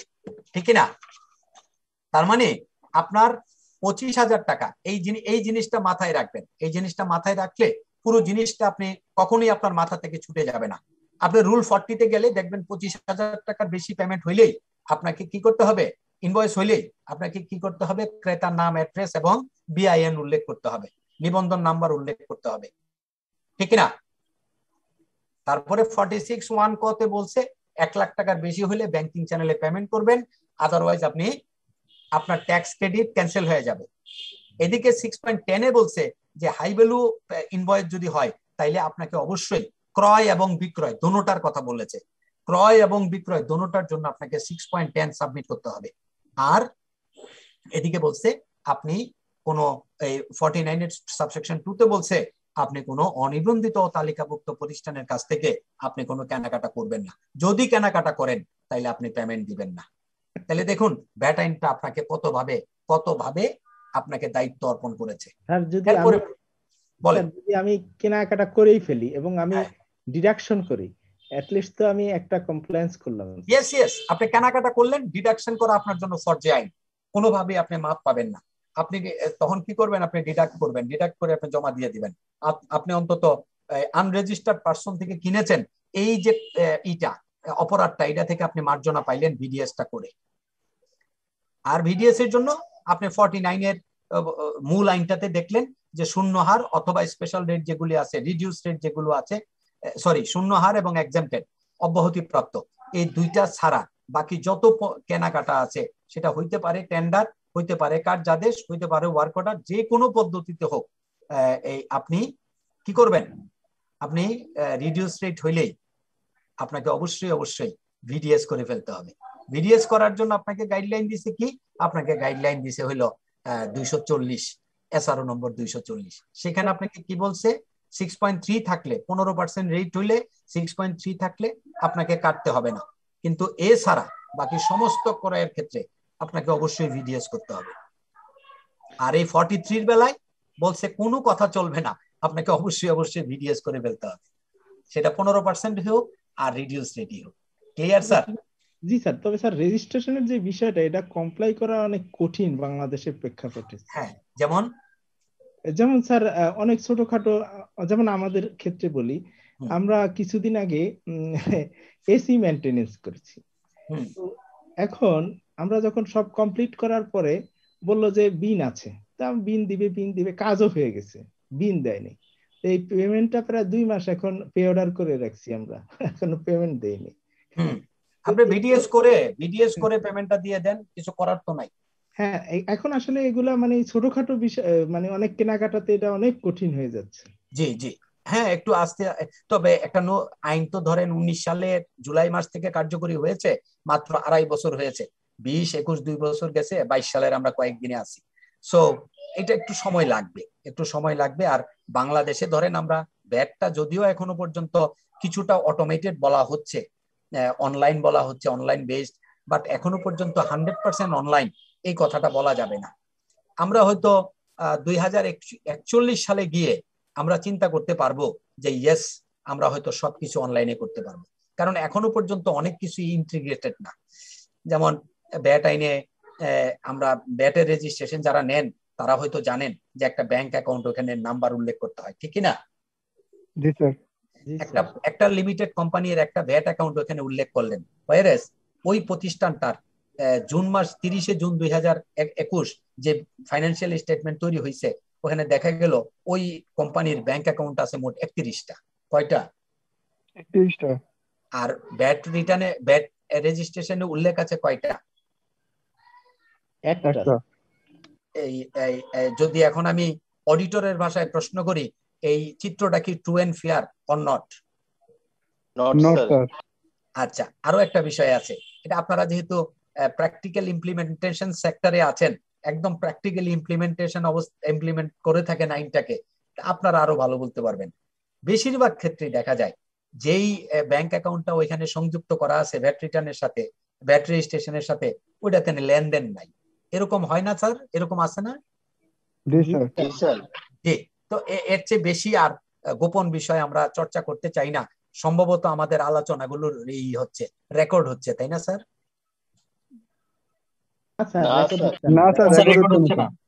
রেকর্ড হচ্ছে না। এটা রেকর্ড করলে মনে হয় ভালো হতো।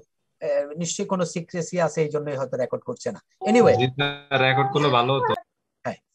তো যেই জিনিসটা আমরা আলোচনা করতে চাচ্ছিলাম সেটা হচ্ছে আমরা আমরা এটা জানি যে ভ্যাট আইনে ওই মূসক এজেন্ট এবং মূসক কনসালটেন্ট মূসক পরামর্শক এই দুইটা শব্দ আছে। এটা আপনারা জানেন নিশ্চয়ই। জি স্যার জানি স্যার জি। মূসক এজেন্ট হচ্ছে কারা? বিদেশিরা যদি এই দেশে কোনো ব্যবসা করতে চায়, এই দেশে তার ব্যবসা করতে হলে একজন এজেন্ট নিয়োগ করার বিধান রয়েছে। ওই এজেন্ট নিয়োগ করার জন্য তাদেরকে এজেন্ট নিয়োগ করতে হয়। কিন্তু কাদেরকে এজেন্ট নিয়োগ করতে পারবে? সেটা আবার এনবিআর এজেন্টের লাইসেন্স দিবে। এটার আবেদন করার জন্য মোশক থ্রি পয়েন্ট ওয়ান ব্যবহার করতে হয়। আর লাইসেন্স যেটা আছে, সেটা হচ্ছে আপনার টু থ্রি পয়েন্ট টু এই, তারাই বিদেশিদের, অর্থাৎ নন রেসিডেন্টের এজেন্ট হিসাবে কাজ করতে পারবে। নন রেসিডেন্টের এজেন্ট হিসাবে কাজ করতে পারবে। আরেকটা হলো ব্যাট কনসালটেন্ট ব্যাট পরামর্শক। ব্যাট পরামর্শ এখানে এজেন্টদের কি পরীক্ষা দিয়ে পাস করতে হবে? হ্যাঁ পরীক্ষা দিয়ে পাস করতে হয়। পরীক্ষা দিয়ে পাস করতে হয়। রিকোয়ারমেন্টগুলো কি কি এজেন্ট রিকোয়ারমেন্ট হচ্ছে গ্রাজুয়েশন প্লাস ওইখানে তাদের কিছু পড়াশোনা আছে পড়াশোনা গুলো করতে হয়। এর মধ্যে ব্যাট আইন আছে কাস্টমস আইন আছে ইম্পোর্ট এক্সপোর্ট পলিসি আছে তারপরে ফরেন এক্সচেঞ্জ রেগুলেশন আছে অঙ্ক ইংরেজি বাংলা থাকে। এরকম কি দিয়ে পরীক্ষা হয়? পরীক্ষা দিলে ওরা বছরে বোধহয় দুইবার কল করে, এটার জন্য পরীক্ষা দিয়ে তারপরে তারা লাইসেন্স দেয়। আরেকটা লাইসেন্স আছে মূসক পরামর্শক। এটার, এই লাইসেন্সটার আবেদনপত্র হচ্ছে আঠারোর এক, আর আপনি যখন এটারও পরীক্ষা আছে, তবে চার্টার্ড অ্যাকাউন্টেন্টদের জন্য এক্সামশন আছে, তাদের পরীক্ষা দেওয়া লাগে না। তারা যদি এফসিএ হয়, অর্থাৎ পাঁচ বছর হয় চার্টার্ড অ্যাকাউন্টেন্ট হওয়ার পর তারা যদি আবেদন করে, তাদেরকে বিনা পরীক্ষায় এখন পর্যন্ত লাইসেন্স দেওয়ার বিধান আছে। সেটা চার্টার্ড অ্যাকাউন্টেন্ট চার্টার্ড সেক্রেটারি এবং সিএমএ সম্ভবত তাদের ব্যবস্থা রাখা আছে। যে লাইসেন্সটা দেওয়া হয় সেটা আঠারো একের ক। এই লাইসেন্সটা দিলে লাইসেন্সটা আছে। এই লাইসেন্সটার মাধ্যমে আপনি মূসক পরামর্শক হিসাবে বিভিন্ন জায়গায় অ্যাটেন্ড করতে পারবেন। লাইক এস এনবিআর এনলিস্টেড পরামর্শক, আপনি বিভিন্ন প্রতিষ্ঠানের কনসালটেন্ট হিসাবে কেস্টে সিয়ারিং টিয়ারিং থেকে শুরু করে সবকিছু আপনি করতে পারবেন। এজেন্টের কাজটা একরকম আর পরামর্শের কাজটা একটু অন্যরকম। এজেন্টের কাজটা আপনি প্রিন্সিপালের এজেন্ট হিসাবে কাজ করবেন আর মূসক পরামর্শক হচ্ছে আপনি সবার কি পরামর্শ দিতে পারবেন এই ইটের আর এই কোন একজন ইতে বলছিলেন শুরুতে আমি যখন এইটিন পয়েন্ট সিক্স বলছিলাম, তখন কেউ একজন প্রশ্ন করেছিলেন sir what is eighteen point six মূসক এইটিন পয়েন্ট সিক্স হচ্ছে পুরনো আইনে চলতি হিসাব বই বলে একটা বই ছিল। কে জানেন এটা? জি স্যার এটা মূসক আঠারো। মূসক আঠারো। এটাতে যেটাতে আমার রিবেটগুলো লেখা থাকতো ট্রেজারি চালানগুলো লেখা থাকতো এবং প্রত্যেকটা চালান কাটলে আস্তে আস্তে ডেবিট করে করে ব্যালেন্সটা কইমা আসতো। ঠিক বলছি? এই এই যে আঠারোটা এই আঠারোটা যখন আইনটা উনিশশো একানব্বই সালের আইন তিরিশে জুন দুই হাজার উনিশে ই হয়ে গেল। পহেলা জুলাই দুই হাজার উনিশে নতুন আইনটা হলো প্রযোজ্য হলো তখন বলা হলো যে আঠারোতে, মূসক আঠারোতে যাদের যাদের পজিটিভ ব্যালেন্স আছে, সেই ব্যালেন্সটা ক্যারি ফরওয়ার্ড করা যাবে। ক্যারি ফরওয়ার্ড করা যাবে। তো subject to approval from the commissioner of that particular area কমিশনারের অ্যাপ্রুভাল সাপেক্ষে মূসক আঠারোতে যে ব্যালেন্সটা আছে, সেই ব্যালেন্সটা কি করবে? আপনার নতুন আইনে নাইন পয়েন্ট ওয়ানে অ্যাডজাস্টমেন্ট করতে পারবে। গভর্নমেন্ট চিন্তা করল, হঠাৎ করে যদি সব আঠারোর এক এই ই করে, আঠারোর ব্যালেন্সগুলো অ্যাডজাস্ট করতে দেয়, তাই কারেন্ট ইয়ারের বা কারেন্ট মান্থের মূসকে ঘাটতি পড়ে যাবে। তখন তারা একটা পলিসি করল, বলল যে যে পরিমাণ আঠারোতে যে পরিমাণই থাকবে ব্যালেন্স থাকবে, সেটার পেয়েবল ভ্যাটের টেন পার্সেন্ট প্রতি মাসে অ্যাডজাস্ট করতে পারবে। গত বছর এটা থার্টি পার্সেন্ট করে দিয়েছে। তাই না স্যার? যারা নাইন পয়েন্ট ওয়ান দেখছেন সর্বশেষ? হ্যাঁ থার্টি পার্সেন্ট অর্থাৎ দুইশো সাতত্রিশ অ্যাপ্লিকেবল এসআরও নম্বর দুইশো সাতত্রিশ কে কে দেখেছেন? কেউ আছেন এখানে? এসআরও দুইশো সাতত্রিশ দেখেছেন? রোজিনা খান দেখেছেন। এসআরও দুইশো সাতত্রিশ হওয়ার পর এটা টেন পার্সেন্ট থেকে থার্টি পার্সেন্ট হয়ে গেছে। ঠিক না রোজিনা? জি তো এইটা এই যে অ্যাপ্রুভালটা এই কমিশনার সাহেব দিলেন যে আপনার আঠারো মূসক আঠারোতে এক লক্ষ টাকা, দুই লক্ষ টাকা বা পাঁচ লক্ষ টাকা ব্যালেন্স আছে, এই ব্যালেন্সটা আপনি ক্যারি ফরওয়ার্ড করতে পারেন নাইন পয়েন্ট ওয়ানে এই সার্টিফিকেটটা দেওয়া হইতো মূলত, দেওয়া হয় মূলত, দেওয়া হয়েছিল মূলত এইট পয়েন্ট সিক্স এর মাধ্যমে। সরি এইটিন পয়েন্ট সিক্স এর মাধ্যমে। এইটিন পয়েন্ট সিক্স যে প্রশ্ন করেছিলেন প্রশ্নের উত্তর পেয়েছেন? স্যার আমার একটা কোশ্চেন ছিল। জি বলেন। জি স্যার। থার্টি পার্সেন্ট যদি এই বছর আমি অ্যাডজাস্টমেন্ট করি আমার তো আরও সেভেন্টি পার্সেন্ট থাকবে। এটা নেক্সট ইয়ার প্রতি মাসে প্রতি মাসে থার্টি পার্সেন্ট হ্যাঁ প্রত্যেক মাসে থার্টি পার্সেন্ট করে আস্তে আস্তে ব্যালেন্স করে দেবো এই তো? হ্যাঁ হ্যাঁ হ্যাঁ। ঠিক আছে। স্যার থার্টি পার্সেন্ট হচ্ছে এই মাসে আমাদের ট্যাক্স পেয়েবল হবে সেটা থার্টি পার্সেন্ট এটা থার্টি অর্থাৎ পেয়েবল ট্যাক্সের থার্টি পার্সেন্ট পেয়েবল ট্যাক্সের টেন পার্সেন্ট ছিল দুইশো সাতত্রিশ সার্কুলার হওয়ার আগ পর্যন্ত। দুইশো সাতত্রিশ হওয়ার পর থেকে এটা পেয়েবল ট্যাক্সের থার্টি পার্সেন্ট এটা অবশ্য ট্যাক্স ব্যাট অফিস তো জানে আলটিমেটলি ধরেন টেন পার্সেন্ট করে যদি অ্যাডজাস্টমেন্ট করা হয় সেক্ষেত্রে জুলাই থেকে গত বছরের জুন পর্যন্ত প্রায় অ্যাকচুয়ালি প্রায় দেড় বছর পরেই তারা এটা চেঞ্জ করে দিল থার্টি পার্সেন্ট করে দিল। ততদিনে সবারই ব্যাট পেয়েবল যেটা ছিল সরি ব্যাটের অ্যাসেট যেটা ছিল, মূসক আঠারোতে সেটা অনেকেরই প্রায় অ্যাডজাস্টেড হয়ে গেছিল। অ্যাডজাস্টেড হয়ে গেছে। বেশিরভাগেরই একদম শেষের দিকে কিছু কিছু হয়তো এখনও পর্যন্ত আছে। আছে আর কারও কোনো প্রশ্ন আছে রিলেটেড এখানে কি অনির্দিষ্ট কাল ধরে চলতে থাকবে? 10% তো এখন শেষ এইটার ব্যাপারে এইটার এইটার ব্যাপারে এইটার ব্যাপারে কোন কোন সুরাহা নাই। যেহেতু 9.1 এ একদম স্পেসিফিক্যালি গাইডলাইন দেওয়া আছে বলা আছে যে আপনি যখনই পেয়েবল ভ্যাট বের করবেন, কোনটার মাধ্যমে? আপনার payable minus input tax credit plus increasing adjustment minus decreasing adjustment করার পর যেই পেয়েবলটা হবে, ওই পেয়েবলটা টেন পার্সেন্ট আপনি আগে পেতেন। দুইশো সাতত্রিশ হওয়ার পর থার্টি পার্সেন্ট করার পর যেটা হবে সেটা আপনি ক্লিয়ার করবেন। ক্লিয়ার স্যার পেয়েবলটা লাস্ট যেটা ব্যালেন্স থাকবে ওই পেয়েবলটা টেন পার্সেন্টটা করার বা থার্টি পার্সেন্ট করার পরে থার্টি পার্সেন্ট করার পরে যেটা হবে সেটা আপনি টিআর করে ফেলবেন। TR means treasury challan treasury receipt তার মানে স্যার এখানে থার্টি পার্সেন্ট টিআর করব। অবশিষ্ট যে ব্যালেন্সটা পেয়েবল এটা কি মানে অনির্দিষ্ট সময়ের জন্য চলতে থাকবে? হ্যাঁ হ্যাঁ হ্যাঁ। অনির্দিষ্টকালের জন্য। এই যে ফিফটি সিক্স এ দেখুন ফিফটি সিক্স দেখতে পাচ্ছেন আপনারা? জি স্যার। হ্যাঁ। ফিফটি সিক্স দেখতে পাচ্ছেন? জি স্যার ফিফটি জি স্যার। এই ফিফটি সিক্স এ আপনি পেয়েবল ট্যাক্সের পেয়েবল ভ্যাটের থার্টি পার্সেন্ট আপনি পাবেন। পেয়েবল ট্যাক্সের থার্টি পার্সেন্ট পাবেন। এই যে পঞ্চাশের পঞ্চাশে পেয়েবল হয়েছে সরি এখানে পেয়েবল হয়েছে এক কোটি উনত্রিশ লাখ নিরানব্বই লাখ এই পেয়েবল ভ্যাটের আপনার থার্টি পার্সেন্ট এখানে পাইছেন পাওয়ার পরে বাকিটা আপনি টিআর করছেন। টিআর কত করছেন? আপনি এই যে এই এক লাখ সত্তর হাজার টাকা আপনি টিআর করছেন। এই হচ্ছে পদ্ধতি। এইটিন পয়েন্ট সিক্স হচ্ছে এইটারই হচ্ছে সার্টিফিকেট। যেই সার্টিফিকেটের মাধ্যমে ওই সার্টিফিকেটটা না থাকলে আপনি এই ফিফটি সিক্সটা অ্যাপ্লাই করতে পারবেন না। ফিফটি সিক্সটা অ্যাপ্লাই করতে পারবেন না। ওই এইটিন পয়েন্ট সিক্স না থাকলে। ঠিক আছে? জি স্যার। হ্যাঁ। এইটা আমরা নেক্সট ক্লাসে নাইন পয়েন্ট ওয়ানটা একদম ডিটেলস আলোচনা করব।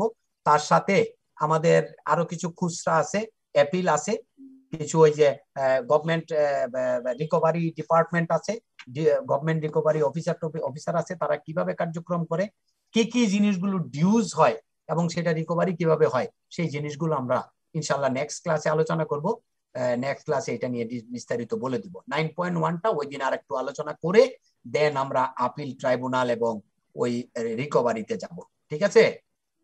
জি স্যার হ্যাঁ আরেকটা জিনিস এটা ভালো করে একটু দেখবেন ফর্টি সিক্স এর এখানে এই জন্য লিখে রাখছি এটা কারণ যাতে করে আপনারা ওই যে নেগেটিভ লিস্টটা ভালো করে মনে রাখতে পারেন।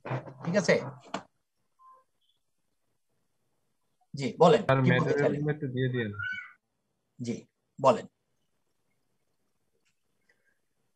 স্যার ধরেন কারও বিন নাই। কারও বিন নাই হ্যাঁ, সে তো পঁচিশ হাজারের উপরে তো একটা চালানে পেমেন্ট করতে পারছে না। হ্যাঁ, কোনো বুদ্ধি নাই। না পঁচিশ হাজার এটা বলছে একটা সুযোগ অবশ্য দেওয়া আছে সেটা হলো বলা আছে যদি কারও বিন নাই কিন্তু আপনি চালানটা তাকে বিক্রিটা করছেন সেই ক্ষেত্রে তার এনআইডি উল্লেখ করতে হবে। আচ্ছা।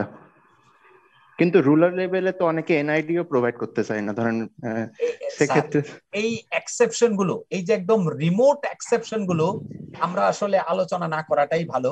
কারণ রিমোট এক্সেপশনগুলো আমাদের আলোচনার বিষয়বস্তু হওয়া উচিত নয়। কারণ আমরা সব প্রফেশনাল মানুষ ডিগনিফাইড প্রফেশনাল মানুষ আমরা রিমোট এক্সেপশনগুলো আমরা আলোচনা করব না। ওকে ওকে এগুলো হচ্ছে রিমোট এক্সেপশন জি। আর কারও কোনো প্রশ্ন যদি না থাকে আজকে আমরা এখানে শেষ করব। আপনারা ধৈর্য ধরে কি এই ভালোবাসা আপনারা ধৈর্য ধরে শুনেছেন সেই জন্য ধন্যবাদ। কি বলেন বলেন। স্যার একটা কোশ্চেন ছিল।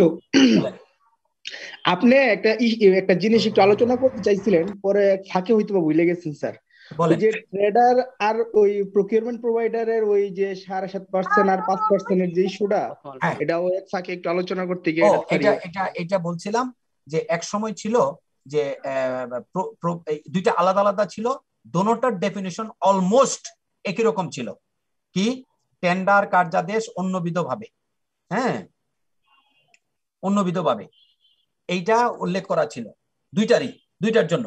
এবং প্রকিউরমেন্ট প্রোভাইডার এবং ইর মধ্যে, এই ব্যবসায়ীর মধ্যে বড় ধরনের কোনো পার্থক্য ছিল না বা নাই। কেন নাই? কারণ দুইজনই কিন্তু রেডিমেড প্রোডাক্ট অন্যের কাছ থেকে কিনে সরবরাহ করে থাকে ঠিক কিনা এবং দুইজনেই টেন্ডার চুক্তি টেন্ডার কন্ট্রাক্ট ওয়ার্ক অর্ডার এবং অন্যবিধ।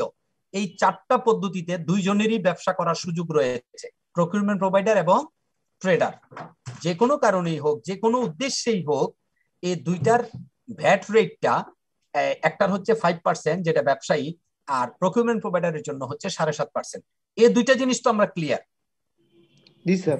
জি। দুইশো চল্লিশ সার্কুলার হওয়ার আগ পর্যন্ত এই জায়গাটাতে একটা কনফিউশন ছিল কনফিউশন ঠিক না। এটা হয়তো কি ওই যারা ব্যবসায়ী তারা কিছু সুবিধা নেওয়ার চেষ্টা করত। সুবিধা কীভাবে নেওয়ার চেষ্টা করতো? এইভাবে যে এই দেখা গেল যে সরবরাহ করে যখনই সে প্রকিউরমেন্ট প্রোভাইডার হিসেবে সাড়ে সাত পার্সেন্ট কাটতে যাইতো তখন ওরা বলতো যে স্যার আমি তো প্রকিউরমেন্ট প্রোভাইডার না আমি তো ব্যবসায়ী। তাইলে আপনি তখন ডিডাক্টিং অথরিটি হিসাবে কত কাটতেন? ফাইভ পার্সেন্ট কাটতেন তাই না? জি স্যার। ঠিক কিনা জি স্যার। জি স্যার। তাহলে তার আড়াই তার আড়াই পার্সেন্ট লাভ থেকে যায়। আড়াই আড়াই পার্সেন্ট তার লাভ থেকে যাইতো আর গভর্নমেন্ট আড়াই পার্সেন্ট কিন্তু বঞ্চিত হইতো ঠিক কিনা বঞ্চিত হইতো। জি স্যার। এইটা এইটা বন্ধ করার জন্য এইটা বন্ধ করার জন্য এই দুইশো চল্লিশ যখন সার্কুলারটা হইল তখন একটা জায়গায় তারা ব্যাখ্যাটা এইভাবে লিখে দিল বলল যে উৎপাদক হিসাবে নিবন্ধিত ব্যতীত। কি হিসাবে? উৎপাদক হিসেবে হ্যাঁ। উৎপাদক হিসেবে। উৎপাদক হিসাবে অর্থাৎ ম্যানুফ্যাকচারার হিসাবে নিবন্ধিত নয়।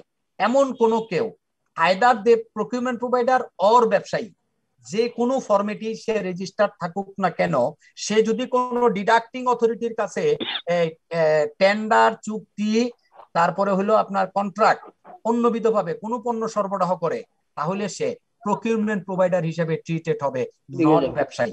ক্লিয়ার স্যার ক্লিয়ার স্যার তাহলে তো 5% এর কোনো ইয়ে থাকতেছে না স্যার না না 5% আছে। সে হলো এই ডিডাক্টিং অথরিটির বাইরে তো 5% আছে। ডিডাক্টিং অথরিটির কাছে হইলে 5% আর থাকবে না সে হবে 7.5% প্রকিউরমেন্ট প্রোভাইডার আর ডিডাক্টিং অথরিটি ছাড়া অন্যের কাছে যদি সরবরাহ করে সেই ক্ষেত্রে সে ব্যবসায়ী হিসাবে 5% অ্যাপ্লিকেবল হবে তার জন্য। আপনি ব্যবসায়ী আপনার ভিন্ন ব্যবসায়ী হিসাবে। কিন্তু আপনি যদি ডিডাক্টিং অথরিটির কাছে সরবরাহ করেন তাহলে অবশ্যই আপনার কাছ থেকে সাড়ে সাত পার্সেন্ট কেটে ক্লিয়ার এবার? একটা কোশ্চেন ছিল স্যার ফোর পয়েন্ট থ্রিতে স্যার জি বলেন। স্যার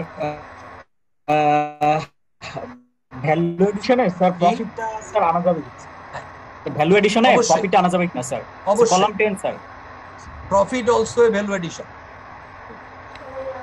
ঠিক আছে স্যার 237 240 কে একটু করতে যাবে স্যার কি বলেন স্যার 237 জি বলেন স্যার এনজিও যখন পারচেজ করে তখন স্যার টেন্ডারের মাধ্যমে পারচেজ করে।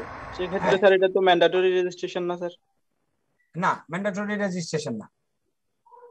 ওনারা তো যখন পারচেজ করে তখন ইয়ার টেন্ডারের মাধ্যমে করে এবং ওয়ার্ক অর্ডার ছাড়া ওনারা ইয়ে টেন্ডারে অংশগ্রহণ করার জন্য টেন্ডারে অংশগ্রহণ করার জন্য ম্যান্ডেটরি রেজিস্ট্রেশন টেন্ডারে অংশগ্রহণ করার জন্য টেন্ডারের মাধ্যমে কেনার জন্য নয়। আচ্ছা থ্যাংক ইউ টেন্ডারে অংশগ্রহণ করার জন্য ম্যান্ডেটরি রেজিস্ট্রেশন নট টেন্ডারে ক্রয় করার জন্য। থ্যাংক ইউ স্যার শেষ করে দিলে ভালো। থ্যাংক ইউ স্যার স্যার প্রশ্ন প্রশ্ন থাকবে স্যার আমার একটা কোশ্চেন আছে। জি বলেন। স্যার। বলেন শুনতে পাচ্ছি। আমি একটা ফার্মাসিউটিক্যাল কোম্পানিতে জব করি। জি। তো আমাদের একটা সিস্টার কনসার্ন আছে। আমরা যেহেতু মেডিসিন ম্যানুফ্যাকচারার জি। আমরা ওই সিস্টার কনসার্নের মাধ্যমে কিছু ফুড সাপ্লিমেন্ট ইম্পোর্ট করি। জি। তো ইম্পোর্ট স্টেজে তো ওখানে ফাইভ পার্সেন্ট এটিকেটে রাখে। হুম।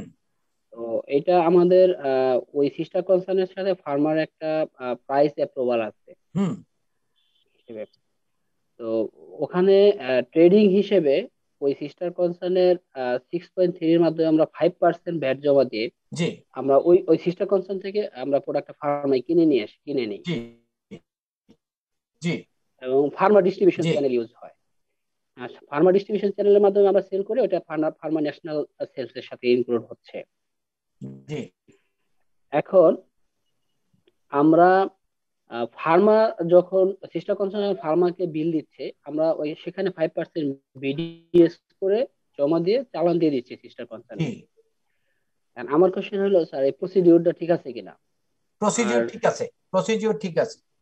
আপনি তাকে ভিডিএস করবেন কারণ ও আপনার কাছে ব্যবসায়ী।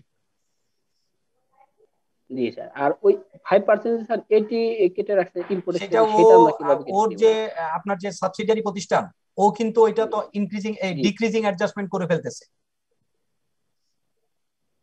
এটিটা থার্টি থার্টি ওয়ানের যে এটি থার্টি ওয়ানের যে এটি সেটার জন্য স্পেসিফিক গাইডলাইন হলো ওইটা কিন্তু not input tax credit under section forty six that is reducing adjustment by section fifty thirty one reducing adjustment by section fifty সুতরাং ওইটা নিয়ে চিন্তার কিছু নাই। ম্যানুফ্যাকচারার হইলে ফোর পার্সেন্ট আর আদার দেন ম্যানুফ্যাকচারার হলো ফাইভ পার্সেন্ট ওইটা to be adjusted under section fifty reducing adjustment okay তাহলে তাহলে স্যার আমাদের প্রসেস ঠিক আছে। হ্যাঁ প্রসেস ঠিক আছে all right thank you sir ji thank you so much for patience sharing আসসালামু আলাইকুম ওয়া রাহমাতুল্লাহি ওয়া বারাকাতুহু। ওয়া আলাইকুম। আসসালাম ঠিক আছে ভালো থাকবেন স্যার